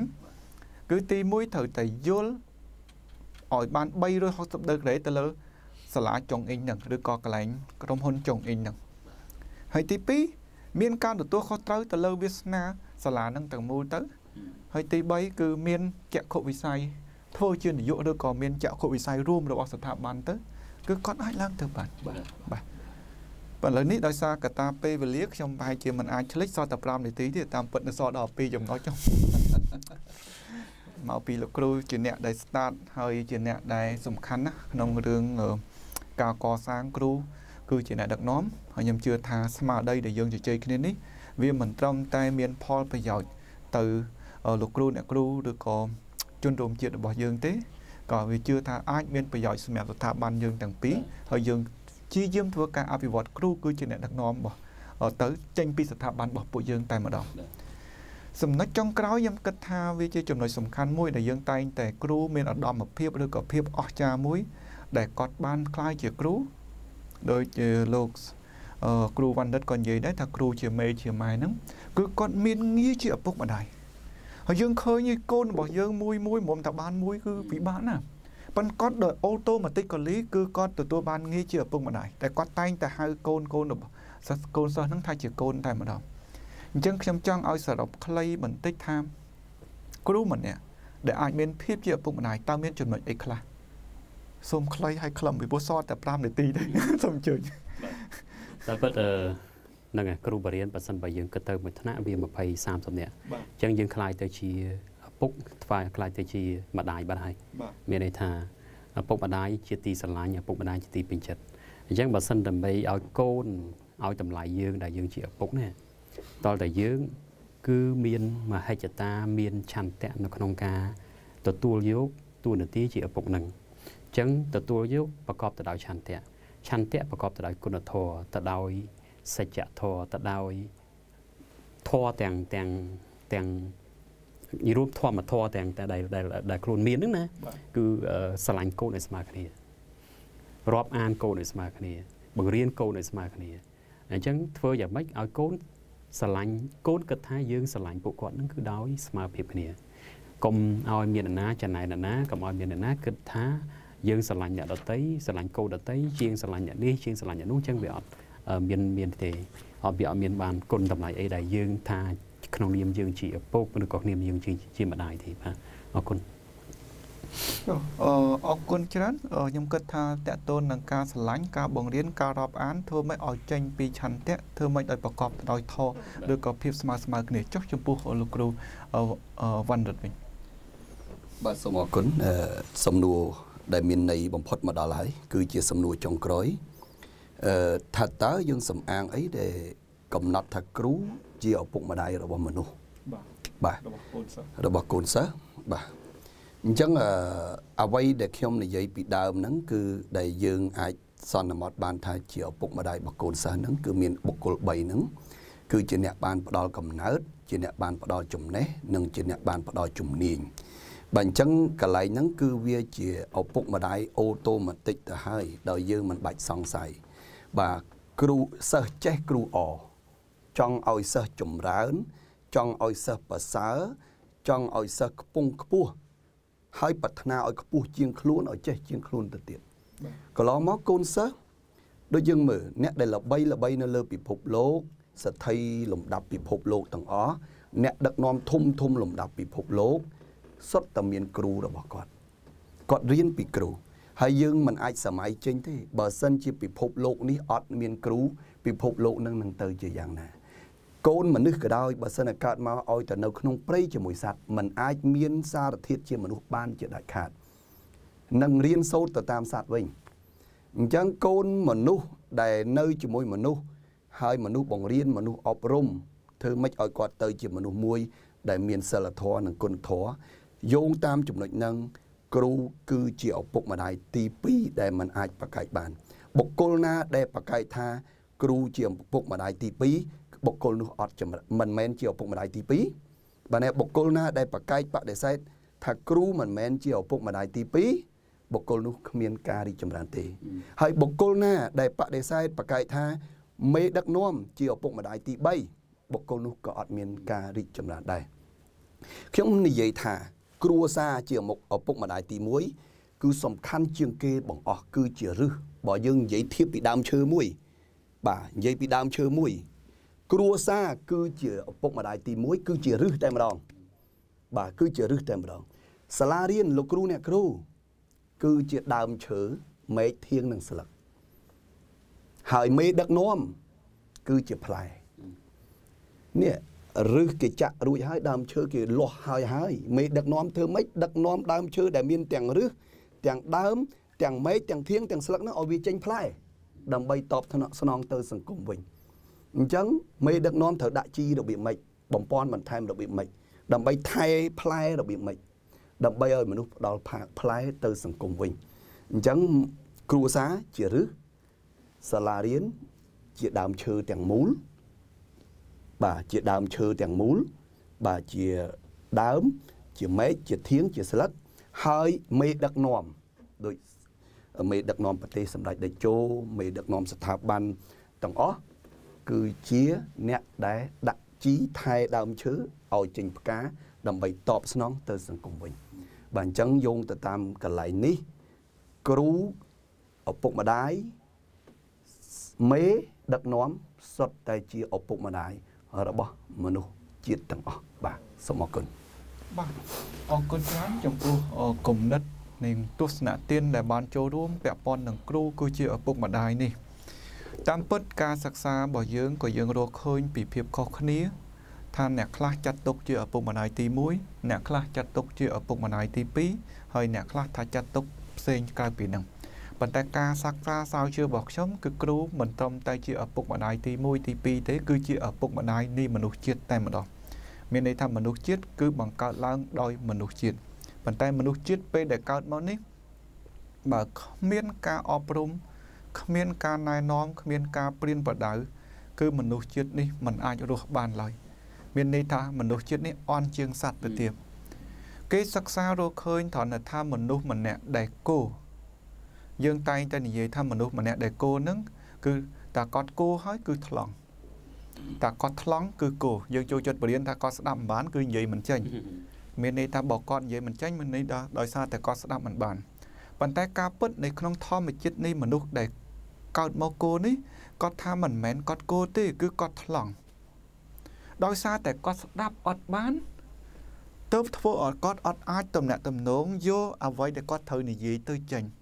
មានន័យថាបើសត្វធាតុវាកើតមកគឺវាវាអូតូម៉ាទិកវាអាចទំនាក់ទំនងគ្នាបានប៉ុន្តែត្រង់តែមនុស្សកើតមកនេះមានន័យថាថ្លង់ហ្នឹងទៅ គាត់ទទួលសញ្ញាណនៃការស្ដាប់នឹងអត់បានគាត់ក៏និយាយអត់ចាញ់គាត់ក៏คล้ายទៅជា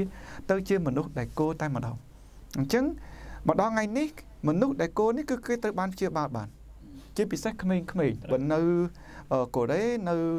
សិង្ហបុរីនៅអីហើយរឿងនេះខ្ញុំហាក់បើដូចជាយើងកើតមកមានការជឿចាប់ដែលថា កូនខ្មែរយើងជាច្រើនដែលកើតមកគោយើងអត់បានដឹងហើយយើងចិត្តថាគាត់កើតមកពីកំណើតគោអញ្ចឹងគឺគោថ្លង់គោថ្លង់អញ្ចឹងទៅប៉ុន្តែជីវិតគ្នាគឺត្រូវបានសោយស្រង់សោះតន្តែធ្វើការឥឡូវនេះបើមនុស្សធំគេអាចព្យាយាមបំពាក់អាស្អិចកាសម្យ៉ាងនៅក្នុងតិចដើម្បីឲ្យទទួលការស្ដាប់បានហើយបើក្មេងគេមានការវះកាត់អីម្យ៉ាងនៅក្នុងតិចទៅគឺធ្វើឲ្យឲ្យទទួលបានខ្ញុំគិតថារឿងជាច្រើនវាហាក់បីដូចជា គ្រូក៏ដោយបើសិនជាគាត់យល់ច្បាស់ពីអ្វីដែលជាការពិតទាំងអស់នេះគឺគាត់នឹងអភិវឌ្ឍខ្លួនគាត់ឲ្យคล้ายទៅជាអ្នកដឹកនាំហើយយើងជឿថាបើសិនជាចូលរួមជួយអភិវឌ្ឍគ្រូរបស់យើងឲ្យคล้ายទៅជាអ្នកដឹកនាំប្រទេសជាតិរបស់យើងគឺមិនមានវិបត្តិនៅលើការដឹកនាំទៀតទេហើយខ្ញុំជឿថាតាមរយៈការដឹកនាំដែលមានគំរូជាជាគ្រូយក model ជាគ្រូឬក៏ពលឹងស្មារតីជាគ្រូគឺពិតជាមានតម្លៃមួយដែលអាចធ្វើឲ្យមនុស្សជាតិនឹងមានសេចក្តីប្រាថ្នា អ្នកដឹកនាំនេះសេចក្តីប្រាថ្នារបស់មនុស្សជាតិអ្នកដឹកនាំដែលគេមានបញ្ហាជាងគេគឺថាគេតែងតែសង្ស័យថាអ្នកដឹកនាំនឹងគឺជាមនុស្សល្អអត់ប៉ុន្តែមនុស្សល្អគឺគ្រូមានរហស្សនាមមកទៅហើយទី2អ្នកដឹកនាំនឹងមានសមត្ថភាពអត់ប៉ុន្តែគ្រូគឺជាមនុស្សដែលមានរហស្សនាមឬក៏អ្នកដែលមានសមត្ថភាពទៅហើយហើយទី3គ្រូនឹងអ្នកដឹកនាំនឹងគាត់នៅតែបន្តអភិវឌ្ឍខ្លួនអត់ខ្លួនឯងអត់ គាត់ជាមនុស្សដាក់ខ្លួនទទួលយកការរៀនសូត្រស្ដាប់ពីអ្នកដទៃអត់ប៉ុន្តែលោកគ្រូយើងគឺជាអ្នករៀនបន្តរហូតហើយគាត់មិនត្រឹមតែរៀនខ្លួនឯងទេគាត់អាចបង្រៀននិងចែករំលែកទៅអ្នកដទៃហើយចុងក្រោយគឺគាត់មានភាពជាឪពុកម្ដាយនេះមនុស្សជាតិឬក៏កូនសិស្សរបស់គាត់ដែលគាត់អាចការស្រឡាញ់ស្មើគ្នាមិនរើសរអើងឬអីហ្នឹងគឺធាតដែល insert នៅក្នុងភាពជាឪពុកម្ដាយនឹងខ្លាំងអញ្ចឹងបើអ្នកដឹកនាំរបស់យើងមានគេហៅថាគំរូនៃគ្រូរបៀបយើងនេះ គឺហាក់បីដូចជាថាមានភាពពេញលេញដែលជាអ្នកដឹកនាំមួយ ដែលយើងអាច trust និងជឿទុកចិត្តបានច្រើនអញ្ចឹងហើយបានយើងប្រាថ្នាចុងក្រោយរបស់យើងនោះគឺប្រាថ្នាចង់ឃើញគ្រូមិនថាគ្រូណាទេ គឺត្រូវតែคลายទៅជាគ្រូអស្ចារ្យបើកាលណាគ្រូអស្ចារ្យនោះប្រជាជាតិឬក៏ប្រជាពលរដ្ឋកម្ពុជារបស់យើងនឹងអស្ចារ្យជាក់ជាមិនខានអញ្ចឹងជាចំណុចចុងក្រោយដែលសូមលោកនាយកទាំងពីរមេត្តាជួយថាតើគ្រូ ត្រូវធ្វើយ៉ាងម៉េចដើម្បីបំលែងខ្លួនឲ្យទៅជាគ្រូអស្ចារ្យពីព្រោះគាត់មិនអាចគេចវេះបានទេពីព្រោះអ្នកផ្សេងគាត់មិនអភិវឌ្ឍខ្លួនគាត់អត់មានប៉ះពាល់នរណាទេពីព្រោះគាត់ឧទាហរណ៍ថាគាត់មិនអភិវឌ្ឍខ្លួនឯងគាត់នៅប៉ុណ្ណឹងប៉ុន្តែគ្រូតែកាលណាគាត់មិនអភិវឌ្ឍគឺស្មើនឹងសម្លាប់ភាពអស្ចារ្យរបស់មនុស្សជាតិតែម្ដងអញ្ចឹងសុំថាអាចថាមួយចំណុចឬក៏ពីរចំណុចបានហើយកុំឲ្យលើស ឆ្នាំមួយក្របឬក៏ពីរក្របបានដែរដើម្បីជួយឲ្យគ្រូរបស់យើងក្លាយទៅជាគ្រូដ៏អស្ចារ្យអាចនិយាយថានិយាយក្នុងនាមគ្រូឬក៏និយាយក្នុងនាមខ្លួនឯងក៏បានអរគុណអញ្ចឹងសូមលោកសវណ្ណដិតបញ្ចប់តែម្ដងចំណុចហ្នឹងបាទសូមអរគុណបងរដ្ឋាហើយថ្ងៃនេះពិតជាមានន័យមែនទែនបាទបានជួបបងរដ្ឋាដែលជាមនុស្សមានការយល់ដឹងខ្ពង់ខ្ពស់ហើយជាអ្នកស្រាវជ្រាវភាពជាអ្នកដឹកនាំហើយលោកគ្រូសំនៀងបាទជាមនុស្សដែល ខ្ញុំគោរពបាទហើយកន្លងមកដែលមានការតំណាក់តំណងរហូតមកបើអញ្ចឹងពាក់ព័ន្ធនឹងគ្រូអស្ចារ្យនេះ គឺដើម្បីខ្លីតាមពិតមានរឿងច្រើនអឺគ្រូដែលអស្ចារ្យទី1គ្រូត្រូវទទួលស្គាល់ថាខ្លួនជាឪពុកនិងជាម្ដាយរបស់មនុស្សរបស់សិស្សមុនយើងនិយាយថាកូនសិស្សត្រូវទទួលស្គាល់បុគ្គលទាំង3ជា ជាឪពុកម្ដាយរបស់ខ្លួន ជាគ្រូរបស់ខ្លួន អញ្ចឹងឥឡូវយើងនិយាយគ្រូអស្ចារ្យវិញបានតែគ្រូត្រូវទទួលស្គាល់ថា កូនសិស្សគឺជាកូនរបស់ខ្លួនស្រឡាញ់កូនខ្លួនឯងយ៉ាងម៉េចប្រាថ្នាឲ្យកូនខ្លួនឯងប្រសើរយ៉ាងម៉េចត្រូវតែស្រឡាញ់កូនសិស្សខ្លួនឯងបែបនោះដូចគ្នាហើយប្រាថ្នាឲ្យកូនសិស្សខ្លួនឯងប្រសើរដូចគ្នា បាទក៏ប៉ុន្តែយើងធ្វើឲ្យអស់ពីសមត្ថភាពដូចគ្នា ផ្ដល់នៅចំណេះដឹងផ្ដល់នៅក្តីស្រឡាញ់ផ្ដល់នៅនៅការ ជួយជ្រោមជ្រែងគាត់ឲ្យស្មើគ្នាទាំងកូនបង្កើតទាំងកូនសិស្សឲ្យស្មើគ្នា ហើយមនុស្សនឹងទៅដល់ចង្កេះភ្នំឬក៏ទៅដល់កំពូលភ្នំ គឺអាស្រ័យទៅលើសក្តានុពលគាត់ខ្លួនខ្លួនឯងមិនមែនថាដល់តកូនយើងចង់ឲ្យរុញដល់កំពូលភ្នំបានទេអារឿងកំពូលភ្នំគឺត្រូវឡើងដោយខ្លួនឯងបាទគ្រូអាចត្រឹមតែឈរនៅជើងភ្នំរុញបានត្រឹមចកេះភ្នំហើយផុតពីចកេះភ្នំទៅឡើងទៅទៀត មិនឡើងអានឹងអាស្រ័យបុគ្គលសម័យខ្លួនខ្លួនឯងបាទអញ្ចឹងទី1ទទួលស្គាល់ខ្លួនជាឪពុកម្ដាយរបស់កូនសិស្សទី2មានការទទួលខុសត្រូវ ដោយមានគំនិត ដោយមានឆន្ទៈក្នុងភាវៈជាគ្រូ ចង់ឲ្យសិស្សគ្រប់គ្នា មានភាពរីកចម្រើន ចង់ឲ្យសិស្សគ្រប់គ្នា មានភាពប្រសើរហើយមានការទទួលខុសត្រូវខ្ពស់បំផុតបាទ អញ្ចឹងខ្ញុំមានតែពីរចំណុចហ្នឹងទេដែលយកមកលើកដើម្បីបញ្ជាក់អំពីភាពសំខាន់នៃគ្រូហើយគ្រូអស្ចារ្យហើយបើសិនជាគ្រូអស្ចារ្យមនុស្សប្រកាសជាអស្ចារ្យនៀកបង្កើតនៀកហង្សបង្កើតហង្សបាទសូមអរគុណលោកគ្រូអរចុងក្រោយលោកគ្រូសំនៀងអរគុណដែរតែពិតយើងគ្រប់គ្នាទាំងអស់យើងចង់ខ្លាយទៅជាបុគ្គលដែលអស្ចារ្យដូចគ្នាបើសិនបើយើងធ្វើជាគ្រូយើងចង់ថាខ្លាយទៅជាគ្រូដែលអស្ចារ្យ បើសិនបើយើងចង់ធ្វើជាមេដឹកនាំយើងចង់ធ្វើជាមេដឹកនាំដែលអស្ចារ្យដូចគ្នាជាការពិតប្រសិនបើយើងជាគ្រូបង្រៀនទីមួយយើងត្រូវធ្វើឲ្យភាពអស្ចារ្យហ្នឹងកើតឡើងទៅលើទូរនទីខ្លួនឯងដែលមានសិទ្ធហើយបន្ទាប់មកគឺយើងរៀបចំផែនការជីវិតរបស់យើងថាយើងចង់ទៅណាអមថាបើយើងចង់បើមិនយើងយើងមិនធ្វើខ្លួនយើងឲ្យអស្ចារ្យទេយើងអស្ចារ្យត្រឹមតែជាជាជាតំណែងគ្រូបរិញ្ញាយើងបានតែប៉ុណ្្នឹងអញ្ចឹងយើងមិនអាចคลายទៅជាតំណែងបន្ទាប់បានទេបើយើងចង់ធ្វើទៅជានាយក តលតែទី1ធ្វើខ្លួនឯងឲ្យអស្ចារ្យនៅក្នុងតំណែងនេះបន្ទាប់មកមានផែនការជីវិតវែងឆ្ងាយថាយើងចង់បានតំណែងអីចង់បានតំណែងអីហើយរៀបចំជាសកម្មភាពអភិវឌ្ឍខ្លួនឯងបន្តរៀនរហូត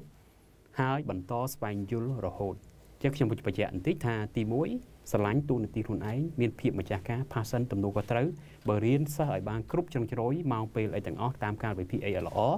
ទី2មានផែនការជីវិតថាខ្លួនឯងចង់បានអីទៅមុខចង់បានភាពអស្ចារ្យអីទៅមុខចង់បាននាយក ចង់បាននាយកជានាយករងឬក៏ជានាយកឬក៏ជាអគ្គនាយកអីចឹងទៅអញ្ចឹង set plan ឲ្យច្បាស់ខ្លួនឯងហើយរៀបចំសកម្មភាពដើម្បីបំពេញទៅលើ plan ហ្នឹងបាទអរគុណបាទអរគុណច្រើនចំពោះលោកគ្រូឬក៏លោកនាយកទាំងពីរជាពិសេសខ្ញុំសូមថែមមួយម៉ាត់ទៀតមួយម៉ាត់អូខេអញ្ជើញដើម្បីលើកទឹកចិត្តគ្រូអឺធម្មតាគ្រូគុំប្រាថ្នាខ្លួនឯងនៅតែជាគ្រូមួយជីវិត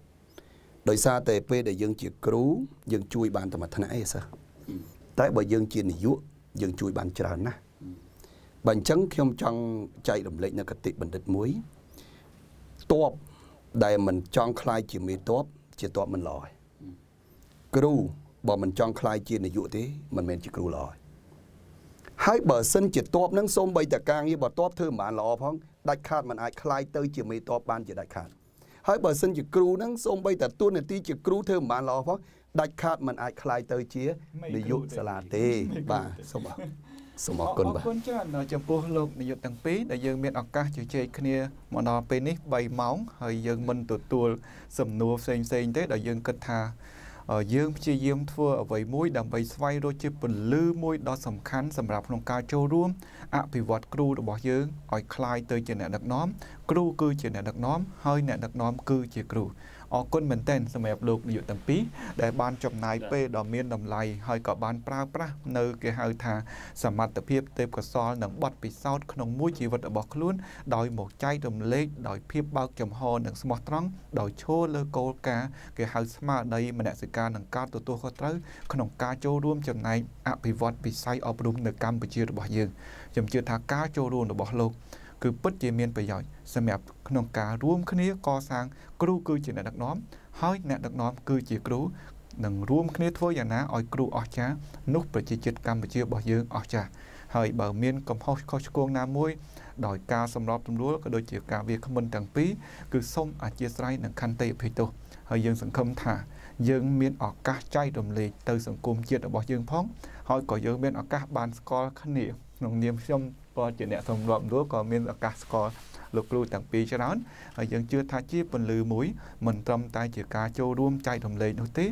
យើងនឹងសង្ឃឹមថាយើងនឹងមានឱកាសក្នុងការគៀកដៃគ្នារួមជាមួយគ្នាក្នុងការធ្វើដំណើរឆ្ពោះទៅមុខនៅក្នុងទស្សនវិស័យដ៏វែងឆ្ងាយសម្រាប់កម្ពុជារបស់យើងអញ្ចឹងអរគុណច្រើនមែនទែនសម្រាប់លោកគ្រូទាំងពីរនាយកទាំងពីរបាទអរគុណអញ្ចឹងសូមជម្រាបលាបងប្អូនទាំងអស់គ្នាហើយយើងនឹងរងចាំទស្សនានឹងការផ្សាយបន្តផ្ទាល់ជាមួយនឹងលោកនាយក ដែលមកពីសាកលវិទ្យាល័យ Western និងលោកនាយកដែលមកពីតំណាងសាកលវិទ្យាល័យ Beer Bright ដើម្បីចូលរួមចែករំលែកក្នុងការអភិវឌ្ឍទិវាគ្រូគឺជាអ្នកដឹកនាំរបស់យើងបន្តនៅវេលាម៉ោង5ទទួលម៉ោង8បន្តិចទៀតនេះអញ្ចឹងកម្មវិធីទិវាគ្រូគឺជាអ្នកដឹកនាំវគ្គទី3នេះគឺសូមបញ្ចប់ត្រឹមប៉ុណ្្នេះសិនអរគុណច្រើន ដើម្បីទទួលបានគតិបណ្ឌិតកាន់តែល្អអស្ចារ្យសូមអានសិភៅភាពជាអ្នកមានកម្ពុជាសិភៅសម្រាប់មនុស្សគ្រប់គ្នានិងគ្រប់គ្រួសារ